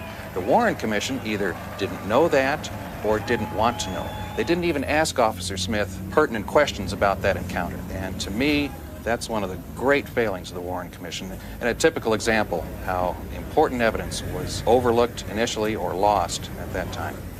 There was some new evidence that came out in uh, late 1976, evidence that I was responsible for, in that the researchers had long been aware of recordings of the Dallas Police Department's radio channels. The department was using two at that time. And some interference began just a couple minutes before the assassination occurred. And that interference continued for five minutes or so after the assassination. And it effectively blocked all police communications on their main channel. What wasn't known was which officer was responsible for it. My thinking was that if the officer were in or very close to Dealey Plaza, his open microphone may have picked up the sound of the shots. From that theory sprang an investigation by the House Assassinations Committee. And after some digging, they found what they thought were the original recordings. They had the scientists analyze the, the uh, recordings and decided that uh, after some, some tests and then firing some test shots in Dealey Plaza and recording those, that there were four shots fired during the assassination, perhaps as many as six. And that, of course, proved conspiracy. For two years, through political turmoil, the House committee flourished. It investigated areas that needed to be investigated, some that we hadn't thought of before. Others, unfortunately, were overlooked. And as a result, after the dust cleared, we were given a report. The report said, yes, there was a conspiracy, but a very limited conspiracy. There were at least two people firing at President Kennedy. Much of the evidence leading toward involvement of government investigative agencies perhaps in the actual murder, perhaps just in the cover up, were all pretty much glossed over. Uh, some recommendations were made to the Justice Department. They were never followed through. During the House Assassinations Committee hearings, the FBI and CIA admitted that they had withheld evidence, that they had obstructed justice. Not a single person was ever put to, to task for this. They were just allowed to go, and that's the way it remains till, till this day. We can't know the truth unless we have subpoena power and people that want to know the truth. If they don't want to know the truth, whether because they don't believe in it or because they feel it's politically advantageous to themselves not to investigate it, then we'll never know the truth. But how can this country go on after a quarter of a century of this cover up? How can we build on that? We're building on a lie. We've got to know the truth. The House Select Committee on Assassinations concluded, primarily on the acoustics evidence, but not exclusively, that there were two people firing shots in Dealey Plaza. And they decided, based on the scientific evidence uh, that took a period of some nine to ten months to analyze fully, that shots number one, number two, and number four all came from the Texas School Book Depository building. But shot number three did come from the grassy knoll to the president's right front. Therefore, it's inescapable conspiracy because there were at least two shooters. So all this means that according to the United States government, there are now two official conclusions as to what happened. The Warren Commission says there was one shooter and three shots. The House Assassinations Committee says two shooters, a total of four shots. There's a conspiracy or there isn't. That's where we're stuck, and we have been since 1978. Given the nature of the president's most powerful enemies at that time, and who had the most to gain from the assassination, my feeling is that there are four groups that are suspect. The more militarily uh, oriented of the anti Castro Cubans, people who felt betrayed by President Kennedy after the Bay of Pigs, the mob, who wanted the gaming rights back in Havana. They were losing millions of dollars every day uh, since Castro closed the casinos. The ultra right wing, who hated President Kennedy for virtually everything he stood for and the ultra right wing hawks within the CIA, the ones who had been fired, or people related to those uh, politically, who had been fired uh, by President Kennedy after the Bay of Pigs, they all had a common goal. They wanted the president out of the way, they wanted Cuba clear of Castro and the communist threat in the Western Hemisphere. They had the most to gain, they had the motive, the opportunity, and the means to kill President Kennedy. If that is the cake then the icing on the cake is the president's decision to withdraw the troops from Vietnam. That was the CIA's war. They wanted it, they wanted to promote it, they wanted to push it. The people who I think had most to gain, as they saw it, were the military industrial intelligence complex. It's a myth that the intelligence agents don't make policy. They make it all the time. They always say they're carrying out policy, and sometimes they are. The people who had most to gain were those who didn't want the peace in the world that John Kennedy had tried to turn the world toward when he and Khrushchev worked out the solution to the Cuban Missile Crisis. The people who didn't want John Kennedy to be president were those who were making incredible fortunes from war production. Had Kennedy lived, I think we'd have had no Vietnam War with all of its traumatic and divisive influences in America. I think we would have escaped that. I think the world would have escaped the 50,000 odd Americans dead and uh, 300,000 more wounded and over half a million more hooked on dangerous drugs and tropical diseases. The divisiveness of that war that so many of the people thought unjustified and unnecessary and it shouldn't have been there. It split this country widely, and uh, many of those things have lingered on since. Kennedy made a speech at American University in June of the year before he died, and he said, We live in one world, we got to breathe in the same air, and we got to live together, we're going to die together. He was very disturbed by our involvement in Vietnam, which he inherited. And there came a time when he called his generals in and spoke to them. And after he spoke to them, the Pentagon issued a small statement saying that we have re-evaluated our involvement in Vietnam and find that we can begin to withdraw our men. The plan was to begin by withdrawing a thousand a month. 17,000 were to be withdrawn by the time of the election, which was a year later. One plane load reached the United States when John Kennedy was killed. Three days after the assassination, the body wasn't yet in the ground. The Pentagon issued what it called a re-evaluation of its re-evaluation. And they said simply that we found that our re-evaluation was optimistic. And the rest is history. The whole world turned around on it. The world will not within the lifetime of anybody living today recover from just that. Kennedy represented the voice of hope, a voice of opportunity, a voice for the future, a uplift. People were could hardly stand on their feet. They'd jump up and down when he came along the street. And this, this great voice of hope for the future of a better America was stilled by the assassin's bullets. And people were depressed and uh, mourned over it and uh, thought we have lost our brightest and best in the head. The most important effect once the Warren Report came out was disenchantment and disillusionment, especially of that college generation. I can't tell you how many collegiate audience reflected this all people of all ages reflected it on the radio talk shows, which spent a lot of time on this. So people lost their faith in the government. And the government earned that loss of faith. And I think perhaps the second is more important that when the government justifies a loss of faith, it really is a deep subversion. The strongest ally the cover up has had has been the American media, both because they are unable or unwilling to accept the conspiracy or the fact of the conspiracy, or because they know better and are serving their masters well. One of the two. None of the things that the critics brought to light were treated responsibly by any responsible element of the press. If it hadn't been for the kookiest of all, the radio talk shows, we critics would not have been able to reach the people we did, and they were very important. The Washington Post resisted it, the New York Times resisted it, the major TV networks resisted it unless you had something nutty, unless you had something dramatic, unless you had something they knew wasn't true. But substantial criticism never had a voice. And that's what the working of a democratic society requires.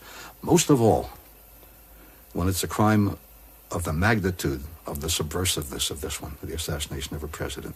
If the press would just open their eyes, if the media would accept the fact of the conspiracy, instead of just arbitrarily disbelieving, we'd have some allies. A handful of, of critics and researchers in this case have gotten remarkably far on their own. But if the press would just be honest about it and question and do their job, we could learn a lot more. The fact of the assassination conspiracy is beyond doubt. Only the scope is in question. I'm a first generation American. I'm the first member of my family born at least since the time of Christ. I can't go back to Adam. And, and freedom. None of my predecessors ever had it. And uh, I've been a writer, an investigative reporter, a Senate investigator, an intelligence analyst. And the older I get, the more convinced I become that despite all its failings, we have the best system of self-government man has yet perfected. And it's got so many failings. But it, the, for the system to work, those who are responsible for seeing to it that it works have to see to it that it works. In this case, didn't happen. They subverted it instead. They nullified, the assassination nullified our system, and the investigation nullified our system. My investigation has been different than that of others who are known as critics because mine is a study of how uh, the institutions of our society worked at the time of Great Crisis and since then. And obviously, the conclusion is obvious. They all failed. All, on all levels.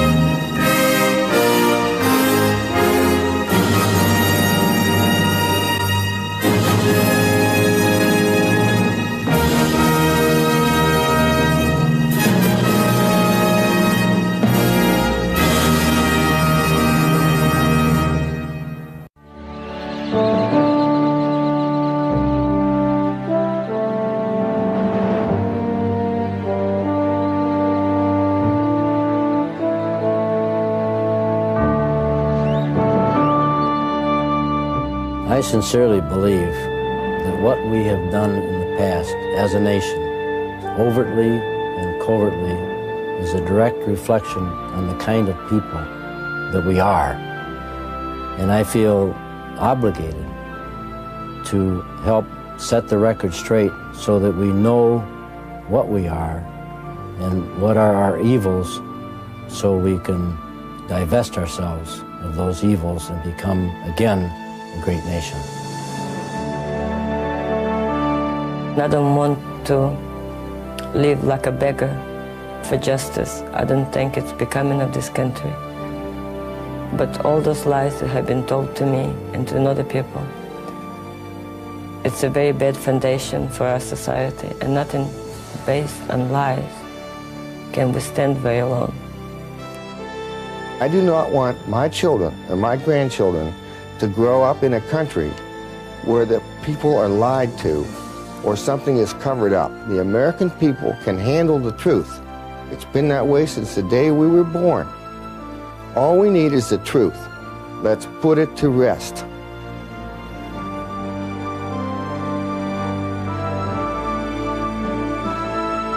Most Americans believe the truth surrounding the assassination of President John Fitzgerald Kennedy has been covered up. Marina Oswald is convinced that her late husband, Lee, played no part in his murder. I think he's absolutely innocent of the murder of President Kennedy or Officer Tippit. And I would like for uh, people in official capacity who say that he is guilty to come up with the proof.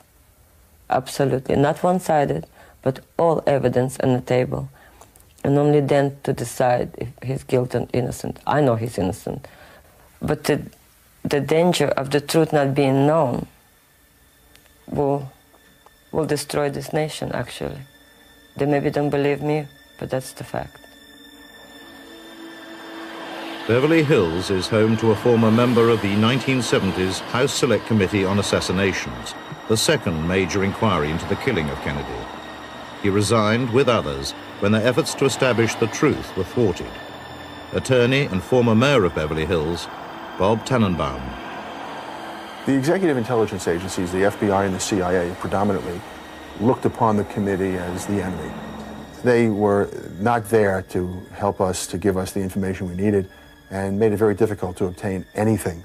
And, and the material they did give us was severely redacted, that is, deleted documents. And all we really wanted were the documents done by the investigators uh, as they would do in the ordinary course investigating any homicide. Wherever the facts led us, we would go and we would report on that. And as I said, if those facts told us that Lee Harvey Oswald assassinated the president and he acted alone, we would have said that. If it were that Lee Harvey Oswald acted with others, we would have said it. And if it was that others killed the president and not Lee Harvey Oswald, and that those were the facts, we would have said it. How did they frustrate us?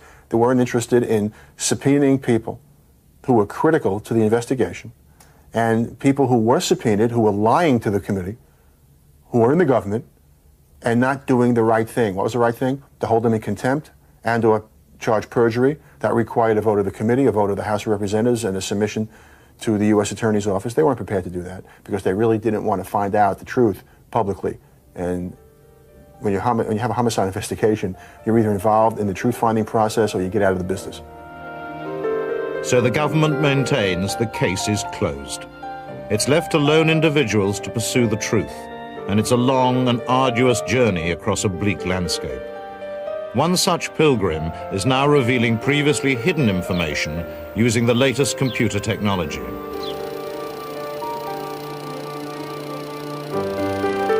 Tom Wilson spent 30 years with US Steel, developing his image processing techniques for revealing imperfections in product surfaces. His expert evidence in murder cases involving gunshot wounds has been accepted in federal court. In 1988, he began to apply that expertise to images from the Kennedy assassination. You look at a picture and you see 30 shades of diversifying gray, whereas the machinery sees 256. As you peel away the layers of the photograph, as you were peeling an onion, each of the layers provides to the human being some information that lie within these various layers. And each layer or combination of layers will result in something that is embedded in there that has not been able to be brought out by the human eye. I don't think anyone has ever utilized the equipment to look at the Kennedy images. Because if they have, with the expertise that I know our government has had over the past many years, then I know they will come to the same absolute conclusion that I have and it's just been an unbelievable burden ever since because I know I know that President Kennedy was assassinated by somebody from the front and that there was a conspiracy. And the problem hasn't been the burden of knowing the truth that our president was assassinated in a conspiracy. The problem has been that in my efforts to bring hard, scientific, technical information to the public has been thwarted by everywhere I have turned. I've tried the media, I've tried the government, I've tried everything I know, and no one wants to look at the evidence. Using image processing techniques undreamt of when Zapruder filmed the assassination, Tom has uncovered dramatic information hidden within this horrific footage. As we go further into the brain, we are able to observe all of the damage that has occurred in this rear exit wound from the very top of the skull down into where the missile exited through the head. As you can see, this is the scalp area. The damage to the skull the area of the skull that's been blown away by the incoming frontal missile. And now we can actually go down and see the brain. And the exiting bullet has gone through the brain, and you can see the path of the bullet here. Lee Harvey Oswald did not and could not have fired the fatal shot that killed our president.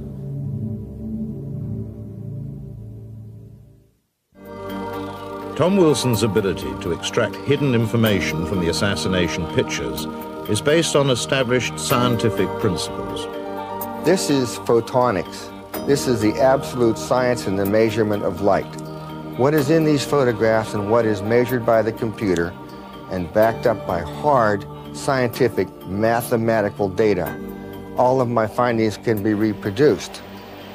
Badgeman shooting from the grassy knoll was first revealed in Mary Moorman's picture in The Men Who Killed Kennedy in 1988. Tom's initial work confirmed his presence. This encouraged him to apply his technology to photographic records of the assassination. The Zapruder film allowed me to be able to uh, go in and look at the head wound initially. The autopsy photographs allowed me to verify that there were inconsistencies within, and the pristine Mary Moorman photograph allowed me to go in and actually measure the wound optically without image processing. As we go into the wound and as we expand the wound and magnify it, you can see that the pixel elements, or each one of these little dots, is represented by dark squares or light squares. Now, if there were no wound in the rear of President Kennedy's head, all of the squares would be the basic reflective value or the basic shade of gray that his normal hair coloring would be on this day.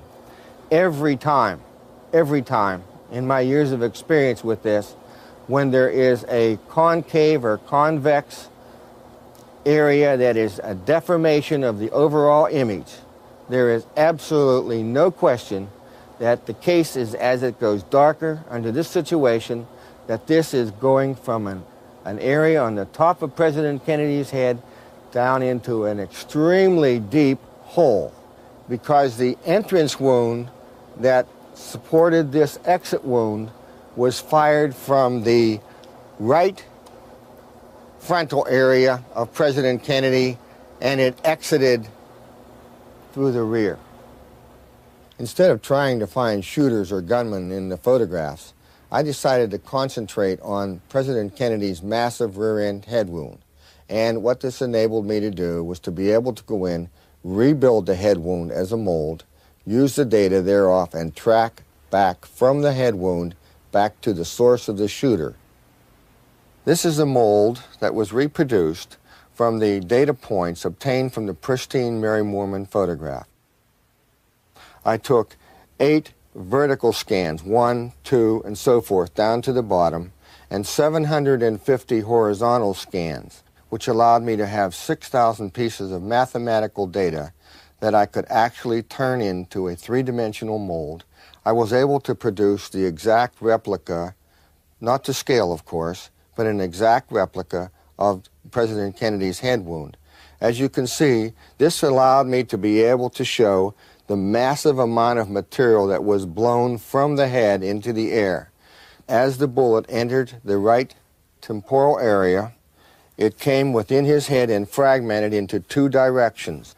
The right fragment is here, the left fragment is here. And this allowed me to determine, as you can see with all the flow of forces here, that all of the material was blown up and the entrance of the fragments came from below. Having gathered extensive mathematical data from the assassination images, Tom went to Dealey Plaza for the first time. Taking precise measurements from the site, he correlated these with his photographic findings. The results were not as he anticipated. When I came back and took these coordinates, which were mapped out using the machinery, not manual calculation, I could never put President Kennedy at the spot where the Zapruder film said was frame 313 when Badgeman was firing. Because the projectile trajectory from Badgeman wasn't where Kennedy was. And when I put President Kennedy down the road four feet further, when Badgeman could hit him, Mary Moorman was in the wrong location. Mr. Zapruder wasn't fit. The fence was in the wrong place. I could not make anything fit. So I had to go back to Dallas and I had to run more tests. And what I found out was something that I had overlooked all this time in looking at the photograph. President Kennedy's wound in his right temporal area is at an angle like this. It's coming out of the ground. And I said to myself, Tom, if the bullet was coming out of the ground, how is this possible? Because I never tried to determine where the bullet came from. I only know what it did to President Kennedy's head. This totally bewildered me, but I'm at the end of this mission. President Kennedy was assassinated by a man firing a missile from inside the manhole cover at the bottom of the steps in Dealey Plaza. There is absolutely no doubt in my mind that that is exactly where that headshot came from.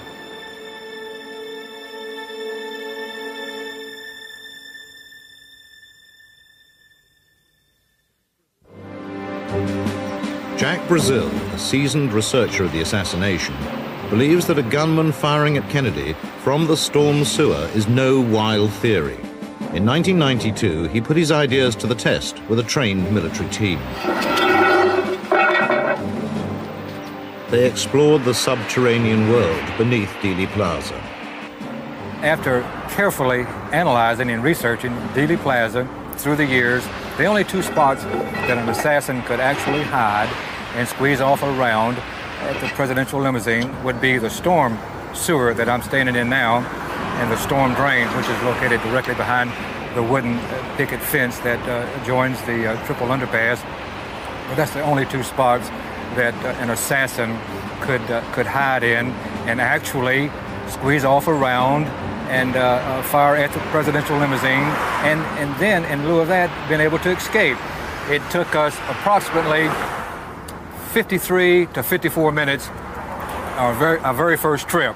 Now that was stopping and uh, uh, investigating and talking on the walkie-talkies, two coffee breaks, and then the second time it took 42 minutes, and the third trip it took 32 minutes, and the fourth trip it took 23 minutes. So we can rest assured that it would take an assassin approximately 20 to 30 minutes to actually escape Dealey Plaza underground.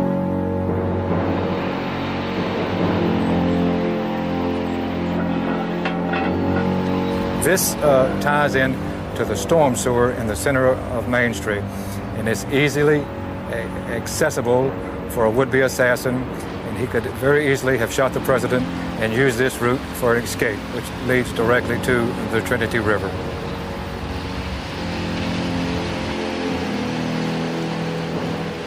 The official autopsy photographs taken at Bethesda Naval Hospital on the evening of the assassination show no indication of a frontal entrance wound to Kennedy's head or exit wound from the rear. However, Tom Wilson has uncovered new evidence showing that these images have been manipulated to support the official line of a lone gunman firing from behind. The dark areas represent material that are human and or environmental.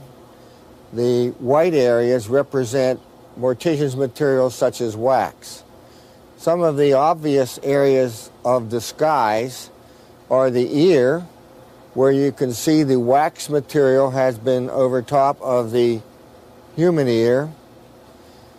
The entire face has been covered with mortician's wax and materials. And most important, the right temporal area, which is the entrance area of the incoming missile, has been filled with mortician's wax. I'm not saying that restorative art was not done to President Kennedy before he was buried. What I'm saying is, how can an autopsy photograph have restorative art on a cadaver? Tom can prove that another official autopsy photograph, first seen in The Men Who Killed Kennedy and showing the back of the president's head intact, has been forged. When image processing looks at this image, the real image that should be seen is this image. And all of the area that looks like it is solid white, a nice evenly coated white, is a photographic manipulation of the image. It is not a man-made mortician type material. It is a painted image on a photograph. It is my concerted opinion that this photograph was manipulated for only one thing, and that was to hide the massive exit wound that occurred in the rear of President Kennedy's head. Lieutenant Colonel Dan Marvin has spent his life serving his country. A veteran of eight combat campaigns, he earned 21 awards and decorations. 15 years a paratrooper, he served in the elite special forces, the Green Berets. Just a few weeks after the assassination, he volunteered for specialist guerrilla training at Fort Bragg. Almost all of the instruction in the guerrilla warfare school was classified. Uh, the most secret was the top secret training on assassinations and terrorism. And at that time, we went to a different building that had a double uh, barbed wire fence around it and, and guard dogs in it. On the John F. Kennedy situation, that was uh, brought to our attention as a classic example of the way to organize a, a complete uh, program to eliminate a nation's leader uh, while pointing the finger at a lone assassin. It involved also uh, the cover up uh, of the assassination itself. We had considerable detail. They had a, a, a, mock layout of the, the plaza in that area and showed where the shooters were and, and where the routes were to the hospital. I don't remember where those were now.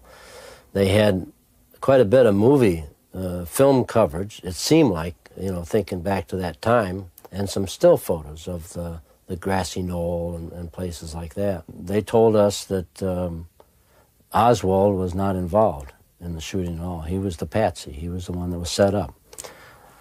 We did, uh, myself and a friend of mine, form a very distinct impression that the CIA was involved in Kennedy's assassination. During a coffee break, we overheard one of the CIA instructors say to the other, things really did go well in Dealey Plaza, didn't it? Or something to that effect. And that just reinforced or, really added to our suspicions. And, and we really felt uh, before the end of the training was over that one of those instructors may have been involved himself in the assassination of John F. Kennedy. Uh, I had to do a lot of rethinking, uh, and and perhaps it's a, perhaps it's a way that soldiers of fortune are. I don't know, but I just then convinced myself, as did my friend, that it had to somehow be in the best interest of the United States government that Kennedy was killed.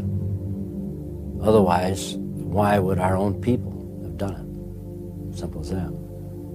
At Fort Bragg, 15 months after his training, Dan was summoned to meet an official from the CIA, a company man. David Vanek, a fellow officer in assassination training, also attended. First, the company man took me aside and showed me his badge, his ID card, and he asked me if I would volunteer to kill a man, a United States citizen, a naval officer. Uh, didn't tell me who it was at first. Now, I assumed what he was talking about was killing a man overseas.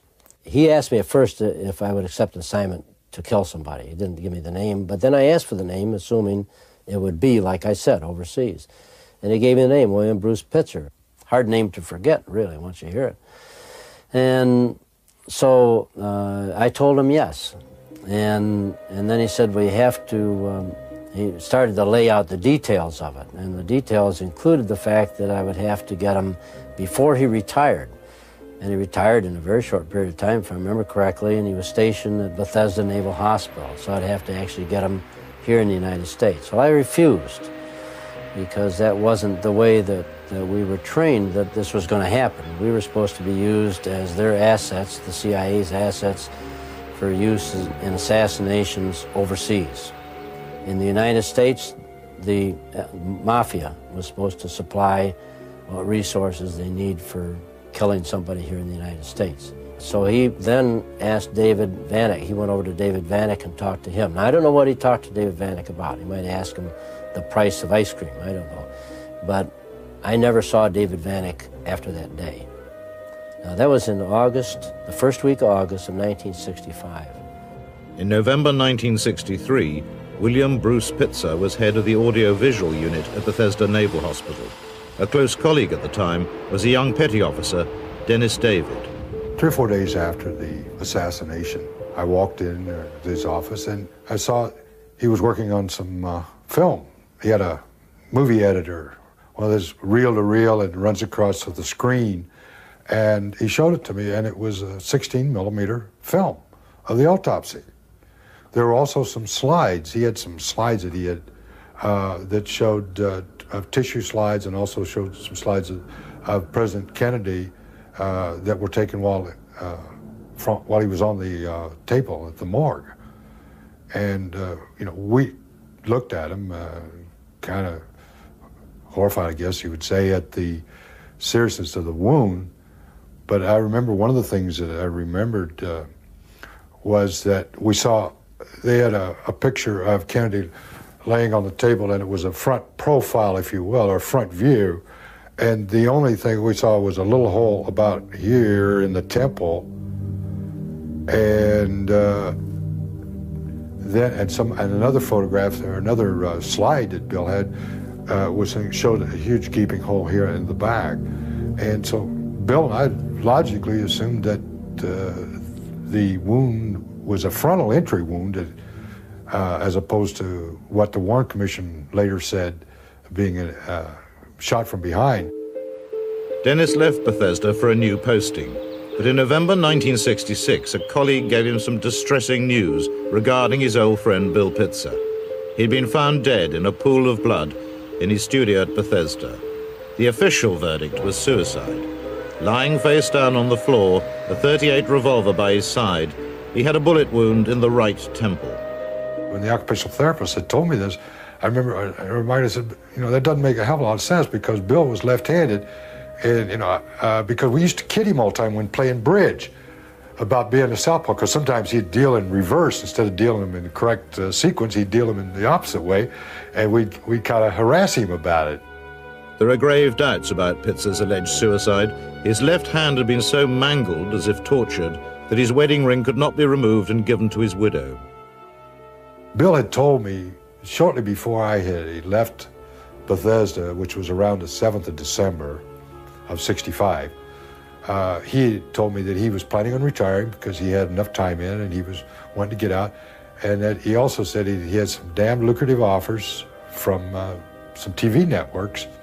And uh, other other people have asked me why I think he was assassinated, and, and I think it was because that with him retiring, they were uh, they and I don't know who they are were afraid that he would take these f- pictures that he and I had seen, this 35 millimeter and the uh, 16 millimeter film, that he was that he would take them and that the uh, if he went to work for a major studio that they would use them or he would have them aired, and that would really, you know, blow some people out of the water if that would have transpired.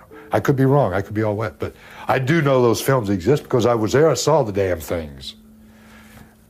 I, I am absolutely certain that the name that I was given underneath those pine trees in Fort Bragg, North Carolina, in the first week of August was William Bruce Pitzer. I put it completely out of my mind from 1965 until 1993. And I was watching a special in November 93 about the assassination of Kennedy. I think it was, an, it was a special by Jack Anderson. And at the end of that special on the television, they rolled a, a list of 42 names of people who had met a violent death that were somehow associated with the assassination or the cover up or the autopsy or something. And I was sitting there in my living room watching that, and the name William Bruce Pitzer came over the screen.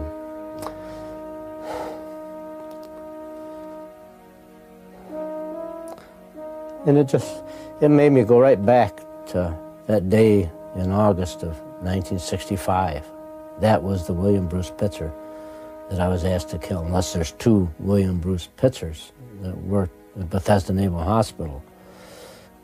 That man, the name of the other Green Beret that was approached by the CIA agent in August of 1965 at Fort Bragg, North Carolina, was David H. Vanek, captain, uh, who went through the same training I did, same class I was in.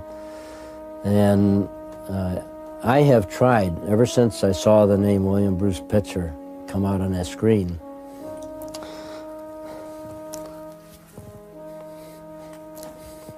I've tried to find him.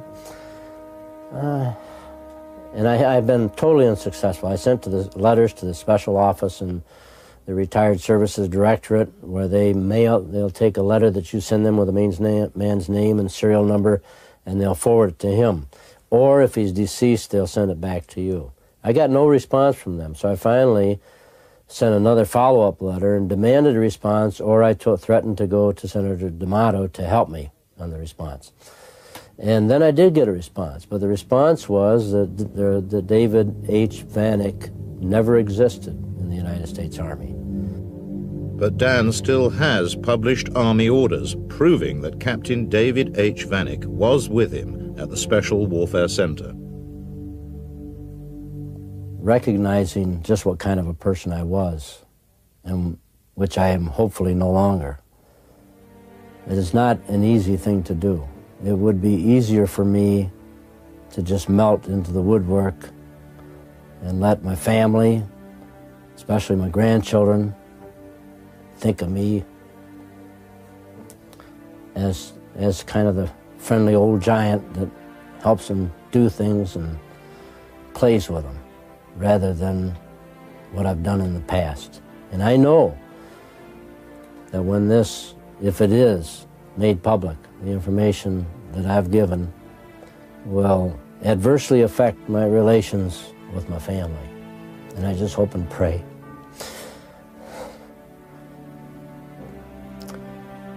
that our love survives it. And I hope and pray that it does some good for this nation.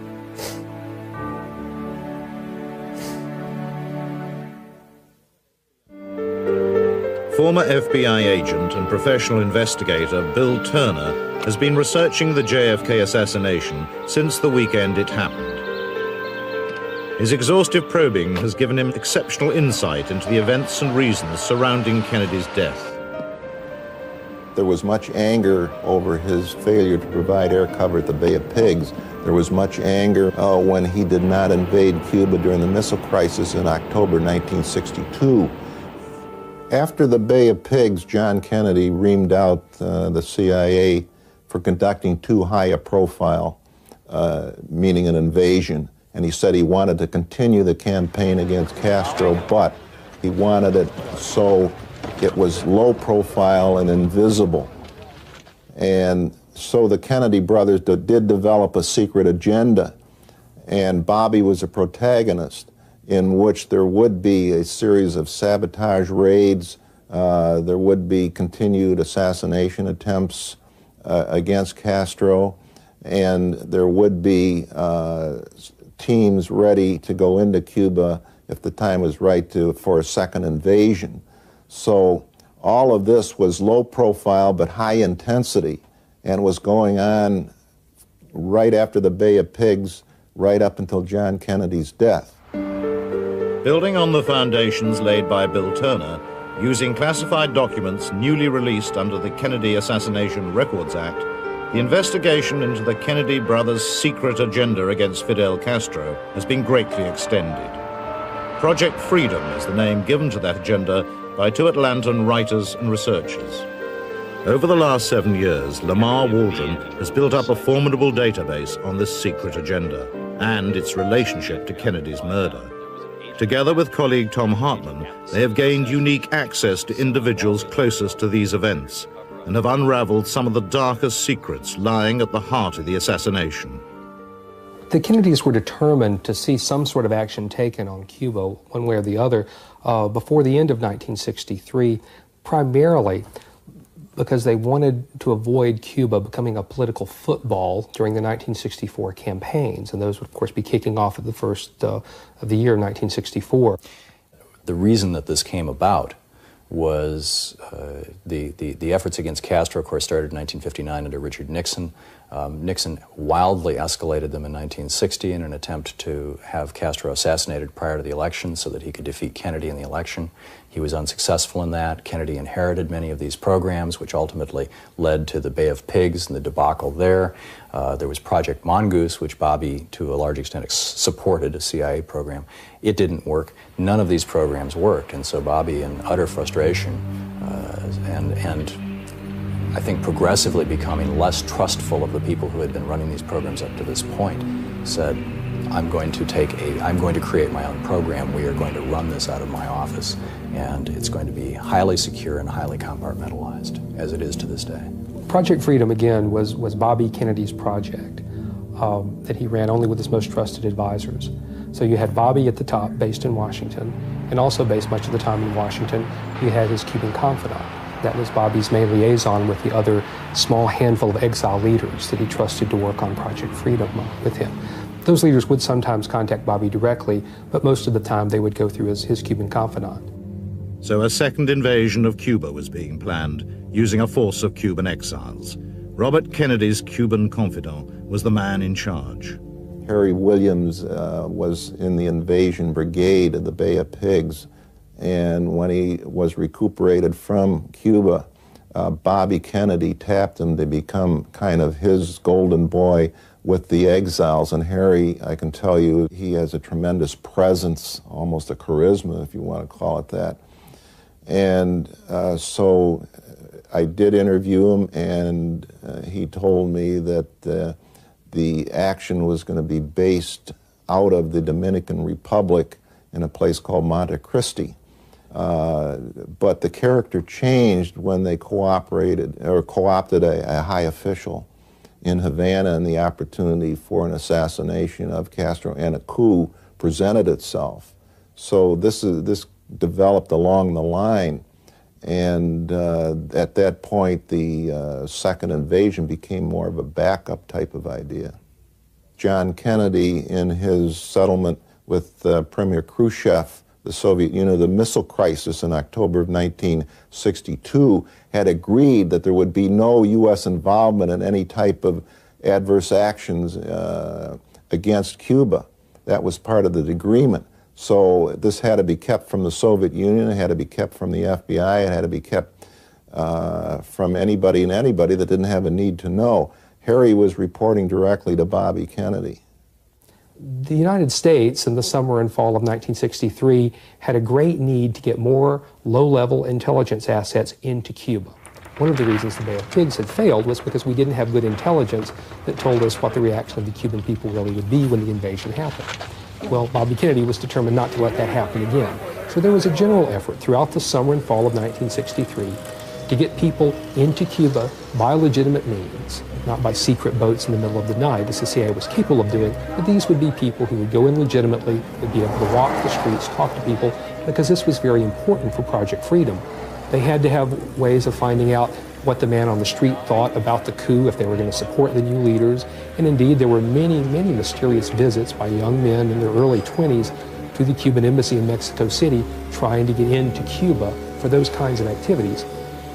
Oswald supposedly returned from a trip to Mexico City, a very uh, enigmatic trip, uh, in which he made loud noises about getting a visa to Cuba at both the uh, Soviet and the Cuban embassies there and created quite a ruckus when he was turned down. Uh, this again established his bona fides as a Castro partisan. And I'm sure if it was actually Oswald, because there's a lot of evidence that it was not he, but a double that showed up down there. And anyway, his bona fides as a Castro uh, revolutionary were established. And upon his return to Dallas, he was in essentially the same role that he had been in New Orleans being dangled in this ongoing intelligence operation. And the final denouement, of course, was that this intelligence operation in which he was being uh, controlled uh, simply set him up to, to uh, take the tumble for the presidential assassination.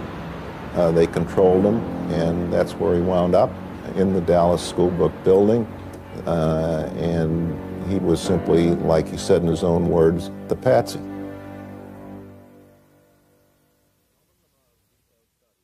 Thom and Lamar's detailed study of recently declassified documents has revealed a secret plan, part of Project Freedom, that was hijacked by Kennedy's killers, enabling them to escape detection. Beginning in September of 1963, several agencies of the U.S. government, at Bobby Kennedy's direction, began making contingency plans regarding Project Freedom. They were worried about what would happen if Castro found out about the plan and retaliated in some way. And so Bobby was faced with, with a, a, serious problem here. He had a plan that had a very good chance of actually unseating Castro. What if Castro found out about it? And what if Castro found out about it before it happened and launched a preemptive attack of some sort against the United States? Not a military attack, but some sort of a, you know, a hit and run thing. What if he were, for example, to assassinate the U.S. ambassador to Panama or to Guatemala or something like this?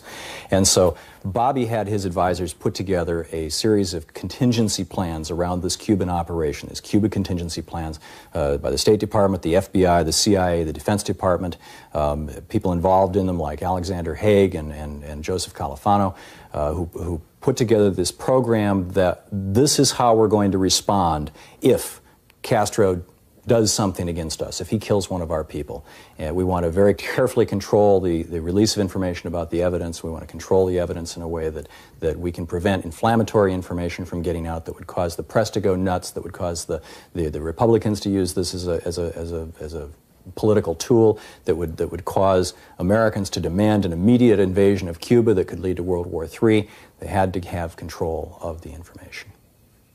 There were very low level operatives and informants working for the CIA whose primary allegiance was to the mafia. And these people had been working with the mafia for much longer than they had been working with the CIA. And the mafia paid them many, many times what the CIA did. Uh, those people not only told the mafia bosses like Trafficante and Marcello about Project Freedom, but they worked with the mafia in ways to use those plans to kill President Kennedy and use the secrecy surrounding Project Freedom to cover up the mafia's role in it.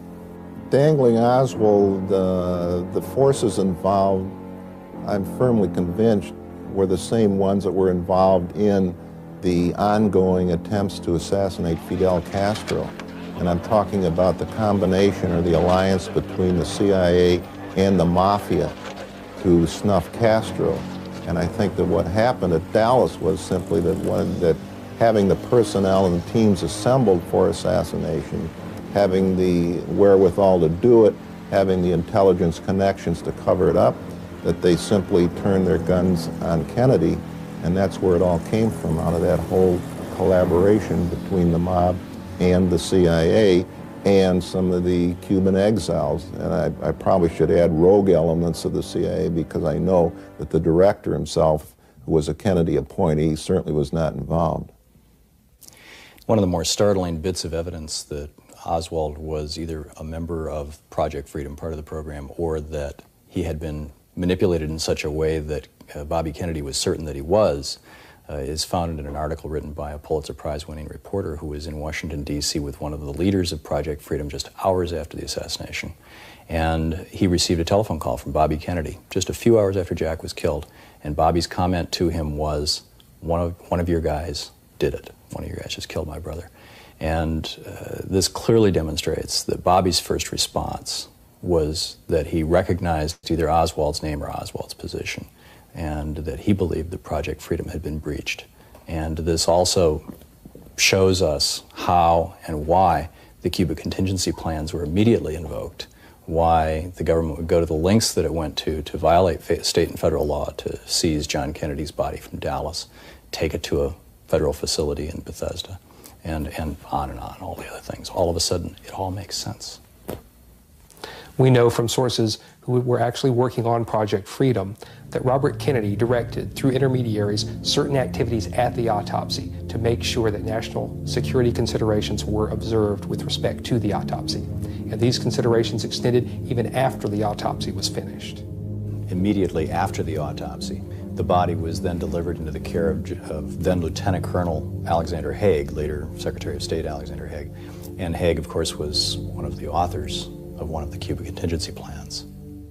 It's very clear from all the conversations we've had with the people who were close to Bobby at that time that he believed, at least in those early days, possibly weeks, that his program that he was responsible for, that he was running, had somehow been turned around or compromised and used to murder his brother, that he bore some personal level of responsibility for the death of his brother.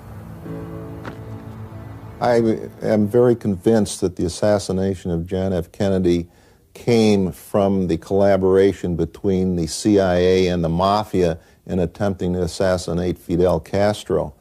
And I feel very strongly that that apparatus that was set up to assassinate Castro simply was turned on Kennedy when the motive piled upon motive to get rid of him.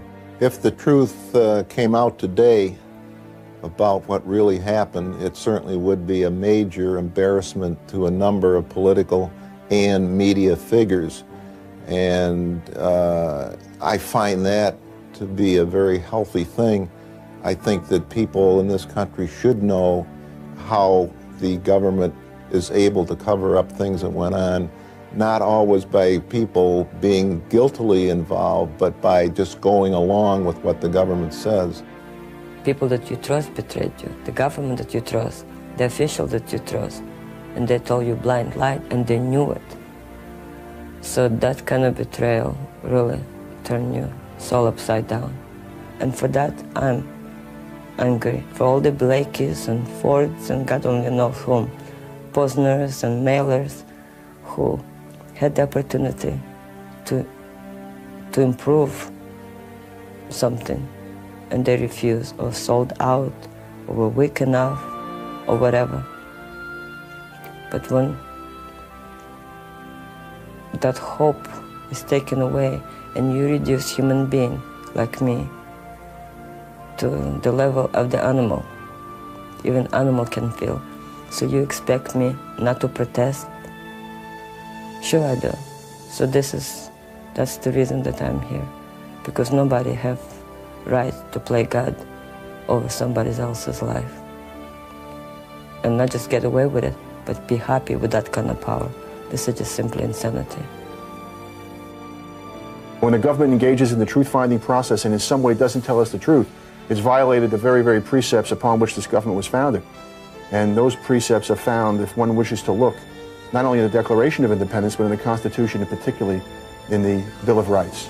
That is what guides this government. It is our founding principles. It matters. I think it is, terrible just to know that a nation can have within its own government those kind of evil influences that can cause something like that to happen. And then to cause it to be covered up to the extent that it has been makes you feel like you're really not in a democracy anymore.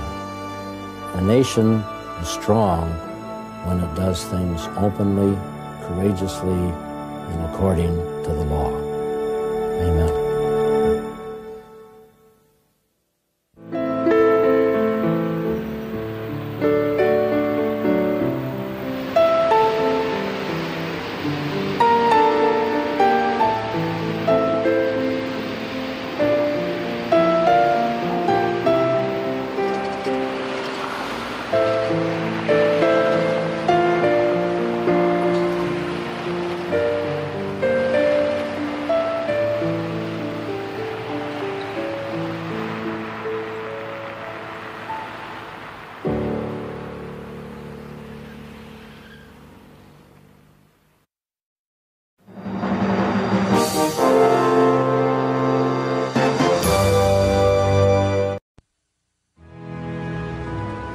Was one of the most traumatic events in American history. The murder of John F. Kennedy, the 35th President of the United States, on the streets of Dallas on November 22, 1963. If the presidency of the United States is being decided by bullets fired from rifles rather than ballots cast by citizens, we have indeed been taken over by a whole new form of government. A growing majority of Americans refuse to accept the official version of events, that a lone assassin murdered their president. Those of us who want the truth, want to really learn what happened here, keep asking these questions because it tells a lot about ourselves, about our values, and ultimately the direction of our country. New information about Kennedy's murder continues to emerge, confirming that the truth has been withheld from the American people. We're very lucky that there at least are people who individually have now convinced the vast majority against the mainstream media that the Warren Commission got it wrong.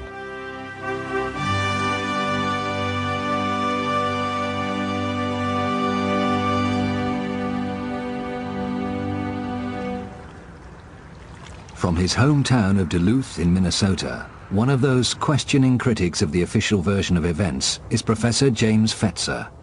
The resurgence of interest in the death of JFK had repercussions when Congress passed the JFK Records Act in 1992 that created a five civilian member board entrusted with the responsibility to review and declassify documents that were held by the CIA, the Secret Service, the Office of Naval Intelligence, and so forth. we know from its own report that it had some significant failures. For example, and the Secret Service, which deliberately destroyed motorcade records that would have revealed that the motorcade in Dallas was a travesty of violation of at least 15 different Secret Service policies for presidential protection. This behavior on their part raises the most serious and disturbing questions about their complicity in the entire affair. From the moment he arrived in Dallas, the president's protection was suspect, according to Vince Palamara, a Secret Service expert. There was last-minute changes invoked by the Secret Service involving President Kennedy's security. Specifically, agents were told not to ride on or near the rear of the limousine. Now, these orders were funneled from the Assistant Special Agent in charge of the White House detail, who was the planner of the Texas trip, Floyd Boring, to one of his assistants, a shift leader by the name of Emery Roberts, who was in charge of the follow-up car. You can see an agent, Henry Rybka, doing his normal duty, jogging besides the limousine, when in the follow-up car, you can see Emery Roberts stand up and wave him back, and you can see a very perplexed Agent Rybka waving his arms in the air several times in seeming disgust. There was another last-minute change made at Love Field, invoked by the Secret Service.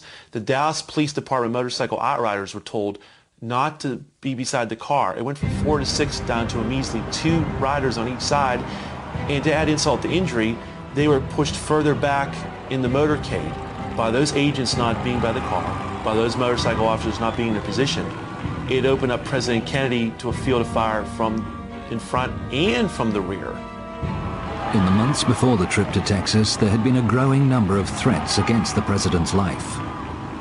Despite the increase in conspiratorial activity in the month of November 1963, in the apparent red alert the Secret Service appears to be under in response to this activity, the agency acts in the opposite fashion and actually reduces the security and acts like no threats on the president's life are occurring. Why? Uniquely on that day in Dallas, the press, the camera crews, Kennedy's military aide, who would normally sit in the front of the president's car, and even his personal physician were all relegated to the rear of the motorcade by the Secret Service. In a conventional motorcade, the president would be somewhere in the middle, surrounded by security and the press. In this case, the presidential limousine was set right out in front of every other limousine, which of course is the reason why the Secret Service destroyed the records of its own motorcades when they were asked for them by the Assassination Records Review Board. The most suspicious behavior by shift leader Emery Roberts was to be at the time of the shooting in Dealey Plaza. Tragically, he actually ordered the agents not to move during the heart of the shooting. Agent Sam Kinney, who drove the fob car, admitted as much to me and told me, quote, exactly right, end quote. And all these deficiencies begin and end with the Secret Service because they were the prime movers. They were the ones who were directing the security arrangements from Washington up to and including in the heart of Dallas during security meetings. They were the ones that gave out assignments, vetoed or approved of security arrangements. So the buck stops with them. At Parkland Hospital after the president's death, the media were reporting that the fatal shots had come from in front of the presidential car. A press conference was conducted by acting press secretary Malcolm Kilduff at 1.30 after the president had been pronounced dead at 1 o'clock. Malcolm Kilduff explained that it had been a simple matter of a bullet right through the head while pointing to his right temple and attributing that finding to Admiral George Burkley, who was the president's personal physician. This wound to the right temple and another wound to the throat, three different times described as a wound of entry, were widely broadcast on radio and television that afternoon. They were quickly suppressed because, of course, they contradicted the official government account, which was that three shots had been fired, all of them from above and behind. Connie Kritzberg was a reporter for the Dallas Times Herald on November 22, 1963. A couple of hours after the assassination, she did a phone interview with two of the principal doctors who had tended Kennedy. I talked to Dr. Kemp Clark, who was head of neurosurgery at Parkland Hospital, and Dr. Malcolm Perry. So I asked, uh, how many wounds were there in the president? Uh, and I was told Dr. Kemp Clark said there was a gaping wound in the back of the head. And Dr. Perry said, uh, the wound I was working on was an entrance wound in the neck. And I asked him uh, where it was located. I asked him, was it below the Adam's apple? And he said, yes, it was in the midline, in the front of the neck, below the Adam's apple. And he said three times that it was an entrance wound from the front. And so I wrote a very simple story, uh, only about 12 inches long as we measured stories, and uh, turned it in. The next morning, Connie found the story she filed had changed. I found in the story, in about the third paragraph, there had been a very unprofessional sentence inserted. It said, a doctor admitted there was possibly one wound. So I was very upset. I called the city desk and I talked to one of the assistant city editors that I, whom I respected quite a bit, and I said, who changed my story? Who put in that sentence? And he immediately knew what I was talking about. He said, the FBI. A story couldn't be printed that there was more than one shot and that one came from the front. It had to be altered, no matter how crudely, to conform to the official story that there were three shots from one place, from one man, and it was only one man who committed the murder. Confirmation of what Connie was told by Dr. Perry comes from one of his colleagues who also attended the fatally wounded president at Parkland Hospital, the late Dr. Charles Crenshaw. Prior to the tracheostomy performed by uh, Dr. Perry, I observed in the lower third of the neck a small, rounded, well-demarcated entrance wound. This was obliterated by the tracheostomy in that Dr. Perry made the tracheostomy incision through the entrance wound. Different parts of the tissues were spread. He then made the incision into the trachea and through the hole that had previously been made by the entrance uh, of the bullet, the tracheostomy was put in place. Radio reports from Dallas that afternoon mentioned the small round wound of entry in the front of the president's neck. They were heard by the late Dr. Robert Livingston, who was then scientific director of the National Institute for Mental Health. The reports had been that uh, the president had been shot from the rear from the sixth floor of the Texas School Book Depository building. And uh, the evidence at hand from the Parkland Hospital doctors of a small, neat wound in the neck was contradictory to that, or at least uh, complementary to that, in the sense that it required that there be a shot from in front, so that if he were shot from the rear, he was also being shot at at the same time from in front. So I wanted to tell whoever was going to do the autopsy about that, and so I telephoned Bethesda Naval Hospital. The officer of the day I knew, and uh, he put me quickly through to Dr. James Humes, who was going to head the autopsy team. He was very cordial, and uh, we had a good conversation, brief. Uh, he had not heard about the neck wound. Uh, I told him that it was important because it was a wound of entrance, and I told him that it should be explored completely for its track and uh, to find any bullet or fragments of bullets that would remain. And uh, particularly emphasized that it had to be a frontal wound since there was no tearing of the tissues. He left the telephone momentarily and came back and said, Dr. Livingston, I'm sorry I can't continue this conversation. The FBI won't let me. Humes later claimed he only learnt about that bullet wound after the autopsy from one of the Dallas doctors. He never examined it. I'm absolutely certain about that telephone call. I'm sure that Dr. Humes uh, got a clear uh, impression from me about the neck wound representing a wound of entrance. Further corroboration of a shot fired from in front of Kennedy's car came from the late Dr. Evalea Glanges in her only filmed interview. She was no stranger to guns. I've been handling a gun since I was a child. Couldn't even hold the gun. I had to put it on the fence in order to shoot it. Paul! On the morning of November the 22nd, 1963, I was a second-year medical student at Southwestern Medical University in Dallas, Texas. We ran around the side of the building to the emergency room exit, and the presidential limousine was there. Had been standing there for some time just watching the back of the emergency room when I realized that there was a bullet hole in the windshield. Talked to my friend next to me and said, look, there's a bullet hole in the windshield, and pointed it out to them. At the time, I did not know any of the details of the, of the shooting. I was quite shocked when I looked up and saw the bullet hole, but it was very clear. It was a through and through bullet hole through the windshield of the car from the front to the back. I don't believe there's any, even any cracks associated with that bullet hole. It seemed like a high velocity bullet that had penetrated from front to back in that glass pane. At which point a security officer of some type raced forward and jumped in the limousine and drove it off even as I was leaning against it to an area uh, back of us somewhere. And that was the last time I saw the limousine. The Secret Service made certain no authority in Dallas had an opportunity to examine the bullet damage to Kennedy's car.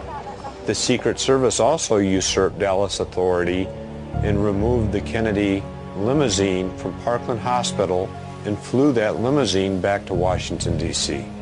For over a decade, researcher Doug Weldon, a professor of criminal justice and an attorney, has studied Kennedy's limousine and what happened to it in the hours after the assassination.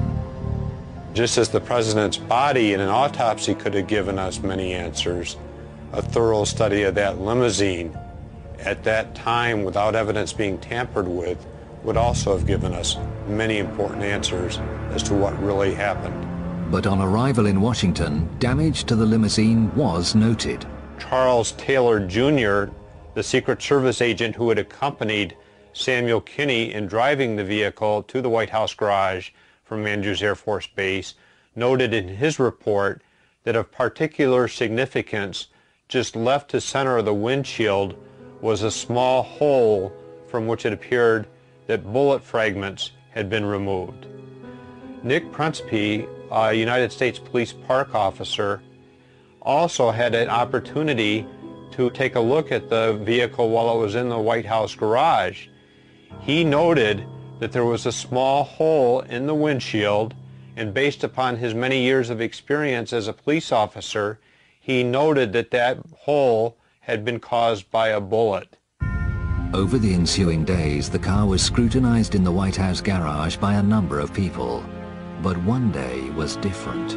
If one examines the White House garage logs, it is very interesting that in the late evening of November 24th, 1963, and the entire day of November 25th, 1963, not one person is listed as having come in to the White House garage to have any contact with the limousine. Rumors circulated at the time always denied that the presidential car was secretly flown from Washington to the Ford Motor Company in Dearborn, Michigan for the removal of its damaged windshield. It is very clear that the only mode of transportation that could have been used to transport the limousine from Washington, D.C. to the Dearborn plant would have been via airplane. There are several airports in the Detroit area. It would have been a simple matter to transport the limousine undercover to its final destination, the Ford Motor Company's Rouge plant. The late George Whitaker Sr., seen here with his wife, was a lifetime employee with Ford and held a managerial position at the Rouge plant. He went to work on the morning of November 25th to be confronted by an amazing sight. He was astonished when he went to the B building where they or garage existed at that time and he saw the Kennedy limousine that John F. Kennedy had been murdered in. The interior of the limousine had completely been stripped and the windshield was not in the limousine. He went to the glass lab where he was in charge of laminating glass and the glass lab door was locked. He knocked on the door and it was open and two of his subordinates were in there with the windshield that had been removed from the vehicle. They were under orders to take that windshield and use it as a template in making a new windshield. But what fascinated him and which he discussed with his family and no one else until he spoke with me was that he saw a hole in the windshield. It was a good, clean bullet hole right straight through the front. Right. This had a clean, round hole in the front and fragmentized from front to back. Mr. Whitaker had 30 years of experience working with glass and had seen many tests performed on glass, including tests performed with firearms. He described that hole as being in the same location that Charles Taylor Jr. of the Secret Service had described the hole in his report. And of course, without knowing that anybody had observed it before then, but he also was absolutely 100% convinced that that shot had to emanate from the front of the Kennedy limousine, thus indicating that a shot had been fired from the front, to his mind, to 100% certainty. I asked him what had happened to the original windshield. His answer to me was, we scrapped it. I said, you destroyed it? And he says, that's right. Our orders were to destroy, to scrap that windshield. After George Whitaker died in 2001, this statement was found amongst his possessions reaffirming for future generations exactly what he had told Doug Weldon eight years previously. This document was discovered, and for me, it gave the final stamp of approval that what he told me on that August day in 1993 was in fact the truth of what really happened. One of the assassination's most significant smoking guns, indicating both a conspiracy and a cover-up, is kept here. Kennedy's original autopsy photographs taken at Bethesda Hospital on the night of his death have always been used to support the lone gunman theory. I've looked at these autopsy photographs at the National Archives on many occasions now. I've actually been there on nine separate visits. When the photographs of the back of the head at the autopsy were shown to 16 Parkland doctors, all 16 said they did not recognize that photograph as what they had seen in the emergency room at Parkland Hospital. How many people did recognize it? Zero. When I went to the archives to look at these photographs of the back of the head, there's a pair of photographs, so I used the stereo viewer. And what I saw was really quite shocking. This whole area of hair on the back of the head, with the hair standing up, looked as if it had been glued in one particular plane in space. It was two-dimensional, whereas the rest of the photograph is three-dimensional. And the 3D effect occurs for virtually all the other pairs of photographs, so this was unique. The back of the head, this area, and the hair sticking up here looked as though it was simply two-dimensional, as if it had been glued into one position in space in one plane. It was most bizarre. What does that mean? Photographic forgery. We get a 3D effect for all the image except for the place where it's exactly the same because it's been dubbed in. So they took out basically the part where the hole was and instead they, they used a soft matte insert to put in the same image on each of these uh, photos of the back of the head so that it would look like there was no damage back here. If there's a big hole at the right rear of the head, that means a shot from the front. That can't be Oswald. So the conspirators were hard-pressed at this point. They had to get rid of that big hole at the back of the head, or it would have clearly shown shots from the front and no possibility of a lone gunman. Remarkable testimony regarding the autopsy photographs comes for the first time from veteran World War II photographer Joe O'Donnell. He worked for the State Department and then the U.S. Information Agency for a total of 23 years, serving with distinction under six presidents. He was devastated by Kennedy's death. He was a fine man, he really was. And I hate to say it, but I really loved him. I really did. Wonderful person. A close colleague of Joe's for many years was the late Robert Knudsen, a Navy photographer who was permanently attached to the White House. He didn't have many friends, not in the press. They were envious of him. But he was a very nice fellow. We always got along great. On the night of Kennedy's assassination, Robert Knudsen never came home. He returned to his family three days later, deeply disturbed. He told them he had taken many photographs of the president's body in the morgue at Bethesda, and that it was the hardest assignment he'd ever had. He said the Secret Service had controlled all of the film.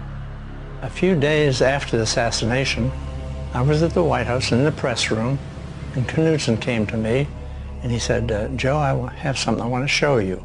So I went back to his sort of a workroom, and uh, he pulled out an envelope and showed me about 12 pictures, five by seven, and had all these pictures of the president on his stomach and on his back, and could see the hole here, about three-eighths of an inch, and the back of his head above the, the line, big hole about the size of a grapefruit.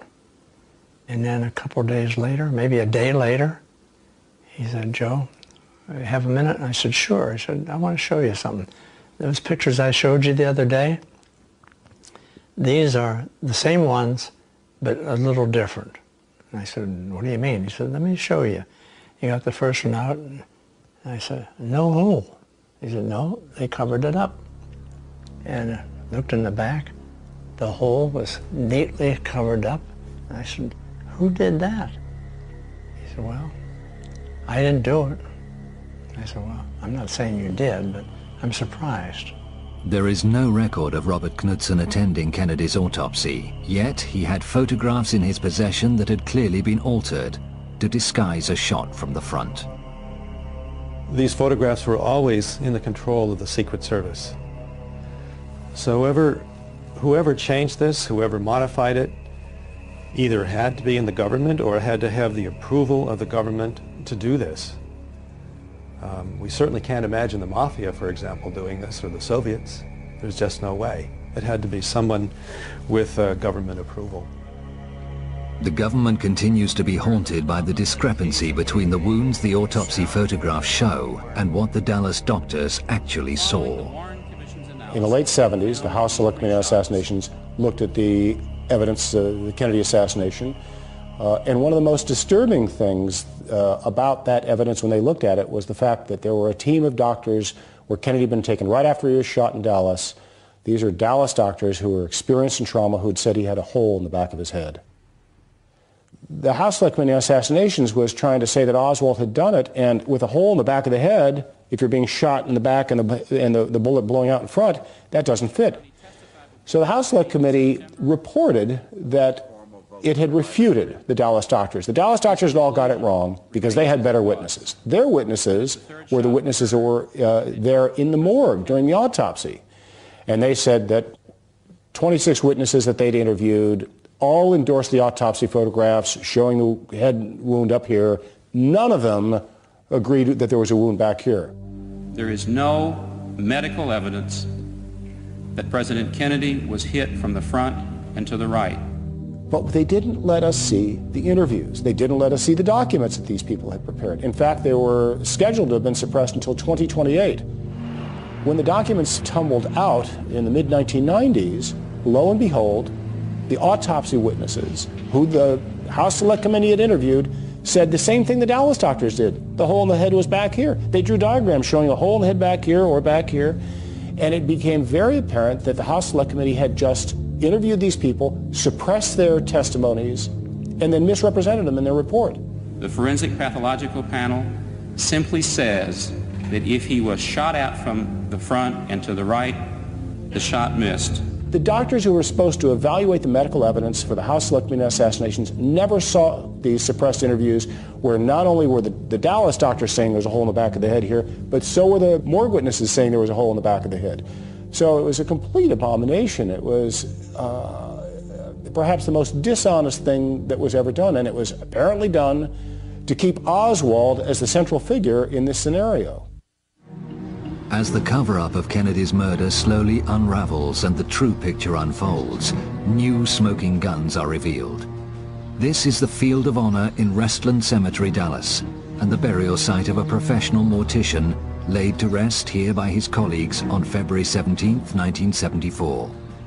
This plaque marks the life of a mysterious man whose links to the Kennedy assassination are only just beginning to emerge. His name was John Liggett. He is remembered as a highly skilled embalmer by a former friend and co-worker, Charles Smith. If he'd have to build a lip or a nose or build an eye orbit or an ear, he may work all night long doing the reconstructive work on someone that had been maybe shot in the face or automobile accident. He was the best. He would tell you he was the best. And when he finished it, he wanted the family to tell him he was the best. Popular with his colleagues, he also had a secret life.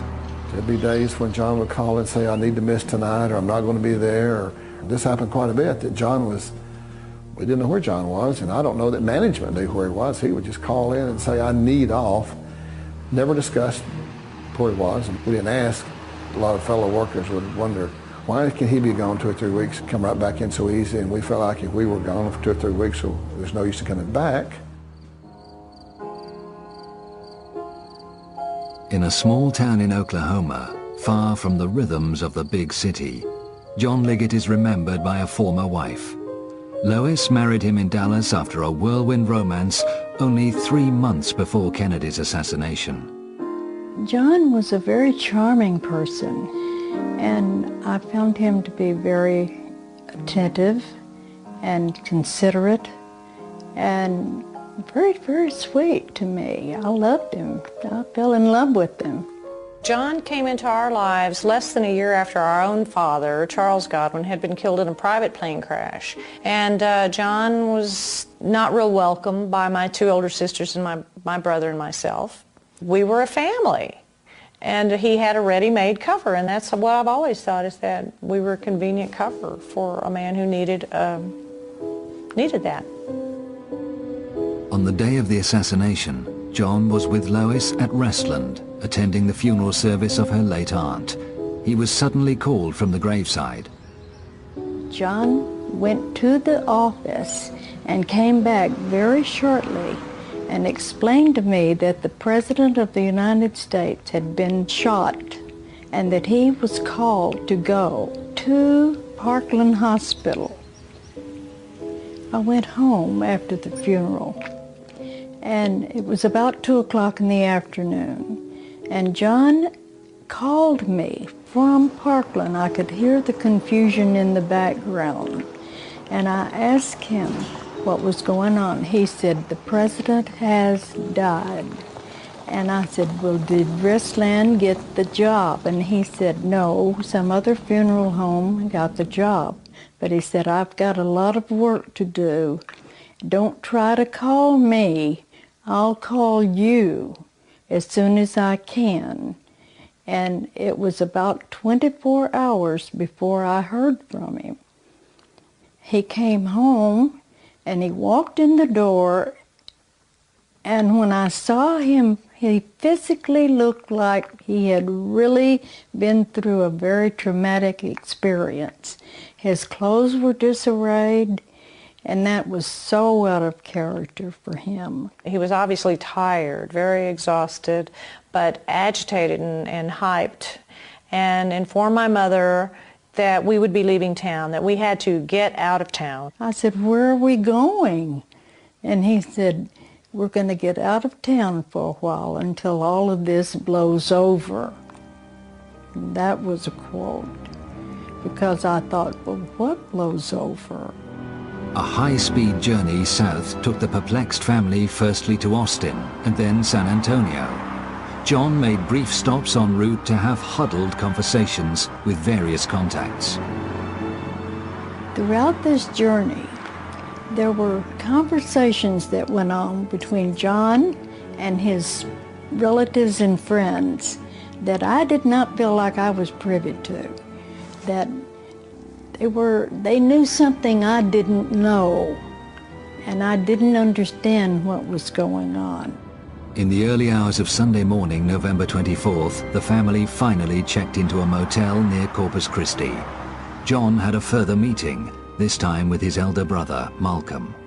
Here again, they had conversations that made me feel like I didn't belong, that they knew something I didn't know. I don't know why we were there, but it seemed to be very important to John that we were there. I do recall that every time I would see John in the room there, he was seated on the end of the bed watching the television and very intently watching the news and chain smoking because he did chain smoke and was uh, when John was nervous he had a little bit of a nervous tick in his cheek which I always knew that was that he was a little nervous there.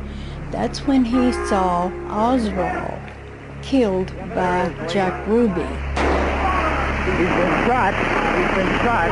Lee Oswald has been shot. The minute he saw that, he looked at me and said, everything's okay now. And you could just see his face.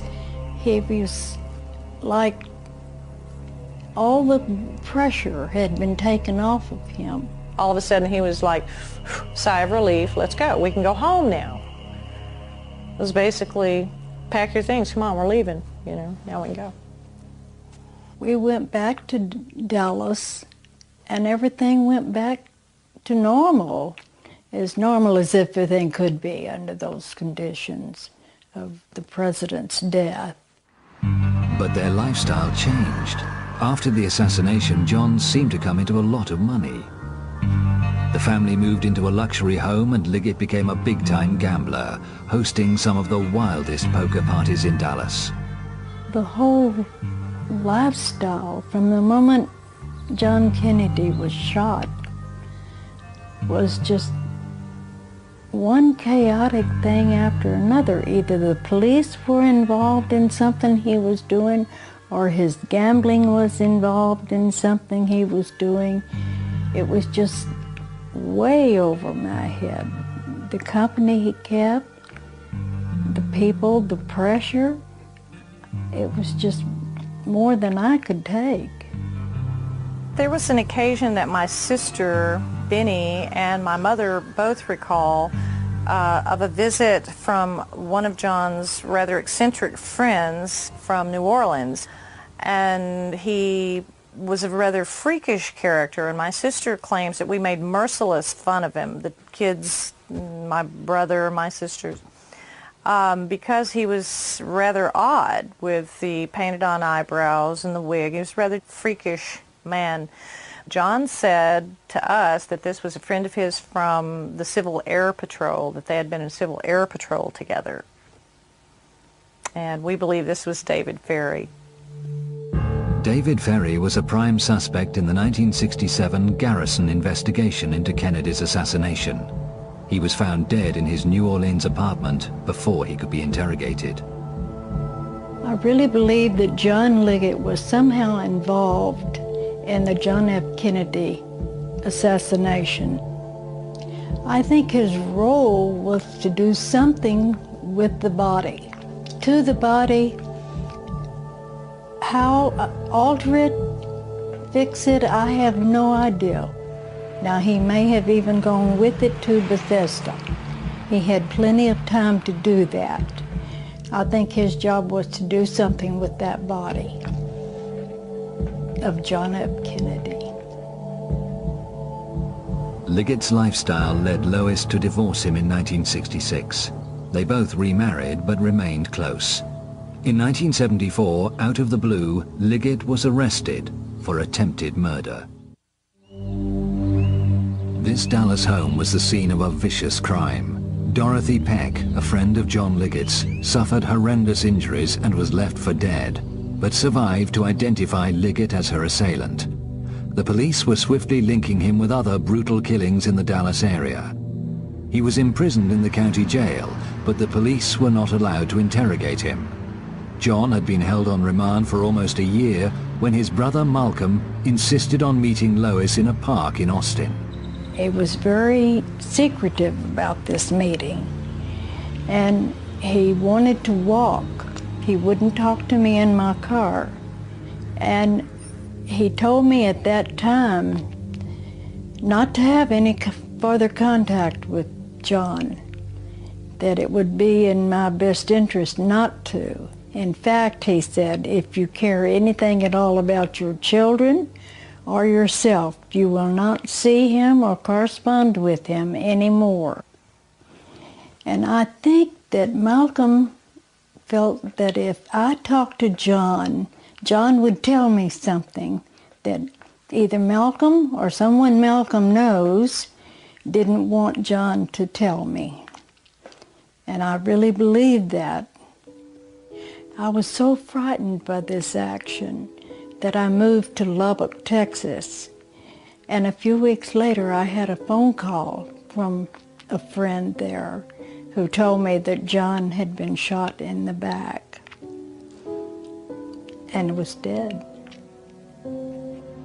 On the morning of February the 14th, 1975, Liggett was being transferred with other prisoners from the courthouse in downtown Dallas to the nearby county jail. The police vehicle had entered the garage when Liggett, using a hidden key, slipped out of his handcuffs and made a bid for freedom. A single shot in the back, fired by a sheriff's deputy, killed him instantly. I feel like Malcolm knew that there was something that was going to happen. I feel that he knew more than he was saying to me. And it frightened me for myself and for my children. But the mysteries do not end with Liggett's death. In 1992, Deborah, for the first time, met Leona, John's wife at the time he died. Although reluctant to talk, Leona recounted a visit to Restland to view Liggett's body prior to burial. She came out from East Texas to Dallas and she was shocked and surprised because to her, this was not John. It wasn't John there.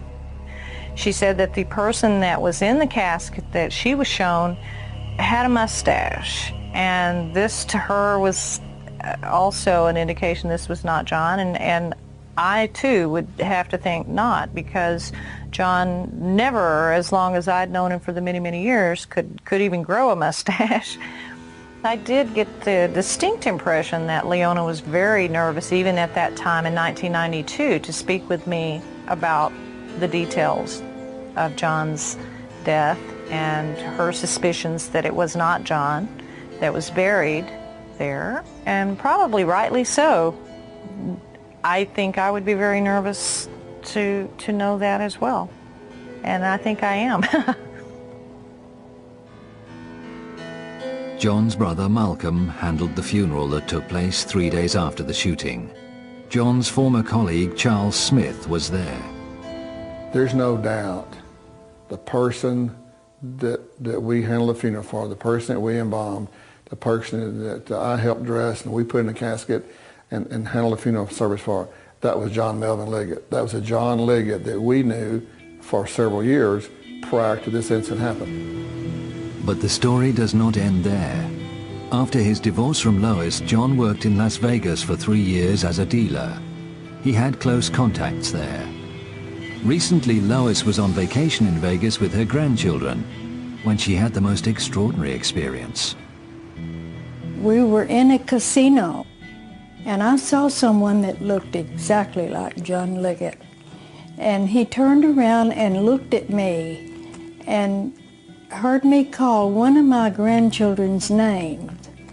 And when I did, he looked at her and he looked back toward one of the people that worked with him, turning his back to me, and said something to him about me because he pointed back of himself toward me.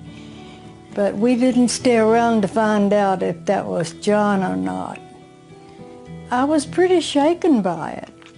I really felt like from the back of his head and when he turned around and faced me, I thought it was John Liggett. So it wouldn't surprise me a bit in the world if he were in Vegas. In fact, that's the most logical place I can think of that he would be.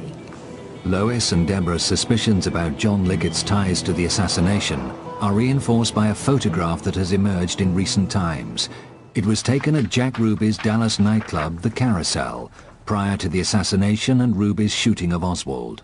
Obviously, one would recognize Jack Ruby. Uh, immediately to his right is John Liggett's brother Malcolm Liggett. Uh, his wife Suzanne, the blonde, to his right. We met her several occasions that she was at our home. The last I recall seeing Malcolm Liggett was at my mother's residence in Dallas, and this was in the, at the time that John was still in jail in Dallas. The woman with the dark hair and the black dress in the center of the photograph is Iris Campbell. Not at the time of this photograph, but years later my mother met Iris when they were living in West Texas out in Lubbock.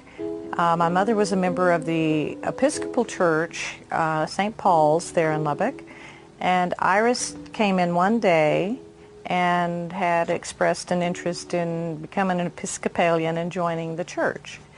And she and my mother became very dear friends and later also became my daughter's godmother. For a few years there, she was in and out, in, in close contact with my mother, came and visited frequently, and then disappeared, basically just disappeared. And uh, I've not seen Iris Campbell, and neither has my mother, for many, many years. She just kind of faded out. Prior to seeing this photograph, uh, I was unaware of any connection between the people that I do know and Jack Ruby. And it does put them in context then as acquaintances of Jack Ruby's.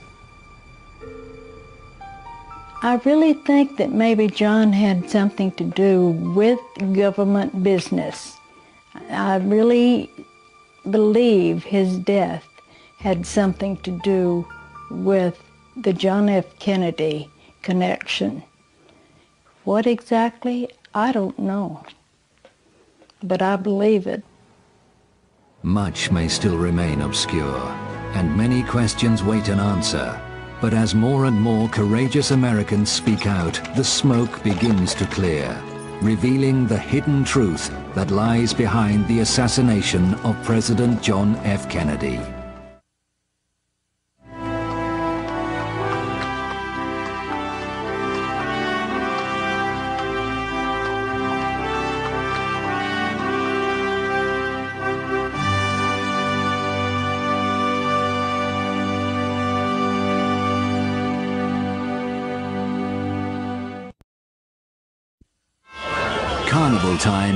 Orleans, when the city explodes with color and sound and people go wild.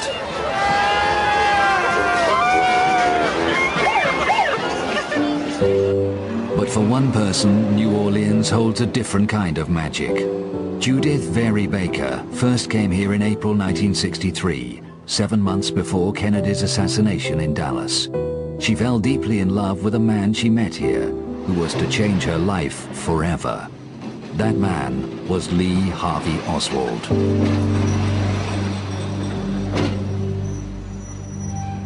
Lee Oswald was an innocent man who gave his life for his country, who was a, a loyal Marine to the very end, and he deserves better in history than the vile portrait of him that's been painted.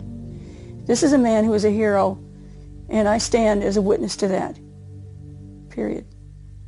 Judith's story, told here for the first time, changes forever our understanding of Lee Harvey Oswald and his role in history.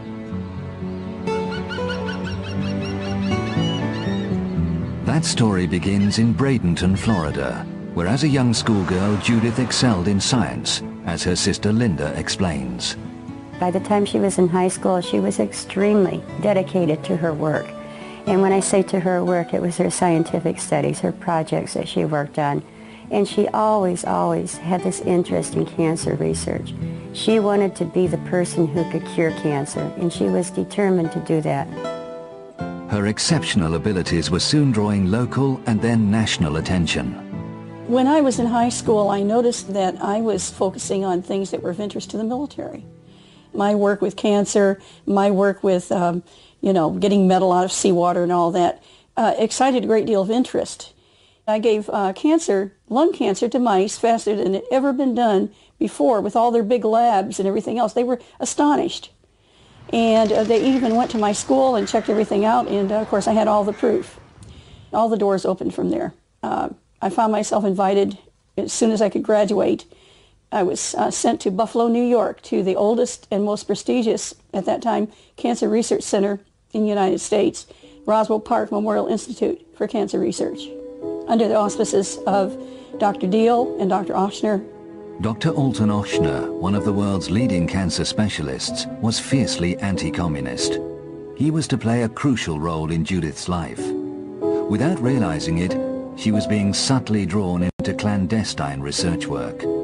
This became apparent in 1962 when she became a full-time student at the University of Florida in Gainesville. I was getting specialized in deadly cancers. It was made clear to me by the time I entered the University of Florida, they didn't want people knowing that they were working, we were working on projects that might have to do with um, eventually competing with Russia on the matter of using cancer as a bioweapon. She was very gullible. She didn't have people experience. She was always in a laboratory working. So yeah, she was very capable of being taken advantage of without ever knowing it until it was too late. In the spring of 1963, Judith was invited to join Dr. Ochsner in New Orleans on a temporary assignment. It was an exciting offer for the young scientist. The Ochsner Clinic and its founder were world-renowned. Dr. Alton Ochsner, who was famous as the first physician to link smoking and cancer, and who had many military and government connections, he said he needed me there and that he wanted me to work in the bone cancer lab with Dr. Mary Sherman.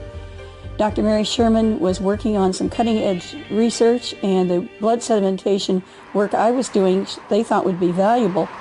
On top of that, he'd been telling me what to do for a couple of years now and was interested in everything I was doing. This man was virulently anti-Castro and he knew about my anti-Castro feelings. Judith arrived in New Orleans on April 20th, 1963, two weeks before she was to meet Ochsner. She was a naive 19-year-old alone for the first time in a big city. She was to be joined 10 days later by her fiancé, Robert Baker. While she awaited his arrival, Judith took a room at the YWCA, close to the downtown area. The following week, she went to the main post office to pick up a letter from her husband-to-be.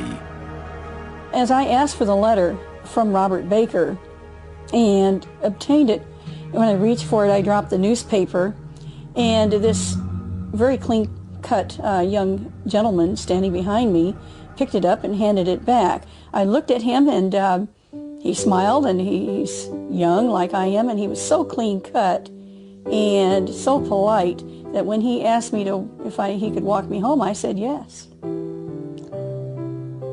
That was how I met Lee Harvey Oswald for the first time. I have to call it instant chemistry. I never felt such an attraction for anyone, either then or ever in my life since. It was love at first sight, and I know he felt the same way about me too.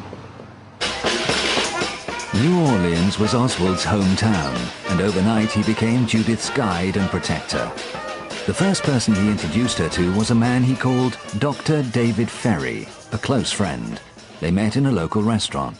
He was wearing an airline captain pilot's hat, and he had his pilot's uh, jacket on and a ring. And here I'd been told he was Dr. David Ferrie, but now I also realized he was Captain David Ferrie, uh, had been with Eastern Airlines. This is a man who probably could talk to you on any subject at length. He could discourse on anything. And he could speak knowledgeably to me about cancer research even. He was actually, he said, working on a project. He would like me to see it. Uh, he knew Ochsner was. He uh, not only knew Dr. Mary Sherman, she was his friend. So all of these things were of great interest to me. I um, wanted very much to know more about this strange man, Dr. David Ferrie, who was also the captain. Later that day, Oswald took Judith to David Ferrie's apartment in this suburb of New Orleans. Unwittingly, she was being drawn into a deadly game. David Ferrie's apartment was the upper half of a white Spanish-style building, and we entered from the back. People who knew David Ferrie would not enter from the front. So as we sat down, we're sitting down on an antique piece of furniture from his mother. He has uh, nice chintz curtains, but the rest of it looks like six or seven garage sales all slammed together. Um, he had a book on nursing and surgical procedures. Uh, uh, how to do operations. He had the DIFCO manual, and nobody has the DIFCO manual unless they're doing cancer research or other kinds of tissue culture and so on. Uh, we were there not only most of the day, but all night long that night. And uh, I, I took reams of notes on what he was saying. To Judith's amazement, Ferrie began to talk about a secret government medical project against Castro, involving himself and Mary Sherman, overseen by Alton Ochsner. I knew that Dr. Ochsner had been working on a variety of different projects and that because of his association with anti-Castro people such as David Ferrie, this seemed very possible to me that, uh, that Dr. Ochsner and uh, Dr. Sherman would, might be involved with David Ferrie. And of course, he spoke knowledgeably of both people. However, following a raucous party at Ferrie's apartment, Judith began to have reservations about her exotic new friends and their wild claims. I was already falling in love with Lee Oswald, but I didn't know him that well. So I was concerned and I asked uh, Lee to show me, I need to find out really, is the government really involved in this? I might be being lied to. I hadn't even met Dr. Ochsner yet and wasn't supposed to for another few days. To reassure Judith of his official status, Oswald took her downtown to meet another close associate, Guy Banister, a former FBI man now operating as a private investigator. There on the wall, there it was. This man was the head of the FBI in Chicago. He carried a beautiful big gun uh, right there on his shoulder holster. He had all kinds of credentials. And he, he affirmed that Lee was working on an anti-Castro project. That was good enough for me. Judith was even more impressed when Lee later took her to the third floor of Banister's building, where she saw assorted military equipment stored. Lee told me that he was in New Orleans for several reasons. One of them was to make a training film, and that he was working with these anti-Castro insurgents to help teach uh, some of these young Cubans uh, how to use uh, ammunition, how to, you know, do their guns, how to fire, and all that. He was part of this, but he had several other projects he was also working on. He was a very busy man there. Less than a week in New Orleans had turned Judith's life upside down. With the arrival of her fiancé, Robert Baker, she faced a difficult choice. I knew I was falling in love with Lee Oswald, and I knew Lee was falling in love with me. And yet I had strong feelings for Robert Baker, whom I'd known for 10 months. Lee told me at that time that he had beaten his wife, Marina, and he was sorry, and he, we talked about that, and I told him that that was really disgusting to me. And I had wanted nothing to do with anyone who was violent. I believe if Lee had not told me that, I don't believe I would have married Robert Baker. But she did. Robert had found lucrative employment in the Gulf of Mexico and had one day in which to marry Judith. Work came before romance. On May 3rd, he kisses me, we have a wonderful tumble in bed, and then he's gone. And he'll be gone for weeks. Left alone in New Orleans, the newlywed needed secure accommodation. Lee came to her rescue with a convenient rental property. Lee Oswald moved me into 1032 Marengo Street on May 4th, 1963, and we spent most of the day getting me accommodated. He even brought four begonias to put in the windows. Nobody knows, they say, what Lee Oswald was doing on May 4th, but I do. The most important entrance to 1032 Marengo was here in the back. And next to this door in the back is a window and windowsill where we kept the key so that Lee could get in whenever he needed to. The owner of 1032 Marengo was a widow named Susie Hanover. She had the back half, we had the front half. And she was so kind as to um, warn me and Lee if someone was coming. She liked Lee very much and had known him for a long time, apparently, from the time he had been a young uh, person growing up here in New Orleans. Shortly after moving in, Judith had a meeting with Alton Ochsner at this hospital, her first since arriving in New Orleans. She did not go alone. Lee accompanied me there and told me that he had to go in first to talk to Dr. Ochsner. This made me recognize that he had already had a prior association with Ochsner. When I went in, Dr. Ochsner began to explain to me, and I'd already been apprised a great deal more by Dr. David Ferrie, about the project that uh, he had been working on for over a year. And this clearly had to do with uh, working with these deadly cancer strains that he knew I was uh, well adept at handling. The idea was to try and get Castro ill, very ill, and eliminated through what seemed a natural cause, in this case, cancer. The attractiveness of the plan that Dr. Ochsner and Dr. Sherman and David Ferrie were working on is that up to now, attempts to kill Castro had to involve some kind of violence that could be traced to some country or individual. And that could lead to war. World War III, maybe, if uh, Russia intervened. Uh, this was considered, uh, in my mind, a noble experiment, a noble um, attempt to do away with Castro without uh, anyone getting blamed or with only a few people being involved because it was biomedical. At any rate, at the end of uh, the summer, he promised me that I would skip two years of school and go directly into medical school at Tulane Medical School. Of course, um, how could I say no? Having agreed to join the Kill Castro medical team, Judith and Lee were assigned cover jobs at the Reily Coffee Company in downtown New Orleans. Rain or shine, Lee and I would get off the bus and we'd walk this way to go to Reily Coffee Company in the morning. And what we would do is go through these doors. He would go that direction to the right to the shipping and packing and where the machinery was and the roasters. I would go to the left up into the executive suites uh, where I worked as a secretary for Mr. Monahan.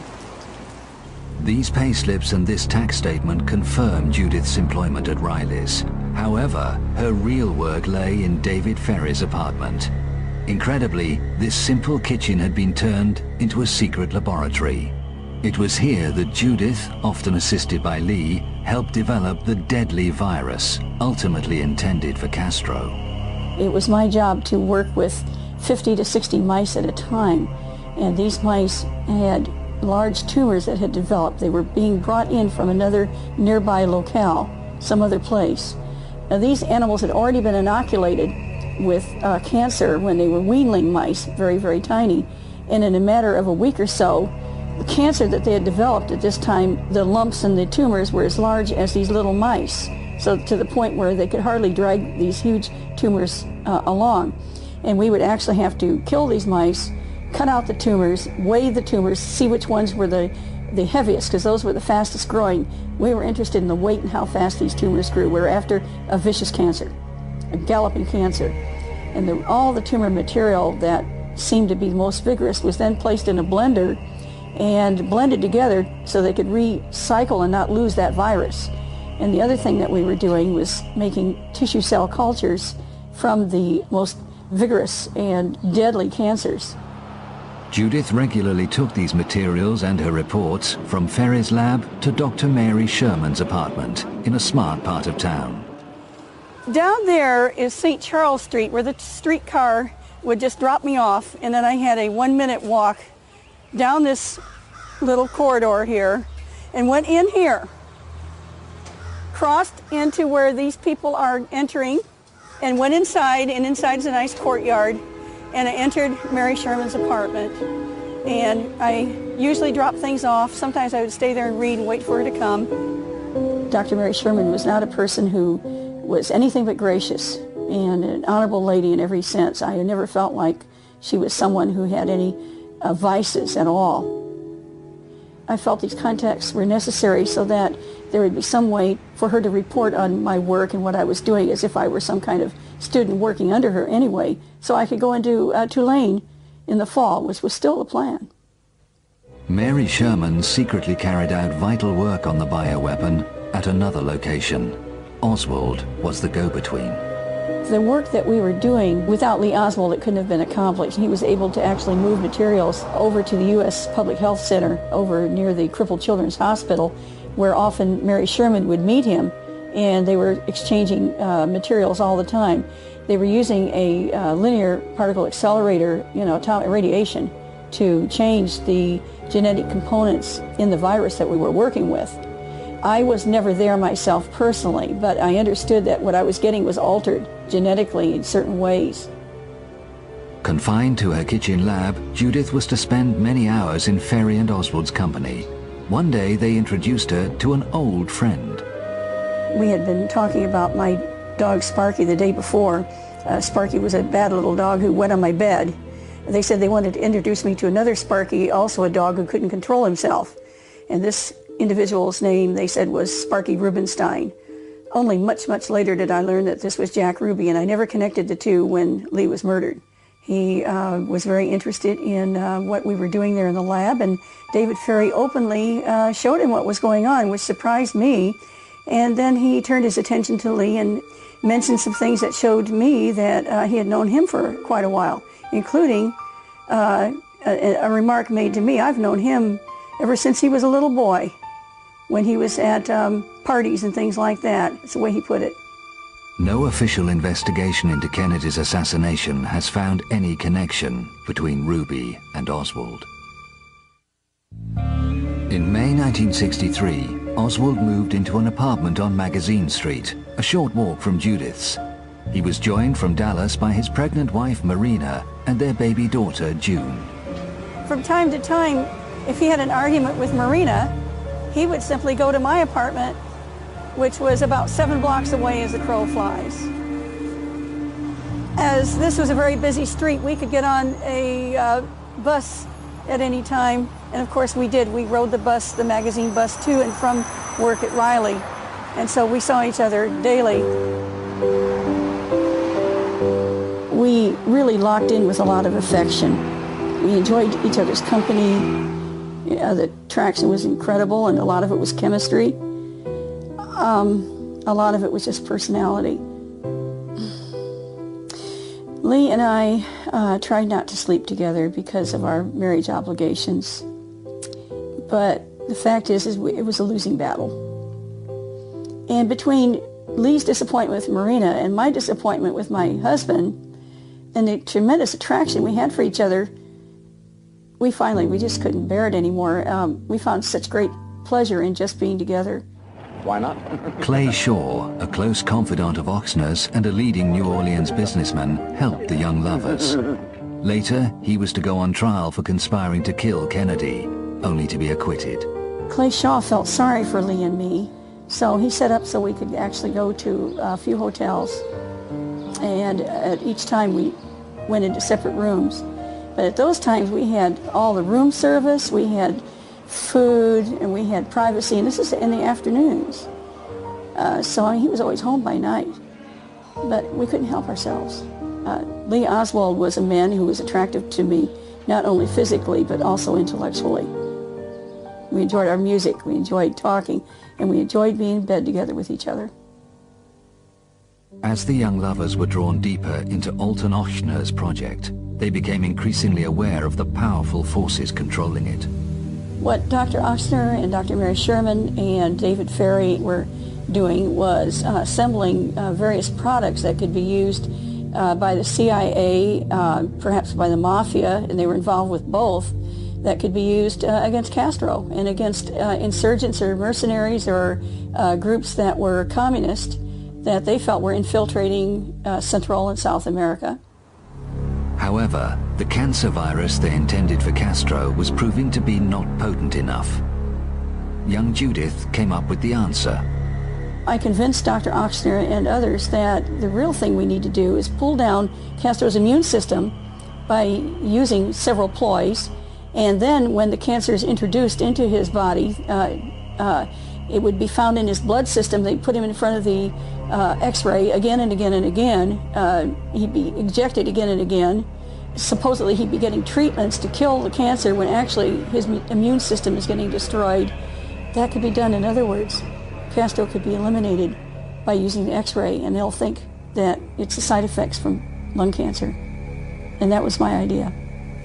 Judith and Lee felt intense pressure to succeed. They were horrified to learn that some of the sponsors of the Kill Castro program were also interested in getting rid of Kennedy because of his perceived failure to deal with the communist threat so close to America's shores.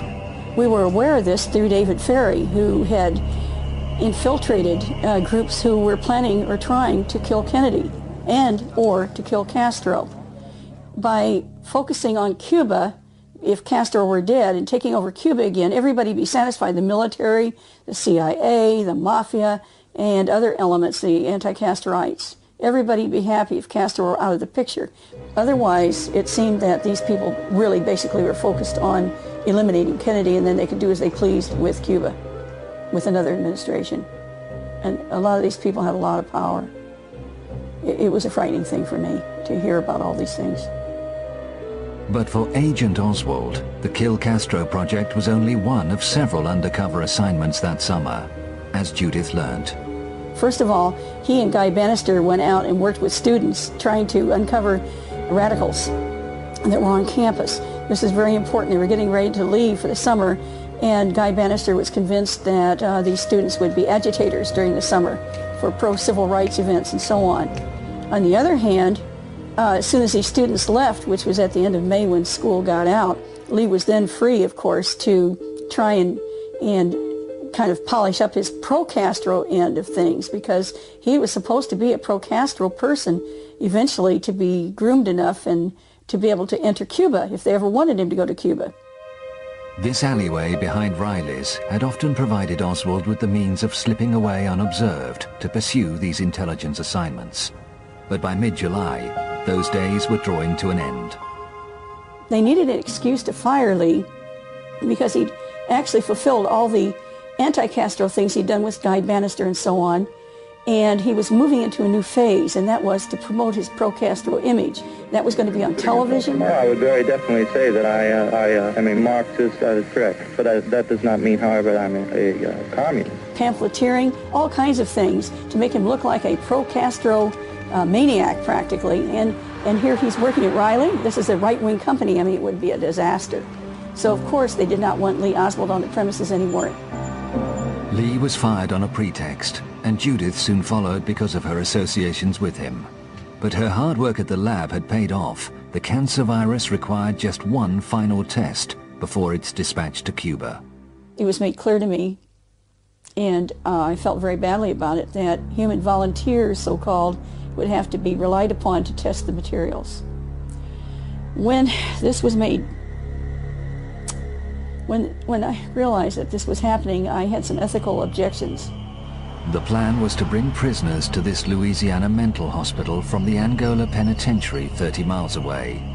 Here they would be injected with the cancer virus created to kill Castro to prove its effectiveness. Well, I did something I had been told not to do. I wrote a note to Dr. Ochsner, and I signed it with my initials, J.A., and in it I protested the use of human beings at this stage in the, um, in the project uh, under the grounds that these were unwitting volunteers. They were not aware that they were going to be injected with live cancer cells and the goal was to kill them with it. And of course they weren't were going to be volunteering for that. So I did object and Ochsner uh, called me on the phone and he was furious and said I never should have written anything that was linked to me by any kind of paper or handwriting or anything. If I had any objections, I should have told him in person. And he said at that time that both Lee and I were expendable. And then he slammed the phone down. By expendable, he meant, it was very clear to me and Lee both, that they could get rid of us at any time if we were going to cause problems because this was a project that was much, much bigger than any little Lee Oswald or any little Judy Baker. So, in late August, Oswald and Ferrie arrived in the small town of Clinton, 130 miles from New Orleans, in a black Cadillac driven by Clay Shaw. Here they met a hospital orderly and awaited phone instructions on where to join the prison convoy, en route from Angola, bringing the volunteers to the nearby mental hospital at Jackson. It was necessary for David Ferrie to make the initial injections. There's a doctor up there who would be taking it on, but he had to be shown how to handle materials. That was the first thing, and David knew how to do injections. Secondly, Lee had to come along because he had learned all these special techniques to handle materials. He'd learned them in the lab working with me. And so uh, as the experiment was successful, he was selected as the ideal person to take these materials down to Mexico City where they would be handed over to a contact, a medical student or a medical technician. And those materials would then be taken over to Cuba and handed over in Cuba to a member of Castro's medical team who uh, could be trusted. So that's why Lee Oswald had to be there. Lee Oswald, the orderly, and Clay Shaw, and of course David Ferrie entered into Jackson Mental Hospital behind the vehicle that was transporting these prisoners who were going to be injected. In they all went at the same time. The orderly that was with them that they had picked up outside of Clinton showed them where to go inside, and at that time those prisoners received the injections that were necessary to begin this terrible round of injections and x-ray, injections and x-ray that they hoped would actually kill these people. Judith's ethical objections to the tests at Jackson had made an enemy of Alton Ochsner. But she was required for one final task. They needed to know if the cancer virus had taken. This test had to be done within 72 hours, and on August 31st, 1963, Lee Oswald drove me up to Jackson.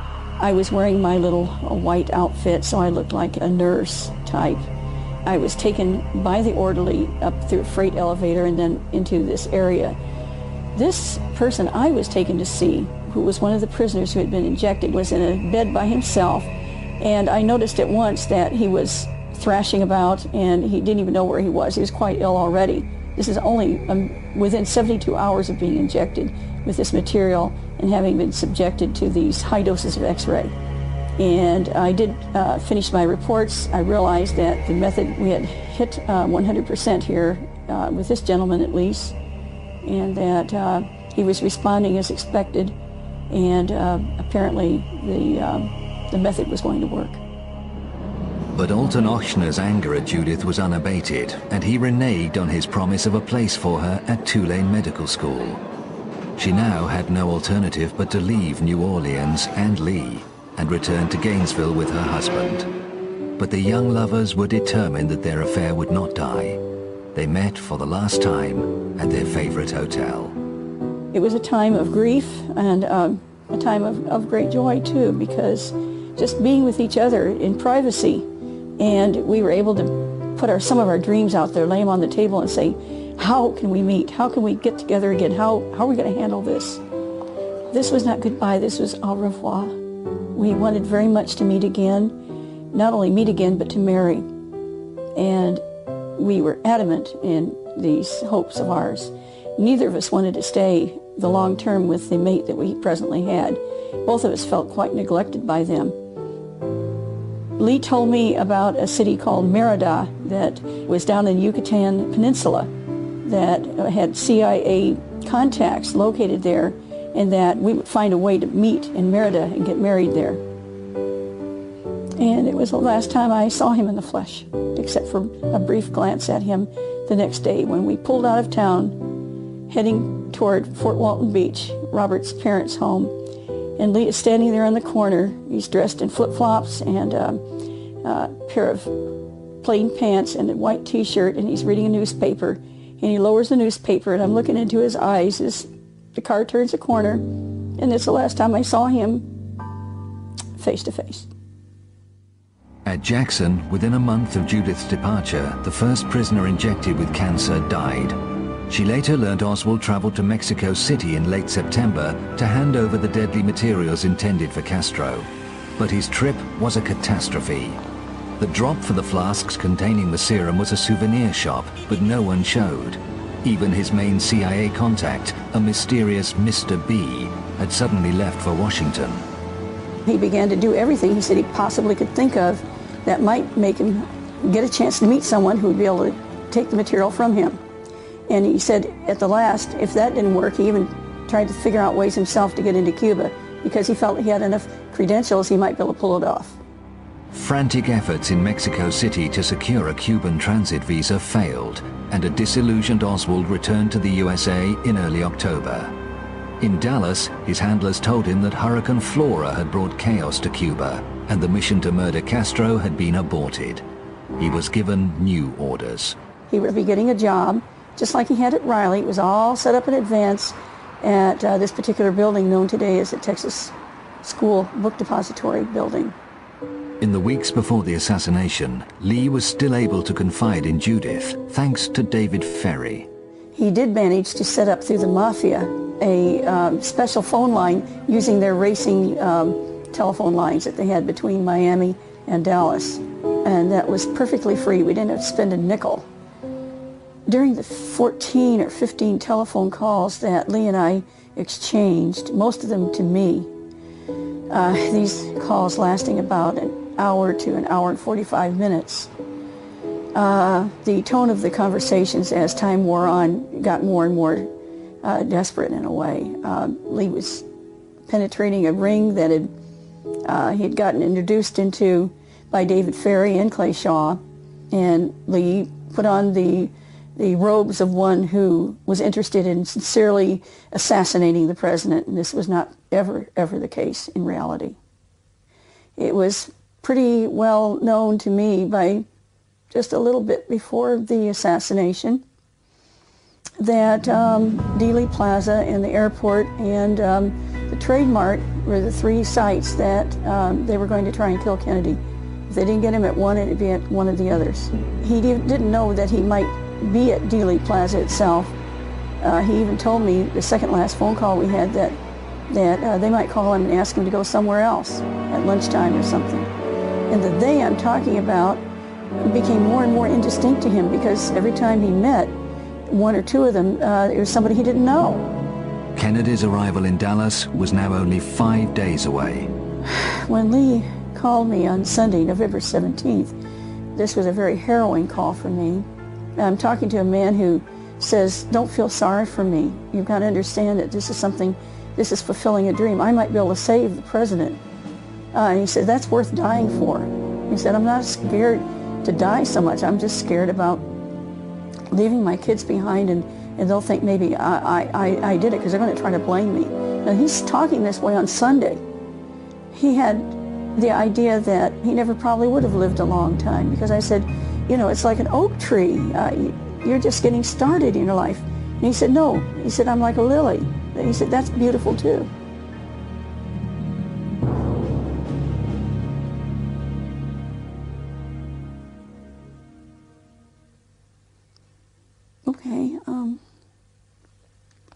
Anyway, he said, just please don't feel sorry for me. This is, I might have a chance to save the president. And um, that was so important to him in every way.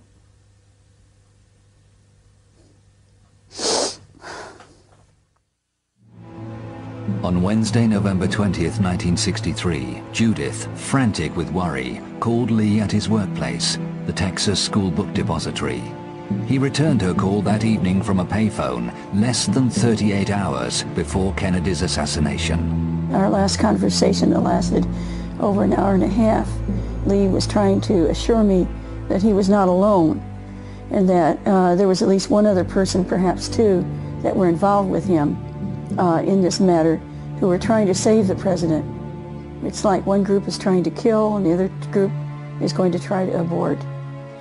But he made clear to me there wasn't any way that he could actually remove himself from the situation into which he had penetrated. He almost rejoiced that he had been able to penetrate it. It was something that fulfilled him in a way because it meant that he had uh, fulfilled the function that he had always wanted to be, and that is somebody who might be able to make a tremendous difference if he could succeed somehow in saving the president. On the other hand, if he had removed himself, um, his wife, his little girl, his little baby, uh, me, the people he loved, we, we would have been slaughtered. We would have been eliminated. And of course, he would have died anyway. He was in too deep. He couldn't withdraw. It was too late. And then he said, if I stay, there'll be one less bullet fired at Kennedy. And my heart just turned over because I thought that was such a courageous thing to say. And then he said, you know, look at all the people have kids. He said, you're smart and you love children. He says, please have children for me.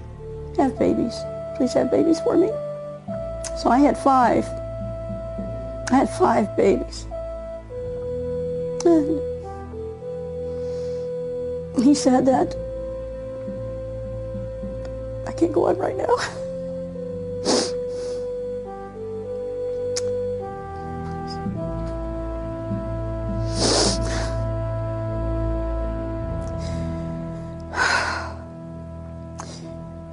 the final minutes of our call, he gave me um, some of the concerns he had. The most he had been able to find out that there was a connection between the assassination and persons whose names were Billie Sol Estes and Bobby Baker. Not that they were directly involved, but because of them. He said never to forget their names and that this was a big uh, event going on at that time in Dallas about them. Bobby Baker was a corrupt business associate of Vice President Lyndon Johnson. So was Billie Sol Estes. Investigations into their financial misdealings were threatening to put Johnson behind bars.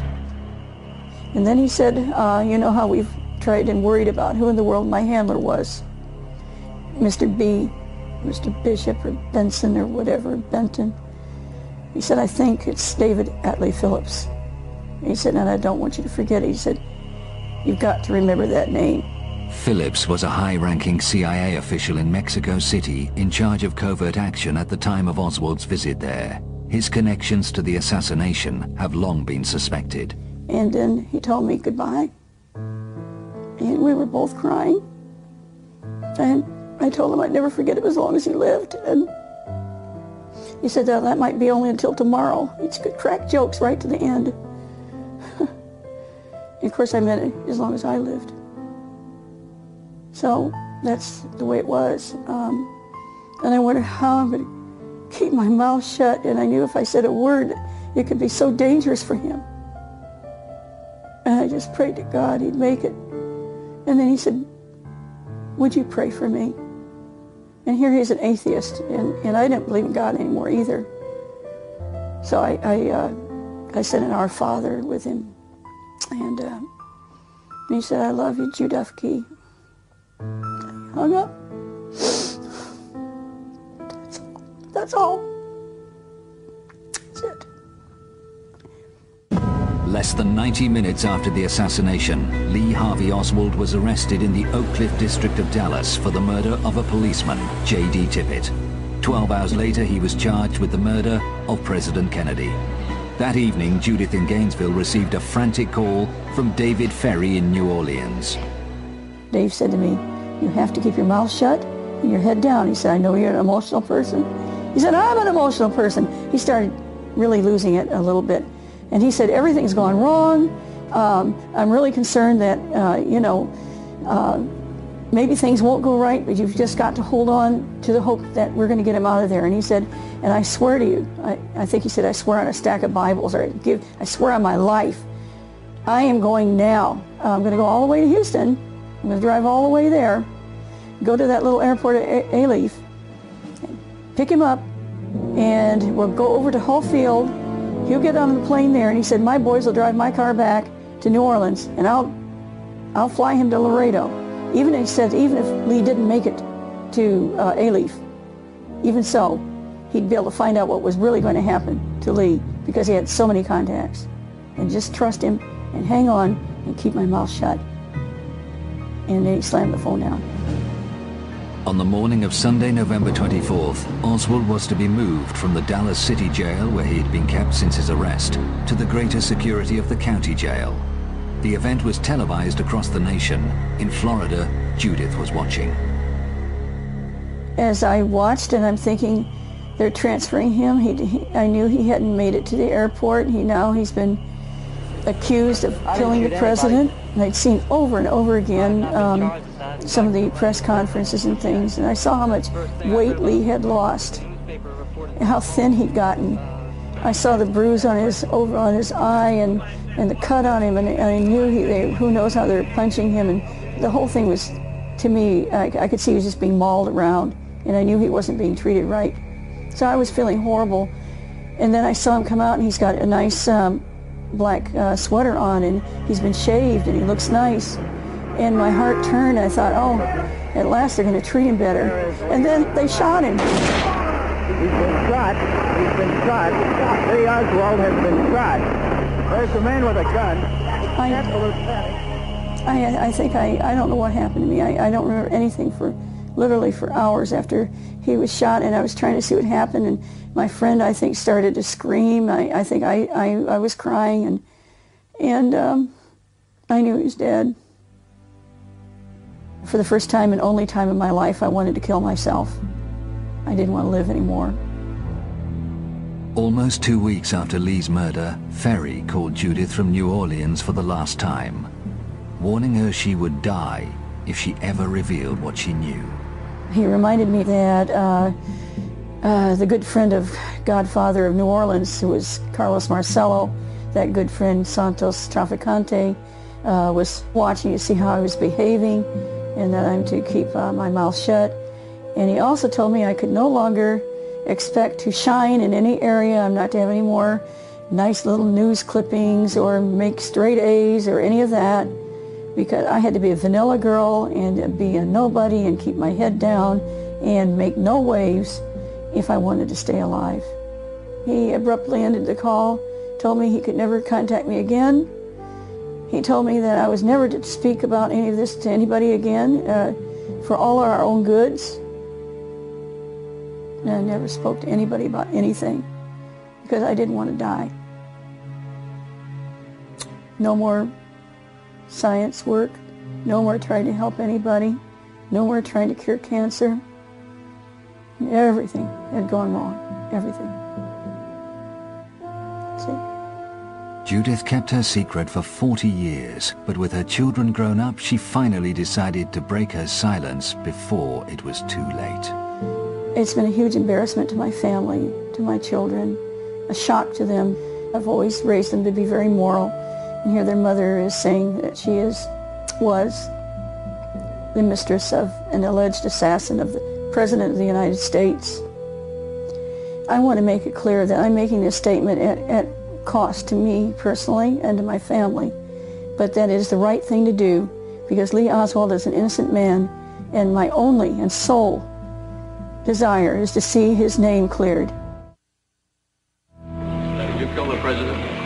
No, I've not been charged with that. In fact, nobody has said that to me yet. Oswald, did you shoot the president? I didn't shoot anybody, sir. I haven't been told what I'm Please, here for. move on. You have a lawyer? No, sir, I don't. I do request uh, for someone to come forward to give me uh, a legal assistance. Hello, I'm Steve Gillon, historian for the History Channel. The tragic death of President John F. Kennedy 40 years ago is one of the greatest mysteries in American history. In other programs, we have presented numerous theories about the people and events surrounding the assassination. Many of those scenarios, including a mafia cover-up, CIA involvement, and a possible Cuban connection, have been presented in our series, The Men Who Killed Kennedy. This episode, The Guilty Men, examines yet another theory, that President Lyndon Johnson was involved. I know as attorney for Lyndon Johnson that he murdered John Kennedy. He murdered John Kennedy to become president and to avoid prison, and there is no doubt in my mind. You can't kill the President of the United States unless the next president, the head of the FBI, and the head of the Secret Service are in on the cover-up. I'd like the entire world to know how I personally feel is the fact Lyndon Johnson knew about the assassination and was a part of it.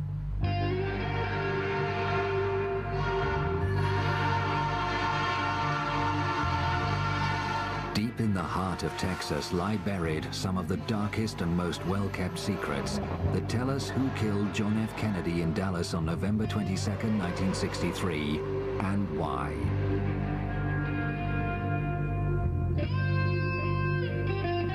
Those forces of darkness revolved around one of that state's most famous political sons, Lyndon Baines Johnson. Born in 1908, he grew up in a comfortable middle-class home in Johnson City. At an early age, Lyndon showed a keen interest in politics. From the beginning, he was driven by a determination to win, whatever the cost. In a word, he was ruthless. There wasn't anything he wouldn't do to get what he wanted, regardless of what it was. And probably the best example would be in 1948 when he was running for the Senate. And he was running against a man named Coke Stevenson. And the election was very, very close, a very small number of votes, which forced a, a recount.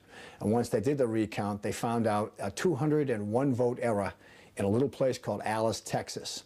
And eventually they found out that the 201 votes had been added. One for Stevenson, 200 for LBJ. As a result, he won by 87 votes, and he was nicknamed Landslide Lyndon. But the real name, the name used in the backwards that didn't appear in the newspapers, was Lion Lyndon. And that stuck with him the rest of his life. That rigged ballot became the template for a political career based on bribery and corruption. The full extent of Johnson's criminal activity only began to unravel 11 years after his death. In 1984, at this courthouse in Franklin, Texas, a former Johnson business associate, Billie Sol Estes, appeared before a grand jury. According to Billie Sol Estes, there were eight murders perpetrated on the pot of Lyndon Johnson. The first name was a man named Douglas Kinser. That was followed by a number of men involved in Estes businesses who were corrupt. And they were all killed with carbon monoxide. Josepha Johnson's name is listed on this Justice Department document. That's Lyndon Johnson's sister. So Estes is accusing the Vice President of the United States of murdering his own sister. And the eighth name listed is the President of the United States, John F. Kennedy. And then there is a promise of knowing more. And if Billie Sol Estes is telling the truth, and there is every reason to believe he is, it gives you an idea of the depth of the corruption and the ruthlessness of Lyndon Johnson. According to Estes' written testimony, that murderous cycle began in 1951 in Austin, Texas, at this downtown golf course known as Butler's Pitch and Putt. The killer was a Johnson henchman called Malcolm Wallace. Malcolm Wallace was born and raised in Texas. He was Texas bred, Texas educated, a very uh, intelligent man. And uh, when he graduated from uh, the University of Texas, he was evidently recruited by Lyndon Johnson and he was given a job at the Federal Department of Agriculture. John Douglas Kinser, the golf pro at Butler's Pitch and Putt, was having an affair with Wallace's wife and with Lyndon Johnson's sister. Lyndon Johnson's sister, Josepha, was an alcoholic. She was a drug user. She was sexually promiscuous. She had loose lips. And who knows what she might tell Kinser or others about Lyndon Johnson's political shenanigans. Malcolm Wallace walked into the pitch and putt golf course in Austin, Texas, and shot to death in cold blood John Douglas Kinser. Kinser died here for his indiscretions. Wallace was soon arrested and went on trial in Austin three months later. First degree murder, open and shut case. He gets a lawyer known as a Lyndon Johnson lawyer. So Lyndon Johnson is going to do his best to get his friend out of hot water. During that trial, Lyndon Johnson took a room at a local hotel. And the 10 days that that trial was uh, going, constantly sent runners from the hotel to the courthouse to bring him word of what was going on during the trial. So he followed the pulse of the trial very, very carefully. Malcolm Wallace is found guilty of first degree murder, but through influence of Lyndon Johnson, Malcolm Wallace receives a five year suspended sentence. Lyndon Johnson was able to get his man out of first degree murder. Much of the control Johnson exercised was acquired through an early alliance with a fellow Texan. Edward Clark gained unrivaled power in the late 1930s with a series of high positions in the state government. He became Johnson's lawyer and a formidable ally throughout his career. The power Edward Clark exercised covered almost every avenue of government power in the state of Texas. He would make sure that important appointments were covered by his men. Uh, the judge's control was through their vote. I mean, he had their decision in the palm of his hand. And this was, of course, important because Austin was the capital of the state. And anything that happened legally uh, went through Austin, and that meant it went through Clark. He was known as the secret boss of Texas. He could and did arrange for people to be killed. Um, he arranged for money to be laundered. He had that control. This building in downtown Austin became the headquarters of Edward Clark's all-powerful law firm. Barr McClellan was recruited as a young lawyer in 1966, three years after the assassination, unaware of the dark secrets hidden within. Soon after joining, in an after-hours conversation with John Coates, one of the firm's attorneys, Barr was made privy to an astonishing piece of information.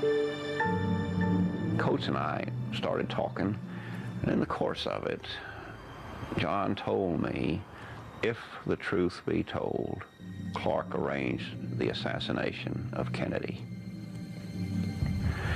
It was a kind of statement that you can't easily forget, even though I personally chose not to believe it at the time. It stuck with me. Attorneys know they're acting behind a privilege. They can say things to each other. And this talk would go on uh, at after-hours drinks, at Christmas parties, uh, just traveling on the road. And it was like Johnson had to get Kennedy out of the way. I worked closely with Don Thomas, and Thomas was the business attorney to the president and was the second man in the law firm. Thomas and I did a number of cases together, and we traveled the state because he did not fly. We'd been to Dallas one day shortly after I became partner, and it was driving back. And just out of the blue, it seems now, looking back, that Thomas said, I am the only living man who knows what happened in Box 13.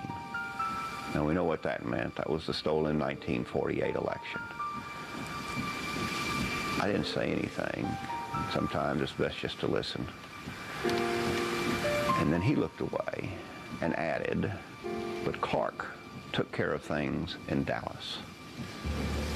At that point, what I'd been hearing in the law firm, what John Coates had first told me, I knew was true because this came from a man that was Johnson's business attorney, one of Johnson's most trusted confidants, a man who worked very closely with Johnson during his maturing years, his, his uh, growing up years, so to speak, and as president. And when I heard that, there was no question but that Clark had been behind the assassination, and he'd done it for Johnson. I know beyond a reasonable doubt that Johnson murdered Kennedy. He acted through Clark. He saw that it was done, and he did it out of a corruption of power that is unequaled in our history. After becoming a senator in 1948, Johnson developed an unrivaled power base in Washington, using his forceful personality, political skills, and corruption. He established himself as one of the most influential men in the nation, but as vice president to Kennedy, he lost much of that authority. By 1961, his past was catching up with him. In Texas, Henry Marshall, a local agricultural official, had begun investigating one of Johnson's illegal sources of funding. Working out of these offices in Bryan, Texas, Marshall had become aware of Billie Sol Estes' misappropriation of federal cotton allotment funds. Attempts to buy off Marshall had failed, and his investigations were beginning to threaten the vice president himself. Billie Sol Estes became worried. Lyndon Johnson became worried. And some of them got together and decided, what are we going to do with Henry Marshall? So on one particular day, according to Billie Sol Estes, Billy Celestes, Cliff Carter, an aide to Lyndon Johnson, Lyndon Johnson, the Vice President of the United States, and Malcolm Wallace got together. And finally, Lyndon made the statement, get rid of him. On June the 3rd, 1961, Henry Marshall failed to return home. An extensive search was made of the family farm near Franklin, Texas. His only son, Don, was 11 years old at the time and remembers that day well. My uncle found him on the second attempt uh, when he, he went out uh, to the place. He was uh, in a very remote location, probably about three quarters of a mile off the road. My mother had this stone placed here uh, in order to, to mark the spot. The truck had blood around the sides of it. Uh, the uh, side on the on the passenger side had a dent in the fender behind the passenger door, and that's apparently where my father's head was uh, knocked into the side of the truck, and uh, he had his eye damaged at that point. Uh, there were a number of yaupon bushes that had been broken, and, and, the gun was laying beside the body, and pretty much nothing else uh, could be seen except signs of a struggle. Local officials immediately ruled it a suicide, despite overwhelming evidence to the contrary. He had been shot five times with a bolt-action rifle. He had enough carbon monoxide in his lungs to cause him to pass out at the time he died. Uh, there was no effort made to collect any evidence or preserve the, the crime scene. They had pretty much determined in their minds that this was going to be a suicide. When Billie Sol Estes testified before the grand jury in Franklin, uh, he implicated Cliff Carter and Malcolm Wallace as the people that were most involved in my father's murder. Uh, Wallace being the trigger man and Cliff Carter uh, being the one who arranged for the uh, murder. I'm firmly convinced that uh, Malcolm Wallace uh, was the, the killer of my father. Who that would have aided, uh, probably uh, political power behind everything. Johnson would have been aided more than anyone else. The grand jury concluded Henry Marshall in 1961 was murdered, which means in simple language that the grand jury believed Billie Sol Estes when he told them that Lyndon Johnson had ordered Malcolm Wallace to kill Henry Marshall. But Johnson's dark dealings were not confined to Texas. In late summer 1963, one of his long-term partners in crime was about to be exposed for corruption by a Senate investigation.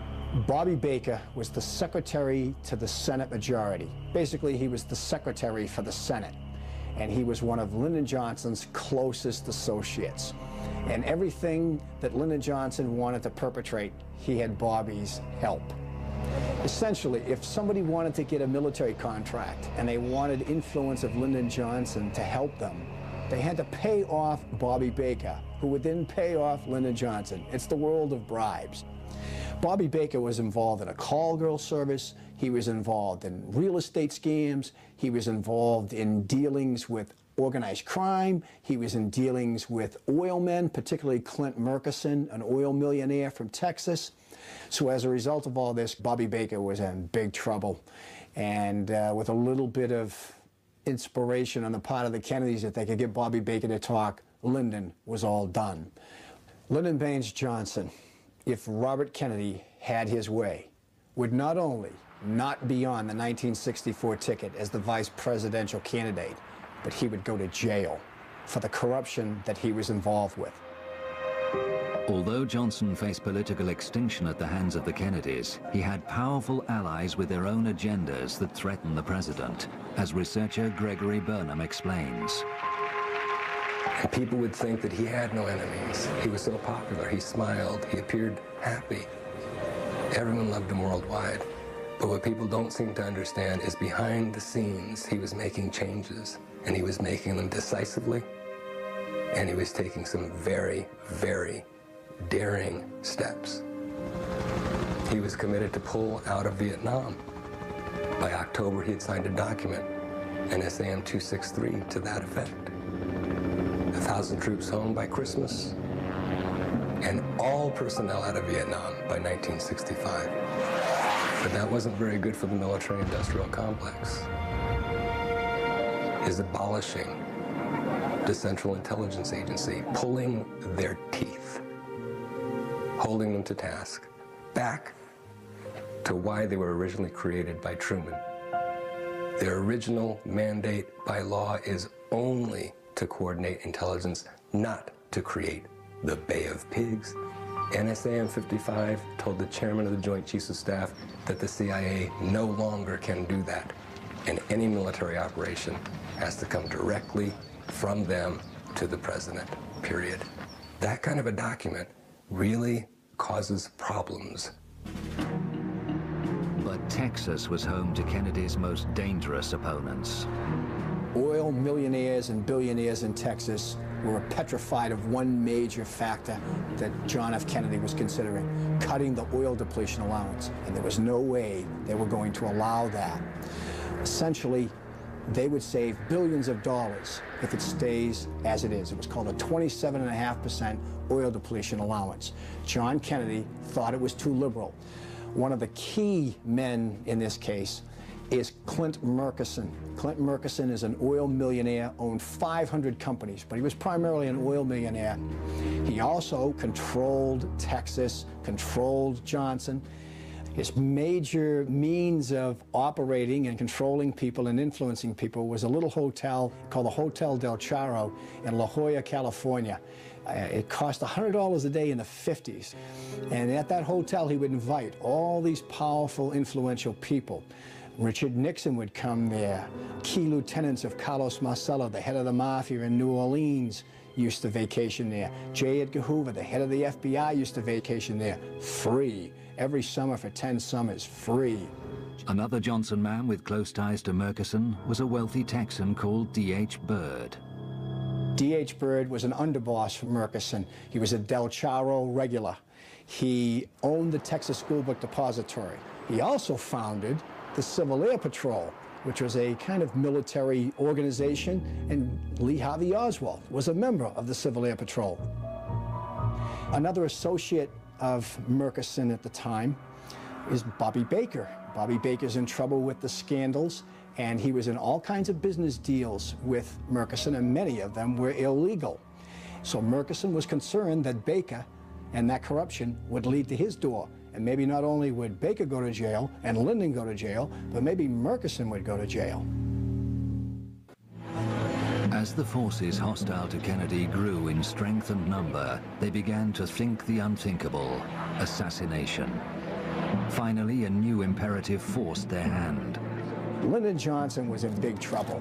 The Bobby Baker scandal and the Billie Sol Estes scandal could destroy Lyndon Johnson's career. Lyndon Johnson would go to jail and he was their man. He represented all these right-wing forces. There was an urgency to kill President Kennedy. They had to save Lyndon Johnson. The governor of Texas, first of all, is Lyndon Johnson's best friend in history. They, they went back decades together. In the 1948 vote scandal, John Connally was every much a part of that cover-up that took place. He was his campaign manager. It is without question John Connally who entices John F. Kennedy to Texas. Once they get him there, then they're in control of everything. The motorcade routes, the evidence, the Dallas police, everything. It's their land. It's their territory. Lyndon Johnson and his Texas cronies suckered President Kennedy to Texas. The late Madeleine Brown gained a unique insight into Johnson's role in Kennedy's assassination. She first met LBJ in 1948 at the Adolphus Hotel in downtown Dallas, when he was celebrating his election to the Senate following the infamous Box 13 scandal. I went, I was very young, and it was, it was wonderful. Uh, our relationship developed immediately. Lyndon gave another campaign party in Austin. It was three weeks after I met him at the Adolphus, and it was scheduled at the Driscoll Hotel. And, oh, it was so great to see him. I mean, for three weeks I had thought about him and, and how wonderful it was. We were dancing that night, and he says, uh, I'll see you upstairs. And he put a key in my hand. I still have that key. uh, it was exciting. I felt naughty, but I felt good. I fell deeply in love with him. Yes, I did. I was just the other woman in his life, and uh, My emotions are still the same for him as they were when I met him as a very young girl, but I'll always love him. He was the father of my son, Stephen. That intimate relationship with Johnson continued for many years. Through him, she became familiar with the closed world of power politics in Texas. On the eve of Kennedy's assassination, she attended a party at this house in North Dallas, the family home of oil billionaire Clint Murchison Sr. There was an extraordinary guest list that night. We had H.L. Hunt, Murchison, Lyndon Johnson made an appearance. We had Hoover. We had Richard Nixon. Uh, they were the most influential people there. But I was under the impression that since J. Edgar Hoover was there, that it was to honor Hoover rather than anything else. When Lyndon came in, no one was expecting him. So when Lyndon arrived at Clint Murchison's, they all went into a conference room, and you could just feel the the atmosphere. When Lyndon came out, uh, I was, of course, happy to see him. I did not know that he was going to be there. And he whispered in my ear at that time, those blankety blank uh, Kennedys will never embarrass me again. That's no threat, that's a promise. So he departed. The party rapidly broke up after Lyndon uh, departed. A seamstress and companion, May Newman, provides confirmation that this party took place at the Murchison family home on the eve of the assassination. She lived and worked in another Murchison house in Dallas for Virginia, Clint Sr.'s second wife. She speaks here for the first time. I started working for Virginia Murchison in 1962 until her death in 1997, approximately 36 years. I remember well the night before the assassination. I worked with a uh, man called Jewel Pfeiffer, black man, which was uh, Virginia Murchison's chauffeur. He got a call from her stepson, John, at the big house. They were having a big party for a very special guest that was coming from Washington to go to the party by the name of Bulldog, which I found out later was J. Edgar Hoover. And um, he said he was very excited about doing this, going on this trip out to the airport to take this special guest to a very special party, big party. And I asked him when he came back if he got a good tip. And he said no, and he was very, very upset. He had to go back that night to take J. Edgar Hoover to the airport to go, go back to Washington. And he still didn't get a tip. Further verification of Hoover's presence in Dallas on the eve of the assassination came from a friend of May's who worked at the Murchison family home. Beulah May Holman, she was the cook at John and Lupe's house, and she wanted me to go help her that night, which I didn't, but I knew she was, she told me she was cooking quail, and I wanted the recipe, so she gave it to me. She said uh, there was a very important guest by the name of J. Edgar Hoover that was coming in, and I should, I should go out and help her so I could get to meet him. If it was a film star, I probably would have gone, but I didn't know who he was. No, not at that time. Early the next morning, only a few hours before the assassination, Madeleine received a phone call from Johnson, who was back in Fort Worth with Kennedy.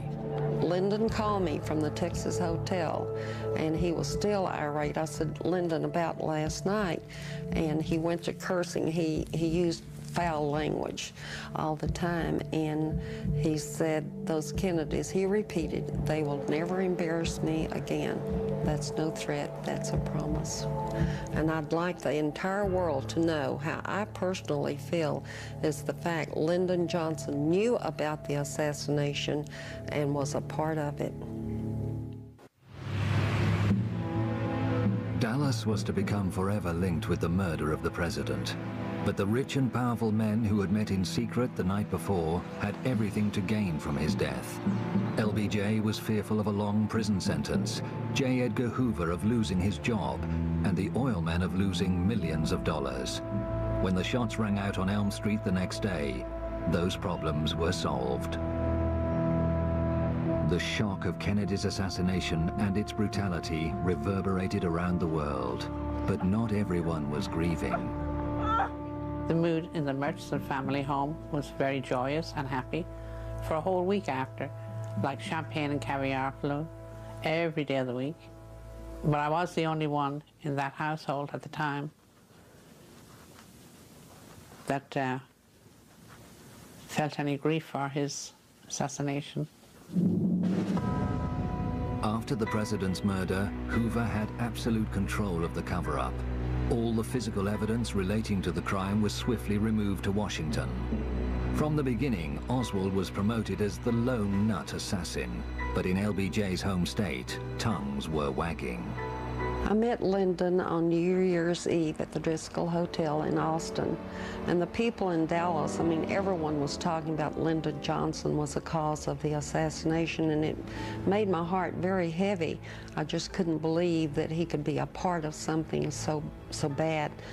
And so I confronted Lyndon. I said, Lyndon, you've got to tell me were you part of the assassination? And of course, he had a high temper fit, uh, hit the wall, and, and he was very irate and angry. And he said, no, I was not, but the oil people, or he called them he, the fat cats of Texas that I knew, and the intelligence was the cause of the assassination. I am sure Lyndon did not make the plans per se, but he had the key people that he could call to actually do it.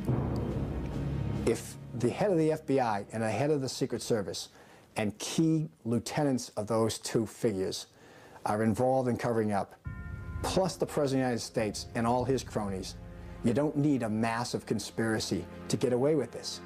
After the assassination, Cliff Carter, Johnson's aide, made repeated calls from the White House to the district attorney in Dallas, Henry Wade. He was instructed to look no further than Oswald for the guilty man. There was no conspiracy. A similar call was made to the Attorney General of Texas, Waggoner Carr. Then we have Lyndon Johnson himself calling the chief of homicide, Will Fritz, who's really doing the dirt work as far as interrogating Oswald and trying to get to the bottom of this case. He calls him and tells him, you have your man. You have your man. Let it go at that. Lyndon Johnson is trying to control what is going on with the investigation of the assassination of President Kennedy from Washington, D.C., with, with crucial figures in the case. The late Dr. Charles Crenshaw experienced the new president's controlling hand. He was in the operating theatre at Parkland Hospital with his colleagues, working to save Oswald's life after Jack Ruby had shot him. He was urgently called to the phone in an adjoining office. I picked up the phone, and it was there I heard this voice like thunder that stated, this is the president, Lyndon B. Johnson. And he asked, how is the accused assassin doing? I was so startled. The thing that I could say was he's holding his own. He's lost a large amount of blood. He said, would you take a message to the chief operating surgeon? It was more of an order than a question. So I said, yes, sir. He said, there is a man in the room. I would like for him to take a deathbed confession. And all of a sudden, the phone uh, went off. Uh, I returned to the operating room. I tapped Dr. Shires on the shoulder. He looked at me like, what are you talking about? Everyone was working feverishly in the abdomen trying to correct the wounds there. I said, guess who I've been talking to? I said, the President of the United States called and wants that man over there to take a deathbed confession. And Shires looked at me like uh, I was crazy, and we both realized that there was no way Lee Harvey Oswald, had he survived, would have been able to give any testimony until two or three days after the procedure. But still in all, the President had called and I did relay the message. When Dr. Crenshaw published his story in 1992, he suffered an avalanche of criticism. It was argued that Johnson made no such call. Crenshaw's critics were proved wrong by a former chief switchboard operator at Parkland Hospital, Phyllis Bartlett. The call came in and said, uh, hold the line for the president. And for a second, I couldn't, eh, you know, I was still thinking Kennedy, and I didn't, I was kind of taken back for a minute, and then I, in a few seconds, it was just a matter of a second, he came on in a loud voice. He said, this is Lyndon Johnson, connect me to the accused assassin's doctor. It sounded the same as it had been on newscasts when I would hear him speak. I knew I had put a call to the operating room, so I contacted Dr. Crenshaw and I told him, I said I, that I knew he did get the call and that I was sorry that the people had in the newspaper and on the TVs had tried to discredit him. And that was when I spoke out. From the moment he became president, Johnson had authority over every aspect of the cover-up of Kennedy's murder. He was unassailable. Johnson has the power to contain the investigation, both nationally and locally, on the ground in Texas. More so than if it had happened, let's say, in Oregon or Wisconsin. Texas. Uh, he's got the power to give the CIA what it wants as president, as opposed to Kennedy, who they feared. He's got the power to take the National Security Action Memorandum that Kennedy had signed in November 1963, tear it up, reverse it, and create a war where 3 million soldiers wound up going to Vietnam instead of 16,000 being brought home by JFK. He can make J. Edgar Hoover director of the FBI for life. He's the man in the middle. The only person that can answer all of the questions of who's at risk, Who's going to gain the most? Who wins in this deal? There's only one answer to that question, and that's Lyndon Johnson. And his ticket out was Elm Street. One of the most compelling pieces of evidence linking Johnson with the assassination is through his henchman Malcolm Wallace, the convicted killer of Douglas Kinser. In the hours following the assassination, on the sixth floor of the Texas School Book Depository building by the southeast corner window, the Dallas police discovered an unidentified fingerprint. The fingerprint, the fingerprint, is the ultimate part of the Mac Wallace story. The FBI fingerprinted every Texas School Book Depository employee, including the women employees that worked downstairs, never handled the boxes. They fingerprinted every Dallas officer that was in the sniper's nest so that they could remove those fingerprints from consideration. At the end of the day, you have one fingerprint remaining. It sits in the National Archives for 35 years, until 1998. An investigator takes it to a highly qualified, certain, certified latent print examiner, a CLPE, along with a redacted fingerprint card from Mac Wallace from the 1951 murder of John Douglas Kinser. And he said, here's a print, here's a print card. Do you see anything?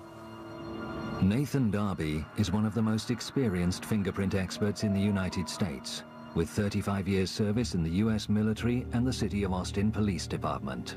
I didn't know where it came from, and oh, a week or 10 days later, I called the party and that had brought it over and said, well, it's a match. The finger that made the ink print also made the latent, and we call that a match or identified. And there was no question about it. it they matched. Three years later, Nathan Darby readdressed the same evidence and reconfirmed his original findings. When he was done, he had a 34-point match. And when you mention that uh, in criminal circles to an investigator, how, how confident would you feel with a 34-point match? Oh, that's a slam dunk. It can't miss. It doesn't get any better than that. You, you give me a 34-point match on any case in the United States, I'll take it to court and win. The inked and the latent print are made by the same finger. And the other evidence that, that I've been presented with was Malcolm Wallace's left little finger, without a reasonable doubt. Now, The fingerprint in question came from a cardboard box in the sniper's nest in the Texas School Book Depository. Fingerprints do not last long on cardboard. So it's fair to say that either Malcolm Wallace was wandering around there for no purpose, he was in that sniper's nest on November 22nd. That evidence, that fingerprint evidence, along with Malcolm Wallace's sordid resume, was sent to every imaginable agency or individual that could have an interest in what happened to John Kennedy. The only people that took notice of it were the Dallas police because it's still an open homicide on their, on their blotter. And they took serious notice of it. And then they were told, forward it up the line because Dallas no longer has any evidence. It's all in federal hands, even though it's an unsolved homicide. They forwarded it up the line. And it took 18 months, 18 months for the FBI to say verbally, no, it's not a match. And the single most important fingerprint found in the last 35 years was buried. I don't know why they couldn't say or say that the thing uh, didn't match. It did match. There's no question about it. I, I, my experience, I've just had too much experience. I know what I'm talking about. I'm positive. No question about it. My dying declaration, if I was to drop dead right now, they match. It's still the big lie. It's unknown. It's unidentified. No, it's identified. It's Malcolm Wallace, and he's linked to Estes, Carter, and Lyndon B. Johnson directly. According to the official record, Malcolm Wallace died in a single car accident on this lonely stretch of Texas highway on the night of January 7, 1971. There were no witnesses. His body was taken to a local hospital where he was pronounced dead. He was buried here close to other family members. Eight months later, another key member of LBJ's inner circle, presidential aide Cliff Carter, died unexpectedly. But shortly before his death, he met with Billie Sol Estes. They discuss all these murders that Cliff Carter is knowledgeable about. Now, Billy knows about some of them, but Cliff knows about more and he fills him in on all the details. Malcolm Wallace being a central figure in most of these murders. And there are over 17 murders that Carter tells Estes about. And he actually tells Estes that he fears for his own life. And within two days' time, he's dead. Johnson's attorney, Edward Clark, was one person who prospered. But when LBJ was brought low by the Vietnam War and decided not to run for a second term, Clark felt shortchanged for his role in the assassination, according to his legal partner, Barr McClellan. He expected $8 million spread over eight years, over the two terms Johnson was to serve. When those terms were cut short by Johnson's sudden and unexpected resignation, Clark was 4 million short. Was not a man to be denied. When he had done a service, he was going to be paid. Planning ahead, he went to Big Oil and Big D, went to Clint Murchison to say, look, I've done y'all a great service. I deserve more. I'm going to get it. Murkison agreed with him and suggested he file for a well in the middle of the great East Texas oil field. He called me in as his personal attorney to make the first bid for getting that money. And he was not successful in getting four million, but he got his two million. So when all was said and done, Clark realized six million dollars for the assassination of John Kennedy. Barr McClellan believes documentary proof of these dark deeds lies in the Johnson-Clark legal records. For many years, they were kept in a high security area above the Clark offices, known as the penthouse. Any of us attorneys could get into the general area, but the secret area, the Johnson area, was locked off, accessible to no one. I have a strong belief that there are substantial records somewhere that show this conspiracy and its both evolution, its execution, and its cover-up. But I don't know where they'd be. We need to see them. Johnson was ultimately consumed by the high office he had so unscrupulously striven for. A broken man, he retreated to his Texas ranch, where his lawyers were to secretly summon a psychiatrist to deal with his deepening depression. An immediate concern at the law firm was that he would say too much. The million dollars was available to the psychiatrist to keep anything from coming out. The one reason for all these protections was the greatest demon that was dogging Johnson at the time, and that was the assassination of John Kennedy and the role he played in it. We had to keep it covered up, and for sure we had to keep the psychiatrist muzzled, and we did. But if any one set of records needs to be produced, the psychiatric records should be disclosed to the American public because they will, I am confident, disclose his role in the assassination. Only four years after leaving office, Johnson died. But there are those living who are still afraid to come forward to tell what they know about the guilty men. People are afraid of him dead. He's been dead since 1973, and his shadow still casts fear in this country, especially in Texas. Undaunted, across the nation, the questioning voice of the American people will not be silenced. An overwhelming majority refuse to accept their government's version of what happened in Dallas on November the 22nd, 1963. There's no statute of limitations on murder. If they're still continuing to cover it up in 20 more years, that's obstruction of justice. It's a conspiracy.